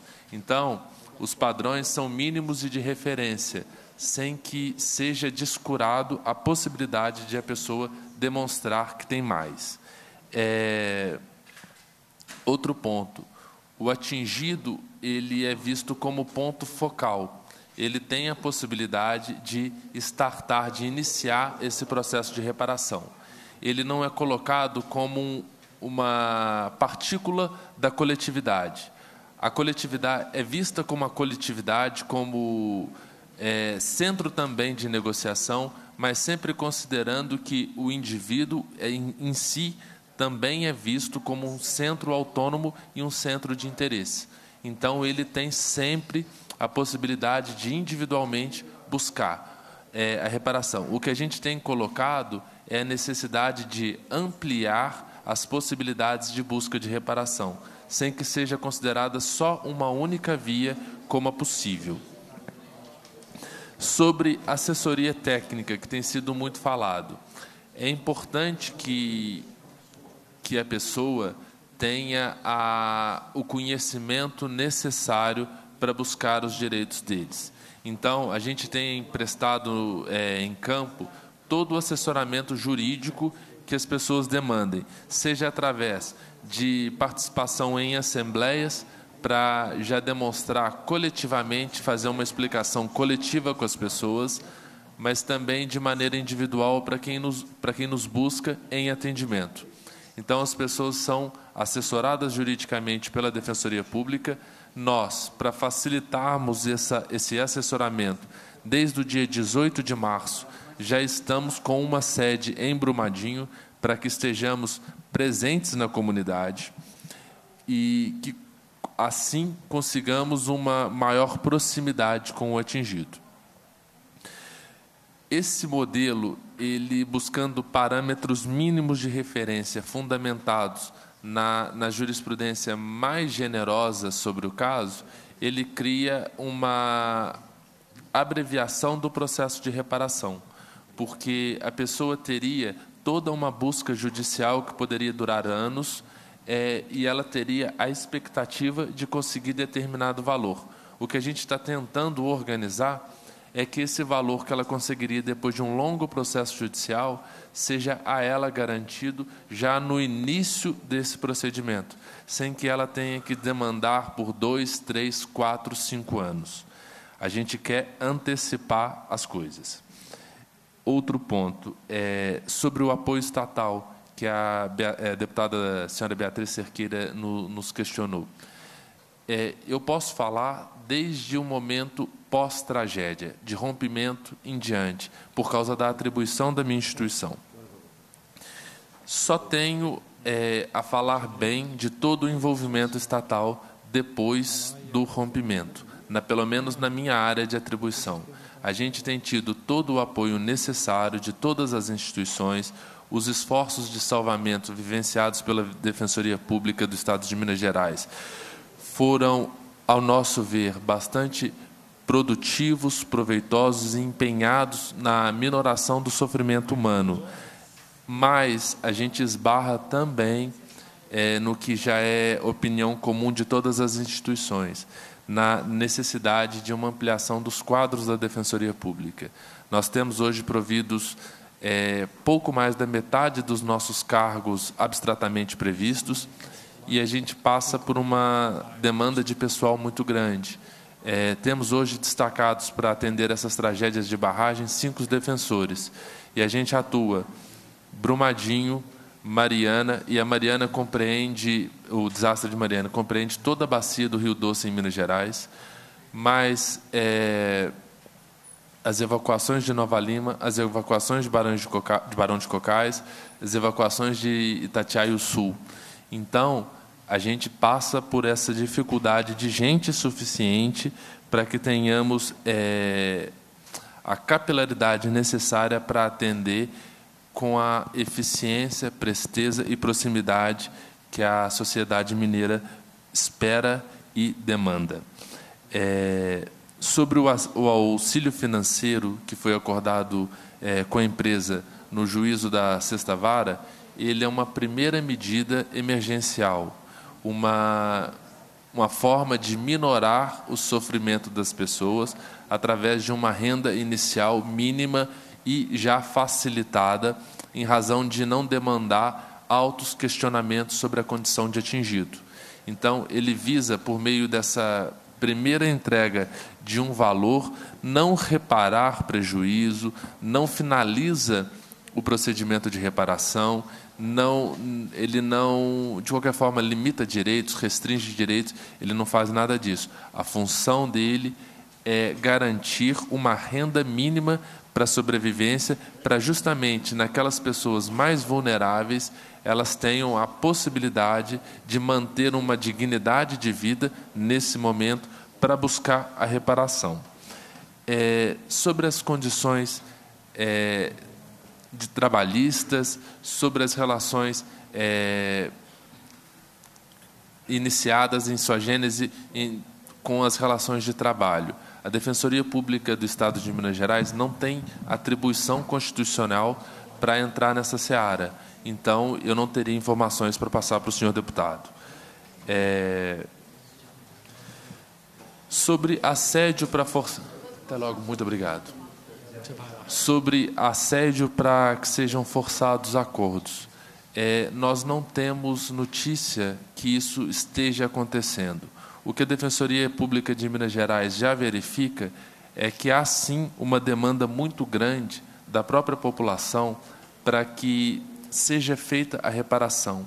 O que existe é um sentimento social e comunitário muito forte e, e até mesmo bem fundamentado em razão do que se vê na imprensa, de que se isso demorar, tudo vai desandar e a pessoa vai ser deixada à sua própria sorte. Então, as pessoas têm buscado, nesse primeiro momento, é, com uma ânsia muito forte e justificável, porque ânsia eu digo em questões de pressa, porque senão pode parecer que a pessoa não tem direito, não é isso.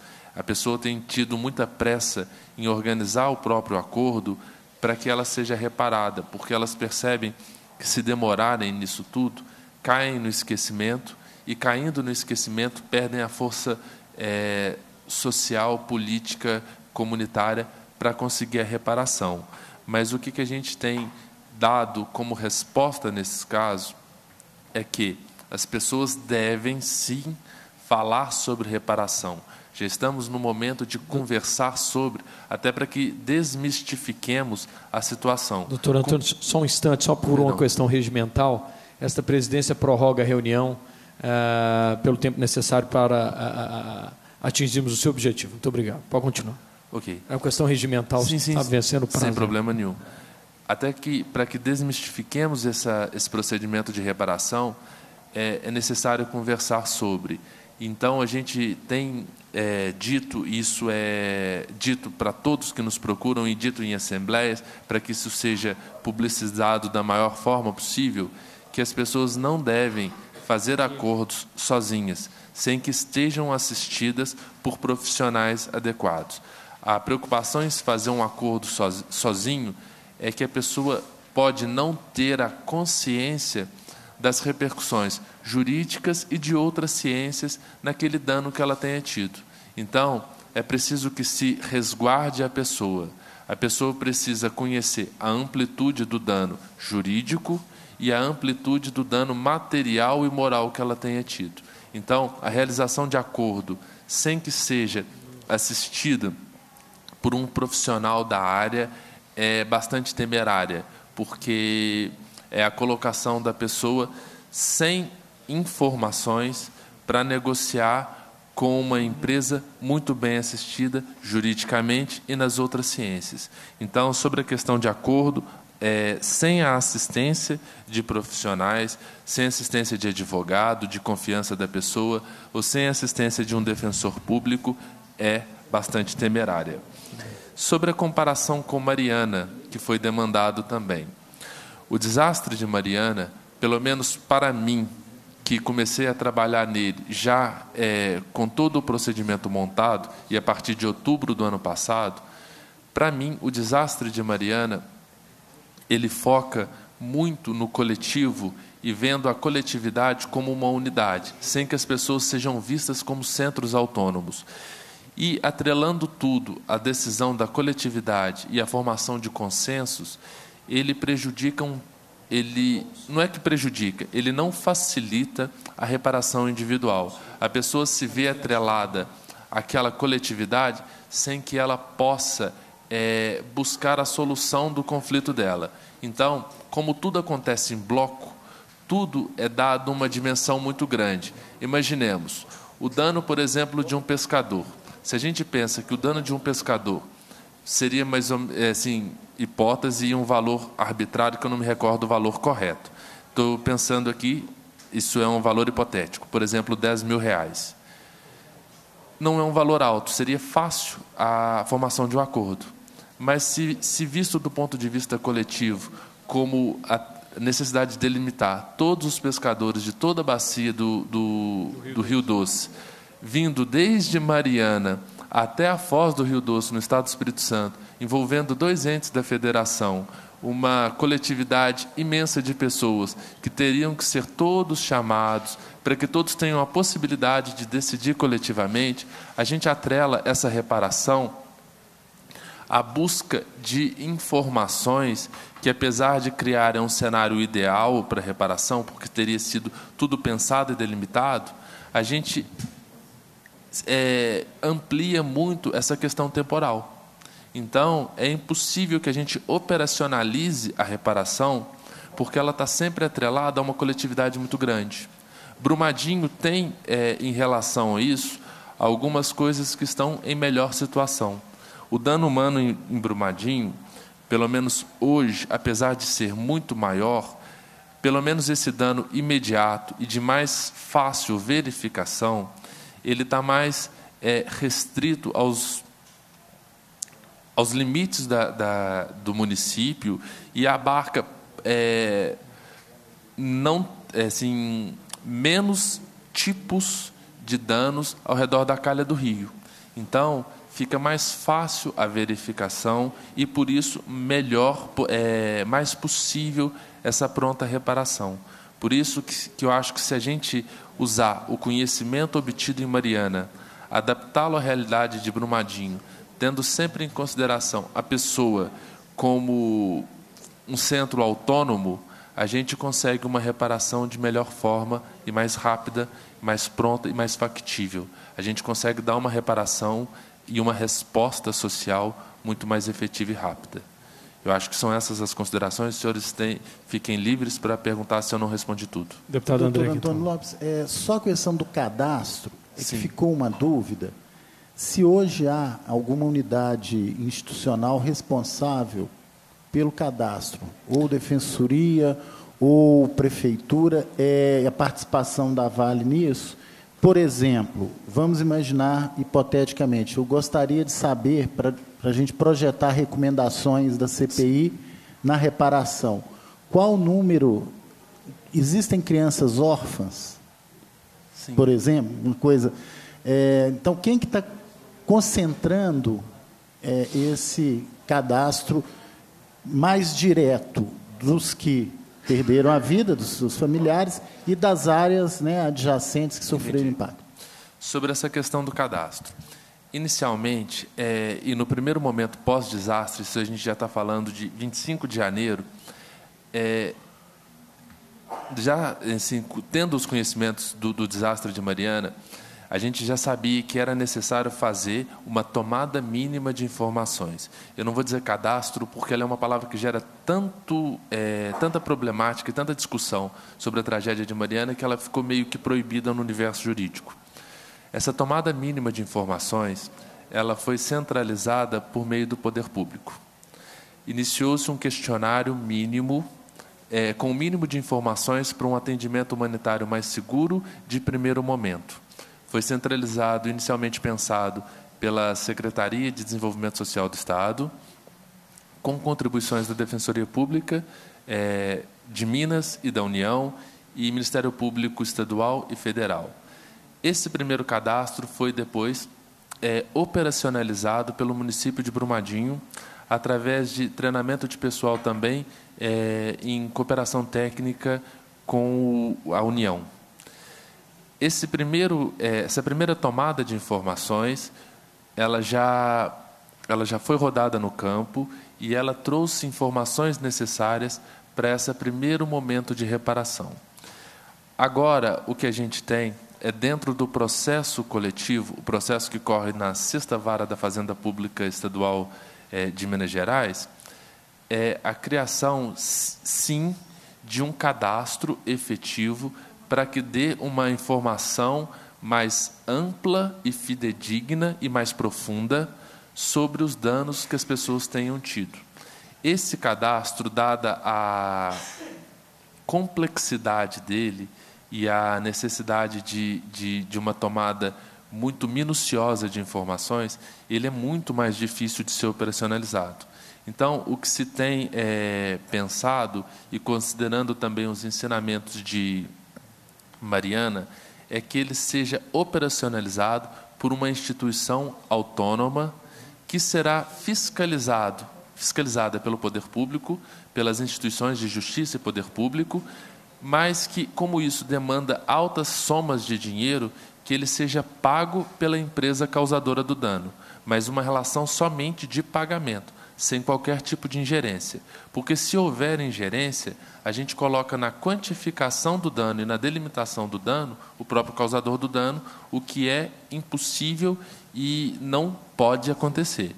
Mas isso vai o que vai acontecer é uma instituição autônoma, eh, seja ela uma ONG de, de, de idoneidade moral reconhecida e com capilaridade, competência técnica e, e poder para operacionalizar uma coisa assim tão grande, ou então o poder público, isso ainda não está muito certo, não está definido ainda, só se sabe que vai ser uma coisa autônoma, até porque não haja ingerência do causador do dano.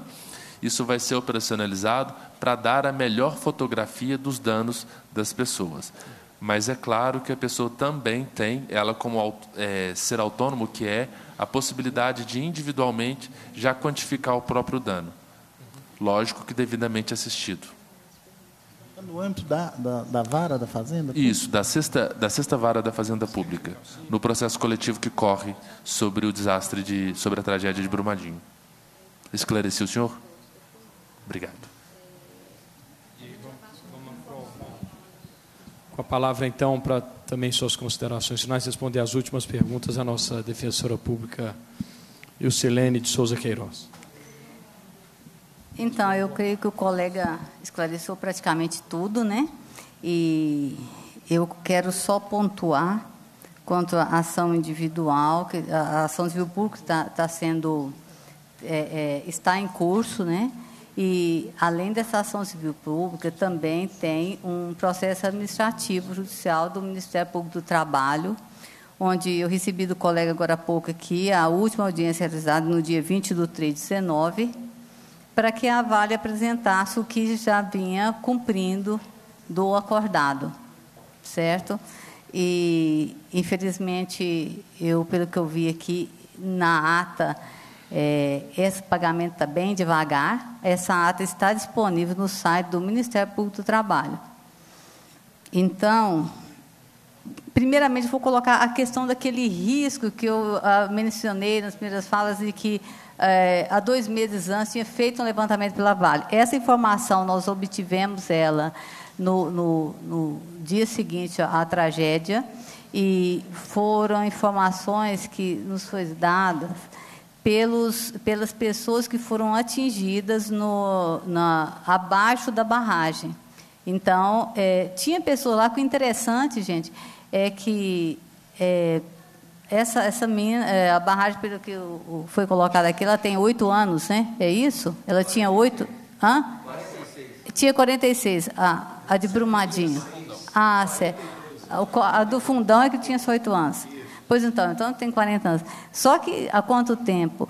Tinha pessoas lá que foram atingidas e que disseram assim: olha, não, quando eu comprei eu não sabia que tinha esse risco, nem sabia que tinha barragem ali em cima. Então, assim, é, muitas pessoas nem sequer conheciam aquilo, ficaram sabendo, segundo elas, dois meses antes, quando a Vale passou fazendo um levantamento e colocando essas, essas sirenes que, na verdade, não funcionaram. Então, a alegação dessas pessoas é que foi feito esse levantamento, que a Vale tinha um cadastro. Nós pensamos naquele dia seguinte, o que, que nós vamos fazer? Precisamos começar a levantar quem são as pessoas atingidas, né? É, quem está totalmente desaparecido, ver sua família inteira. E para fazer esse levantamento, perguntamos como é que é e tal. Todo mundo diz, não, a Vale tem esse levantamento, inclusive do, do, do, do- de quem seria atingido, aonde passaria a lama, é, é, quantas pessoas existiam naqueles locais, quem era morador, quem ia só final de semana, porque tem muitos, muitos locais lá que as pessoas só vão em final de semana, né? são, são chácaras de, de final de semana. E, e tinha sido feito levantamento, inclusive, dos bens e animais, etc. E tal. Então, essa informação são dos moradores que, onde foram atingidos, que estavam lá, né, sobreviventes, ou que tiveram atingido os seus terrenos, mas não atingiram as casas, e que nós conseguimos conversar nesse primeiro dia, após a tragédia. Então, que nós temos essa informação, se esse eh, eh, for, foi obtido, eu até comentei com o chefe, escuta, teríamos que requisitar isso, que não é fácil, e teríamos que fazer um levantamento paralelo para que se fosse batida a informação deles com, com, com que a gente fizesse independente. Né? Claro que eu entendo que se deixar por conta só da empresa fornecer eh, quem for os atingidos, isso é bastante perigoso. mas já foi colocado, que tem várias listas, né? Foram feitas. Então, vamos ao que interessa mais aqui no momento, é o cumprimento do, do acordado até agora. Eu fiz um levantamento aqui na, na, na, na, na ata, né? Pagamento dos salários do mês. Essa ata de 20 do 3, 19, gente. Pagamento dos salários do mês. Quer dizer, os salários que deveriam ter sido pagos para os funcionários. Segundo a Vale, foram pagos 59. E por que, que não pagou todo? Porque falta a certidão do INSS. Fal, é, aí eles estão exigindo essa certidão do INSS. As pessoas, o, os familiares teriam que pegar uma certidão do INSS para levar para lá daqui. O funcionário, né, tem, o INSS tem um cadastro de, de, de, dos trabalhadores, todo mundo que é registrado lá. Isso aí é, é, uma coisa que eu entendo que eles têm, independente desse, desse, desse cadastro do INSS, eles possuem é, é, a relação do, do, dos funcionários. Mas quem são os dependentes? Eles estão alegando isso, falta de, né? Quem é que tem direito de receber? E durante a, a reunião, para o que for a, a, audiência, parece que foi acordado que eles é, iriam aceitar outra documentação que não essa certidão, mesmo sem a certidão do INSS, fariam esse pagamento. Tá mas tá ainda ficou relativizado. Você está falando do, do aquele acordo do salário mínimo ou do salário do não, empregado? Não, não. Esse aqui são dos funcionários. Dos funcionários eu estou é, respondendo a questão dos funcionários, né? É, então, esse desse do, do, dos funcionários, ao que consta, aqueles 100 mil de doação já tinha sido paga para a maioria, né? É que informação nós temos, doutor Antônio. E é, o pagamento de 59 pessoas apenas é o que consta dessa, da, da, da ata, né, dia 20 do 3, porque faltaram documentos e tal, tal.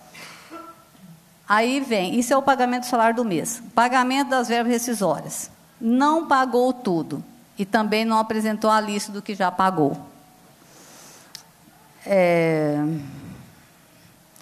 Entre esse pagamento dessas verbas rescisórias, está excluído desse pagamento de quem ela já pagou, que não apresentou a, a lista ainda, é, está excluído o pagamento do, daqueles 40% de FGTS. Vai fazer, se comprometeu a fazer um levantamento com as empresas terceirizadas, porque eles não têm, comparecer a essa audiência sem ter o levantamento do, do, do, pagamento dos salários e, e das, da, das verbas rescisórias para os, os, os, os os parentes, né, as pessoas de direito do, do, dos, dos trabalhadores terceirizados. Então, vão fazer esse levantamento com a empresa. E é uma coisa complicada. Então, na verdade, saiu dessa, dessa, dessa audiência que eles não apresentaram nada, na verdade. Não, não, não, não comprovaram que já foi pago, alegaram que já foi pago um pouco, não foi pago tudo e não sabe quanto que as empresas terceirizadas é, pagaram. Então, nós ficamos numa situação assim, bem parado no processo. Auxílio creche educação. Eles limitaram o pagamento do auxílio creche e educação para um beneficiário por família mas alegaram que tem dúvidas a quem pagar quando é o filho que, que é de outro casamento. Aí, ao final, resolveram pagar para quem tiver a guarda, mas também não tem comprovação. E que eles começariam a pagar esse auxílio creche a partir de 5 de 4 de, desse ano. Né? Garantia de emprego. Também tem a garantia de emprego para o servidor, para os, os, os empregados sobreviventes e aos terceiros, eles não têm essa informação. Ficaram de colher essa informação dessa garantia de emprego. Mas constou da ata que tem uma denúncia de demissões. Então, eles, eles alegam também que com as empresas terceirizadas, Brasa Minas, JSL, Alfa, é, eles estão em negociação para pagar. Parece que essas empresas, elas, é, a primeira, Brasa Minas, o contrato foi encerrado. E mesmo assim, eles também não têm qualquer dado. Ou seja, nessa, né, nessa, nessa reunião, vocês podem conferir na ata, na, na verdade, não houve comprovação de nada. É o que nós temos a relatar aqui. Este, este, este agora, não, este não pagamento é Ah. por parte deste acordo feito pelo Ministério Público Isso. do Trabalho. É, Ministério Público do Trabalho, com a- junta- conjuntamente com as Então, defensorias. hoje nós não temos nenhuma garantia de pagamento por parte de empresas terceirizadas e até da própria Vale, que exigia a questão da, da certidão do INSS. É, mas ela se comprometeu nessa audiência eh, a, a- a deixar de fazer essa exigência e fazer os pagamentos em cima do plano de saúde, é, é, dependendo do plano de saúde, entendeu? Mas o que, que acontece? Nós não temos efetivamente uma lista de quantos, quantas pessoas já foram, foram pagas. E não tem- tem, que a tem- Vale não apresentou. É Porque eu estou fazendo a pergunta, porque o Ministério Público do Trabalho não estará, vai estar na Isso. próxima quinta-feira. Isso, Mas talvez vocês tenham conhecimento, tanto o Ministério do Trabalho quanto vocês. Hoje vocês têm conhecimento de quantos trabalhadores estavam no dia do acidente, tanto terceirizado quanto da ativa? Olha, nós, Por empresas? Nós temos a lista da Vale, que foi a lista que ela apresentou. A lista eh, eh, inicial do primeiro dia, né, no sábado, eh, ela apresentou uma lista de funcionários e uma lista de terceirizados. E depois, posteriormente, apresentou outras listas também. Mas do que, que ela já fez até agora, consta dessa ata, está né, tá disponível ah, publicamente, não tem, não tem o- o- uma relação. Não tem, não apresentaram nessa audiência, ficar de apresentar na outra, e o Ministério Público do Trabalho exigiu que eles eh, colocassem o acordo em destaque na, na, na página deles, para que todos os interessados possam acessar. Agora, quanto é, um ponto que eu quero deixar bem claro aqui, quanto a essa, essa requisição e, e quanto a, a, a forçar o cumprimento desses acordos, é, nós temos realmente de ouvir o Ministério Público do Trabalho, que é quem tem esse poder, junto com, com a magistratura, de, de obrigar o cumprimento desse acordo. A Defensoria está participando é, nessa ação civil pública, né, defendendo os direitos desses trabalhadores, e é, um- uma ação particular poderia ser feita? Poderia. É, se procurar a defensoria, é, nós vamos acolher? Temos que acolher. Mas tem uma recomendação nessa, nessa audiência aqui de que, de que seja mantido todas as ações é, dentro dessa CP. Para evitar duplicidade, para evitar é, o- minimizar o risco de fraude, né, gente? Que risco de fraude sempre tem. Muito bem. É isso. E outra coisa também que queria contar, só não, coloquei esse pedacinho, né, que a Defensoria eh, vem sofrendo, a estadual quando a, quando a federal, ve- vem sofrendo eh, muita, difi- muita dificuldade de atuação, com restrição de, de nossa atuação. Inclusive, existe uma lei recente, nós tínhamos uma lei de, de pleno poder de requisição de informações de qualquer órgão, e público ou particular, hoje nós não temos mais. Isso aí foi limitado. Uma pena, eh, dificulta o trabalho da defensoria. A parte de, de, de, de, de servidores na defensoria, nos outros órgãos, não preciso nem pontuar aqui, o colega já colocou, os auditores foram colocaram, a defensoria sofre tanto quanto os demais órgãos. Muito bem. Bem, eu quero. Por favor. Se eu puder falar só um minutinho que eu havia me esquecido sobre a relação que o senhor deputado perguntou é, com o desastre de Petrópolis. Por favor. É, o que a gente procurou é, verificar e conversar sobre os defensores que cuidaram do, do desastre de Petrópolis foi o modo de atuação. Como atuar para regularizar documentos de morte, como fazer processos judiciais de inventário para tanta gente, como verificar uma atuação humanitária, como é, ver coisas em relação é, ao Estado. É, a gente sabe a diferença entre Petrópolis e esse desastre de Brumadinho, porque o desastre de Brumadinho é um desastre causado por uma empresa. Petrópolis é um desastre natural. As pessoas em Brumadinho são credoras de reparação em face de uma empresa. Então a gente só buscou entender a dinâmica do que aconteceu em Petrópolis para adaptar no que fosse pertinente para Brumadinho. Ok. Eu vou suspender a reunião para podermos nos despedir dos convidados, porque nós ainda temos requerimentos a serem apreciados, eh, votados e recebidos na reunião de hoje.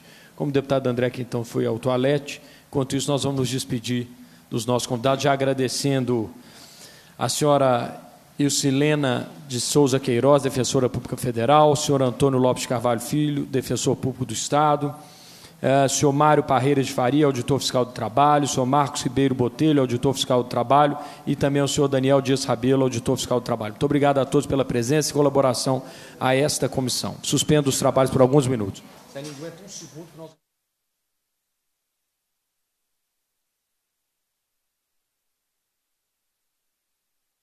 902 2019, 903 2019, 904 2019, 905 2019, 906 2019, 907 2019, 908 de 2019, 909 2019, 910 2019, 911 2019, 912 de 2019.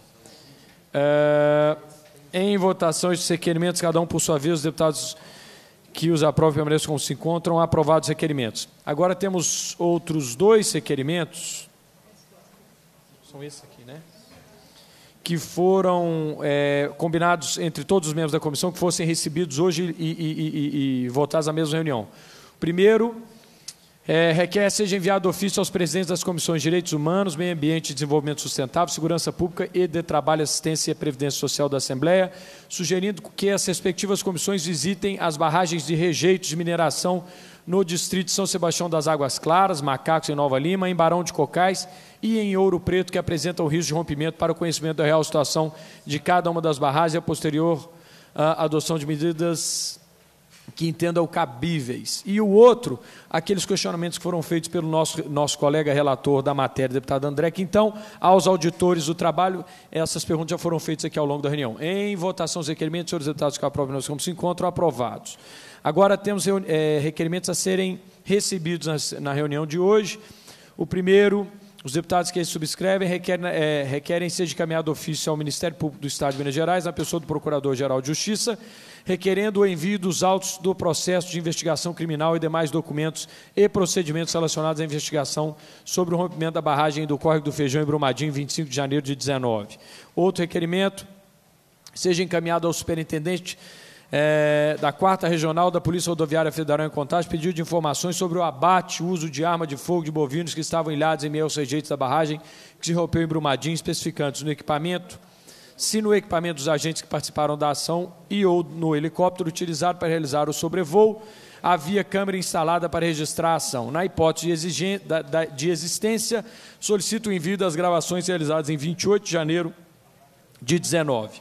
E o terceiro é, requerimento, os deputados que subscrevem, requer seja enviado ofício ao juízo da 12ª Vara Federal da Seção Judiciária de Minas Gerais, solicitando que encaminhe esta cópia a esta comissão cópia do acordo judicial firmado entre as empresas Samarco, Vale SA e BH, BH algum requerimento a ser apresentado por pela ordem, presidente. Deputado André, que está com a palavra. Bem rápido, é, solicitar, ficou claro nesse último é, ponto, que já uma série de acordos estão sendo ou descumpridos pela Vale ou as pessoas não estão tendo as informações e o acompanhamento necessários. Então, é, nessa linha de convocação, seja para esclarecimento do fato, como já temos requerimentos aprovados, ia solicitar a consultoria para nós identificarmos na estrutura hoje vigente é, organizacional da Vale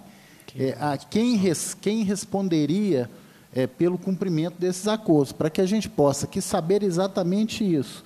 O pagamento do a garantia do pagamento do salário mensal, a questão da relação com as terceirizadas, esses demais pagamentos, ou seja, é, para a gente já ir acompanhando isso, porque é, procede, né, como, como, obviamente procede, né, as informações aqui mencionadas, é muito grave que sequer é, é, exigência de eventuais documentos é, que possam até impedir o acesso ao recebimento. Então, é, como nós estaremos em Brumadinho segunda-feira, com certeza lá estas questões vão aparecer com mais força. Então a gente aguardaria, mas já com esse estudo, porque na própria reunião de Brumadinho, se for o caso, a gente já aprova. Combinado. Recebido então o requerimento, eu peço à nossa assessoria que formule, é, formule, é, põe no papel esse requerimento do deputado André Quintão. Presidente. Deputado Celinho. Só para poder adendar também ao que o deputado André Quintão colocou, que faça também um requerimento sobre a, esses estudos, esses levantamentos feitos pela Vale, de valores, de bens móveis e imóveis, valor da vida colocada como foi colocado hoje? Já foi solicitado. Já foi solicitado? Já foi solicitado. Então, Já retiro solicitado. minha sugestão. Então, tá bem. É, no mais, agradecendo a presença dos deputados, cumprida a finalida- finalidade da reunião, a presidência agradece a presença dos parlamentares, convoca os membros para a próxima reunião extraordinária, determina a lavratura da ata e encerra os trabalhos.